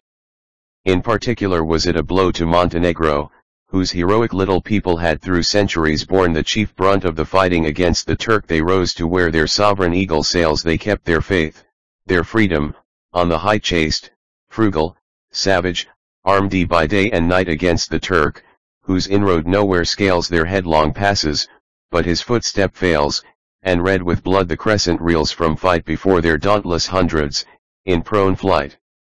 By thousands down the crags and through the vales. O smallest among peoples! Rough rock throne of freedom! Warriors beating back the swarm of Turkish Islam for 500 years, great Tsernogora. Never since thine own black ridges drew the cloud and break the storm has breathed a race of mightier mountaineers. To Tennyson's well-known sonnet. By the creation of Albania Montenegro was debarred from any great territorial gain out of the partition of the Turks' old estate in the Balkans, and was shut back on her mountains, as it seemed irrevocably. Serbia and Greece were left with almost as serious grievances. Albania therefore is a constant source of temptation to a war of enterprise on the part of three of the Balkan nations, and the war only awaits a favorable opportunity to break out, a pretext for it can always be supplied at a day's notice by some border collision with the wild and lawless Albanian clans. Should the war in Albania spread to her neighbors, Bulgaria, outraged and mortified by the Treaty of Bucharest and again robbed and humiliated by Turkish encroachments on her powerlessness after that treaty, in all probability will seize the opportunity to make a war of requital on some one of her neighbors, and the Balkan Peninsula will then be again drenched in blood. There will be again a cry of shocked horror from Western Europe as to these quarrelsome and bloodthirsty Balkan peoples. But in fair play and justice there is more reason for the little Balkan peoples to be shocked and horrified at the cold-blooded policy of the great powers who, for their own ends, create conditions which make peace in the Balkans impossible. The truth is that these little shreds of peoples, in the blood-soaked peninsula which destiny marked out to be the great battleground of races, have been used as pawns in the great game of European diplomacy ever since the fall of Napoleon. It will be recalled that one of the earlier dreams of that ambitious genius was to enter the service of the Sublime Porte and reorganize the power of Turkey. The crumbling away of the power of the Turkish Empire, which had given centuries of anxiety to Christian Europe, was at that time apparent. A great genius might then have restored the fighting power and the prestige of Islam. But Napoleon turned to other work and Turkey went on decaying. There soon arose a question as to who should be the legatee of the sick man of Europe, and legacy hunters, some fawning, some clamorous, gathered at his bedside. To some of these it soon occurred that there would be wisdom in hastening the process of division, and that a means to do this was to question the moral right of the Turk to the Christian provinces over which he ruled. In the state of public feeling in Europe at the time it was most convenient to question this right on the ground of the religious intolerance of the Turk. Without joining the party of the pro-Turks it is clear that that ground was more of a pretext than a reality. The Turk is not a religious persecutor to anything like the extent to which the Christian has been a religious persecutor. On coming into Europe he never sought, for example, to destroy the Greek Church, and I do not think that there is any clear evidence that Turkish misrule was founded at any period on intolerance carried to the degree of murder for faith's sake.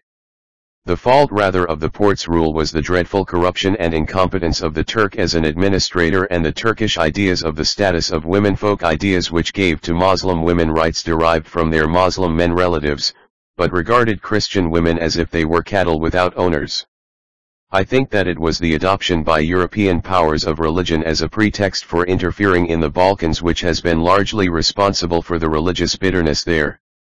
It would make the situation more clear and give a better hope for the future if Western Europe would frankly recognize that the fervid interest taken in the Balkan Peninsula for about a century has had no other reason generally than territory hunger.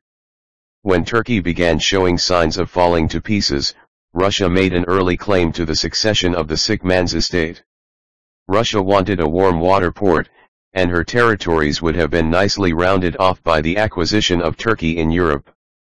These were the real reasons, not publicly expressed, for her Balkan policy. Less real reasons, kept in the foreground, were that the head of the Russian Orthodox Church was at Constantinople, that Russia was the kinsman of the Slav populations in the Balkans, and that her duty and right was to liberate co-religionists who were suffering from religious persecution. Great Britain was the great obstacle to the desire of Russia to march down upon Constantinople. Her real objection was that with Russia on the Bosphorus the control of the Mediterranean might pass into the hands of the rival who seemed to wish to dispute with her for the mastery of India. Her expressed reasons had some vague declarations about the chivalry of the Turk. Austria developed her ambition to suzerainty over the Balkan Peninsula mainly on the strength of a claim to be the heir of the old Holy Roman Empire, and as such possessing an hereditary right to rule over the old seat of that empire in the east. Italy was forced into a Balkan policy by the impossibility of allowing a rival power to settle on the other side of the Adriatic, threatening her whole east coast. Germany and France came into Balkan politics chiefly as allies of powers with more direct interests, although both have now fears and hopes regarding the Asiatic dominions of the Sublime Porte and shape their Balkan policy accordingly. A young woman of the Roustchuk district. The way in which, by the Congress of Berlin, the Treaty of San Stefano was changed illustrated well the fact that, as regards the Balkan Peninsula, Europe was far more concerned to advance the ambitions of the Western powers than to ameliorate the condition of the Near Eastern peoples under Turkish government. The other powers' jealousy of Russia vetoed the creation of the Big Bulgaria suggested then, because it was feared that Bulgarian gratitude to the power which had been responsible for her liberation would make the new kingdom a mere appanage of Russia. When it was manifest afterwards that Bulgarian gratitude was not of that high and disinterested quality, and that the young Bulgarian nation was, though semi-Eastern in origin, sufficiently European to play for her own hand, and her own hand only, in national affairs, Europe had a spasm of remorse and approved when Bulgaria took advantage of a Turkish misfortune to gather to herself eastern Rumelia. The only power that objected to that acquisition was Russia. Her eagerness for a big Bulgaria had faded away with the knowledge that Bulgaria, big or little, was not inclined to submit to dictation in national affairs from Russia. The position after the Treaty of Berlin in the Balkans was this, Four virtually independent small nations held old Turkish provinces, and each desired eagerly, and claimed on historical grounds, extensions of their territory at the expense of the Turk or at the expense of one another. Each was tempted to try the means to its end of intrigue with one of the great powers. These powers, still keeping in view their own ambitions, looked upon and treated the Balkan states as instruments to be used or to be discarded without reference to the happiness of the Balkans and with sole reference to the European situation.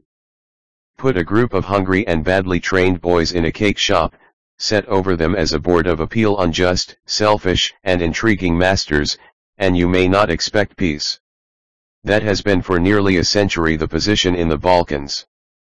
The Balkan League between Bulgaria, Serbia, Greece, and Montenegro, formed about 1912, offered the first steady hope of a peaceful settlement in the peninsula. There was the beginning there of a movement which might have developed on the lines of the Swiss Federation and grown to a Balkan power in which the Slav element and the Greco-Roman element could have combined, in spite of differences of language and of religion. The fact that Romania stood out of the league was the first unfavorable circumstance. True, Romania is not a Balkan state in the strict sense of the word, but her national destiny is clearly to be either a partner with the Balkan states or the humble friend of one of the great powers on her borders. This fact is recognized now, and for the time being Romania is actually the head of a loose Balkan combination formed in 1913. More dangerous to the future of the Balkan League than the abstention of Romania was the fact that it had to face the strong hostility of Austria, and therefore of the Triple Alliance, and it had hardly the warm sympathy of Russia and was not therefore strongly favored by the Triple Entente. Great Britain, whose interests were all to be served and not hindered by the growth of a Balkan power, was the only strong friend the Balkan League had, and her friendship was not strong enough to make her support a matter of definite national policy. If Europe had had an unselfish interest in the Balkans it would have welcomed the Balkan League and made every effort to consolidate its unity. True, the Balkan League had as its first task the robbing of Turkey of her European provinces. But Turkey was herself in the position of a robber, and it had come to be a matter of practical agreement among the European powers that the Christian provinces of Turkey would soon have to pass from under the rule of the Sublime Porte. The only question left was how. The Balkan League offered to answer that question in a way satisfactory to all unselfish interests. But the selfish interests of Europe were not served by the League. Austria, dreaming of one day marching down to the Aegean, saw that that hope would be shattered if a strong Balkan federation held the Balkan Peninsula. Italy was afraid of another power on the Adriatic an unwise fear, because her true national policy should have welcomed a new check to Austria. Russia was not eager to welcome a Balkan federation, in which possibly the Slav element would not predominate and which, in any case, would get to Constantinople inevitably in the course of events. A bevy of eager jealousies set to work to put obstacles in the path of the Balkan League. Those powers which were friendly to it were mildly friendly, those which were hostile were relentlessly hostile. It would be perhaps too much to say that if the European powers had been benevolently neutral to the Balkan League it would have survived and set firm the foundations of a Balkan federation. But it is reasonable to believe that an actively benevolent Europe, acting with firmness and impartiality and without seeking to serve any selfish aims, would have succeeded in keeping the League together and saving the series of fratricidal wars which began in 1913 and will be continued as soon as the present exhaustion has been relieved. Instead of an actively benevolent there was an actively malevolent Europe. The plans of the Balkan League contemplated a division of the territory which is now Albania between Greece, Serbia, and Montenegro. The decree of the powers, issued because Austria made a bluffing threat of war if Serbia were allowed territory on the Adriatic, was that Albania should be an independent kingdom. It had at the time no cities, no railways, no roads worthy of the name, no civilized organization, no basis at all of national life. Several different racial types and religions found a shelter within its area. The only useful purpose that could be served by creating Albania as an independent state was to give the Balkan League a cause of disunion, and to provide a pied for Austria for future operations in the Balkans. If the Holy Roman Empire had abandoned all thought of getting to the Aegean there would have been no Albania. The Balkan League was already very shaky when this bone of contention was thrown among its members. Serbia, Montenegro, and Greece, now deprived of a share of their spoil, sought to obtain from Bulgaria, who was in the position, as it were, of residuary legatee, some concessions out of her share. Bulgaria, embittered at the time by the fact that Romania had taken advantage of the situation to demand a territorial grant south of the Danube, was unwisely obstinate and would make no concession to any of her partners. The issue had to be fought out through a disastrous war in which Bulgaria, Serbia, and Greece were bled further of their manhood, already sadly thinned in the war with Turkey. The Albania which was the chief of the causes of that fratricidal war was duly constituted, and Prince William of Wied appointed Mpret or king. At once there was trouble on all the Albanian boundaries, but chiefly in the south, where the province of Epirus wished to be Greek and rose in revolt against the new Albanian government. The effect of that revolt, which was generally successful, was that the Epirus district seems likely to win a measure of local government or home rule founded on the following chief conditions. The country is divided into two administrative districts known as Korica and Argjira These will be governed by two prefects nominated by the Albanian government. In all local councils the number of elected members is to be three in excess of the ex officio members. All existing Greek religious institutions and privileges are to remain unaltered. The Greek language is to be taught in the three first classes of the popular schools, together with the Albanian language. In the schools of purely Greek communities only the Greek language will be taught. The Greek language is to be recognized in matters of local administration and the law courts in the two districts. The native Epirotes are to remain armed, and are to be incorporated in the gendarmerie commanded by Dutch officers. All other volunteers are to leave the country. Albania is to grant a full amnesty. The new regime is to be organized and its execution controlled by the International Commission, and the commissioners are to visit the country to see that its provisions are being given effect to. Thus already it is recognized that within the small territory of Albania there has been included one district which is so Greek in sympathy that it cannot be administered under Albanian law. At the well. The next development in Albania was that Esad Pasha, the Albanian chief who had, more than any other, assisted to form an independent Albania, fell out with Prince William and was arrested.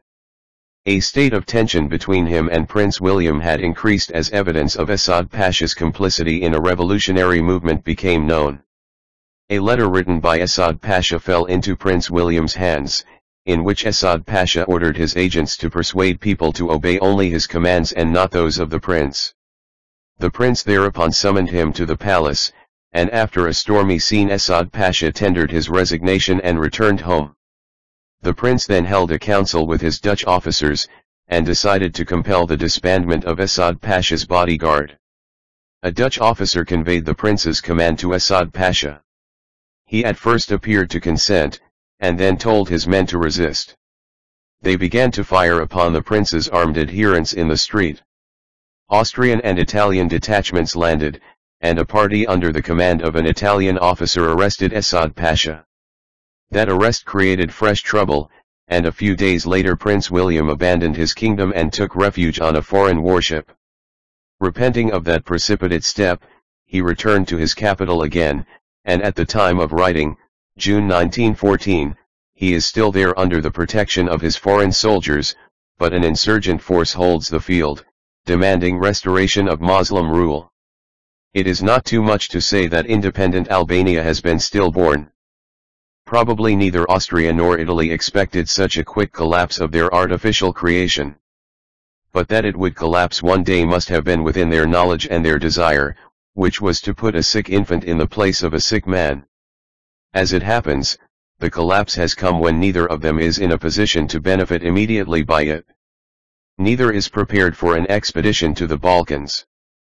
But whilst not serving the interests of the powers who created Albania, this new development has set the Balkan pot seething again.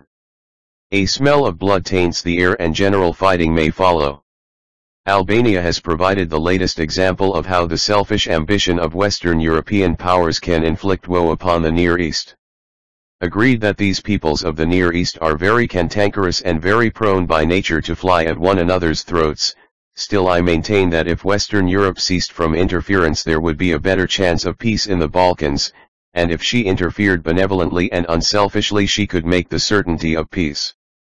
If one could imagine the powers of Europe reformed as regards their foreign policy, and genuinely anxious to smooth away the troubles of these sorely vexed Balkan peoples, the chief danger left to tranquility would be the religious intolerance which grows so rankly in the peninsula between Christian and Christian more than between Muslim and Christian. There needs to be put up in church or mosque of every Balkan village the inscription of Abul Fazl. God, in every temple I see people that see thee, and in every language I hear spoken, people praise thee. Polytheism and Islam feel after thee. Each religion says, Thou art one, without equal. If it be a mosque, people murmur the holy prayer, and if it be a Christian church, people ring the bell from love to thee. Sometimes I frequent the Christian cloister, and sometimes the mosque.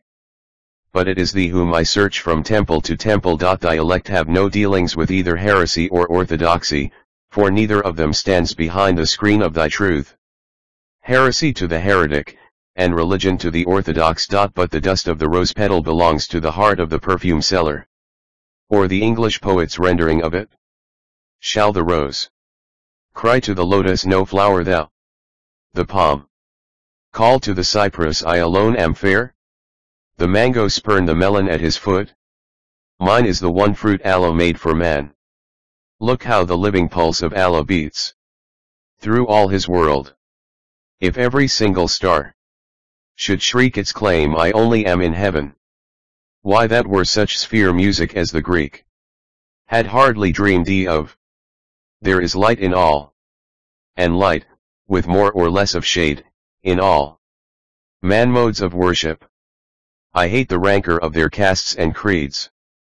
I let men worship as they will, I reap. No revenue from the field of unbelief. I call from every faith and race the best. And bravest soul for counselor and friend. I loathe the very name of infidel. I stagger at the Quran and the sword. I shudder at the Christian and the stake. In regard also to this tendency to religious strife the older civilizations of Europe could give help if they would, rather than hindrance as they do now, encouraging and stimulating creed jealousies. Even well-meaning and unselfish friends of the Balkans contribute often to spread evil tendencies because they take up the attitude of blind partisanship for one particular Balkan people, and refuse either to give charity to the others or chiding to their pet people. It would be neither truthful nor good policy to attempt to maintain that the great powers of Europe are altogether responsible for the blood torrents which are always flowing in the Balkans. But they have had a great share of the responsibility in the past, are very guilty in the present. Since gaining some knowledge of the Balkan peoples I have always nursed a hope, a very desperate hope, that the powers of Western Europe would repent of selfish ambitions at the eleventh hour, and would adopt a policy of real help to the struggling nationalities of the Near East. They are kept so miserable and yet naturally are really so amiable, those little peoples. The Bulgarians in particular I learned to regard with something of affection. Their good temper and their industry and their patience recalled Tolstoy's pen pictures of the Russian peasants, all of these peasants, even those who had quarreled with him about the hay, or those whom he had injured if their intention was not to cheat him, saluted him gaily as they passed, and showed no anger for what he had done, or any remorse or even remembrance that they had tried to defraud him. All was swallowed up and forgotten in the sea of joyous, universal labor. God gave the day, God gave the strength, and the day and the strength consecrated the labor and yielded their own reward. No one dreamed of asking, why this work, and who enjoyed the fruits of it. These questions were secondary and of no account. Levin had often looked with interest at this life, had often been tempted to become one with the people, living their lives, but today the impression of what he had seen in the bearing of Vanka Parmenov towards his young wife gave him for the first time a clear and definite desire to exchange the burdensome, idle, artificial, selfish existence which he led, for the laborious, simple, pure, and delightful life of the peasantry. The elder, who had been sitting with him, had already gone home, the neighboring villagers were wending their way indoors, while those who lived at a distance were preparing to spend the night in the meadow, and getting ready for supper. Levin, without being seen, still lay on the hay, looking, listening, and thinking. The peasantry, gathered on the prairie, scarcely slept throughout the short summer night. At first there were gay gossip and laughter while everybody was eating, then followed songs and jests. All the long, laborious day had left no trace upon them, except of its happiness. The Bulgarian peasants are indeed very close to the Russians of the south, where there has been a mixture of Tartar blood. Simple, laborious, religious, frugal, they deserve better than to be food for powder. The end.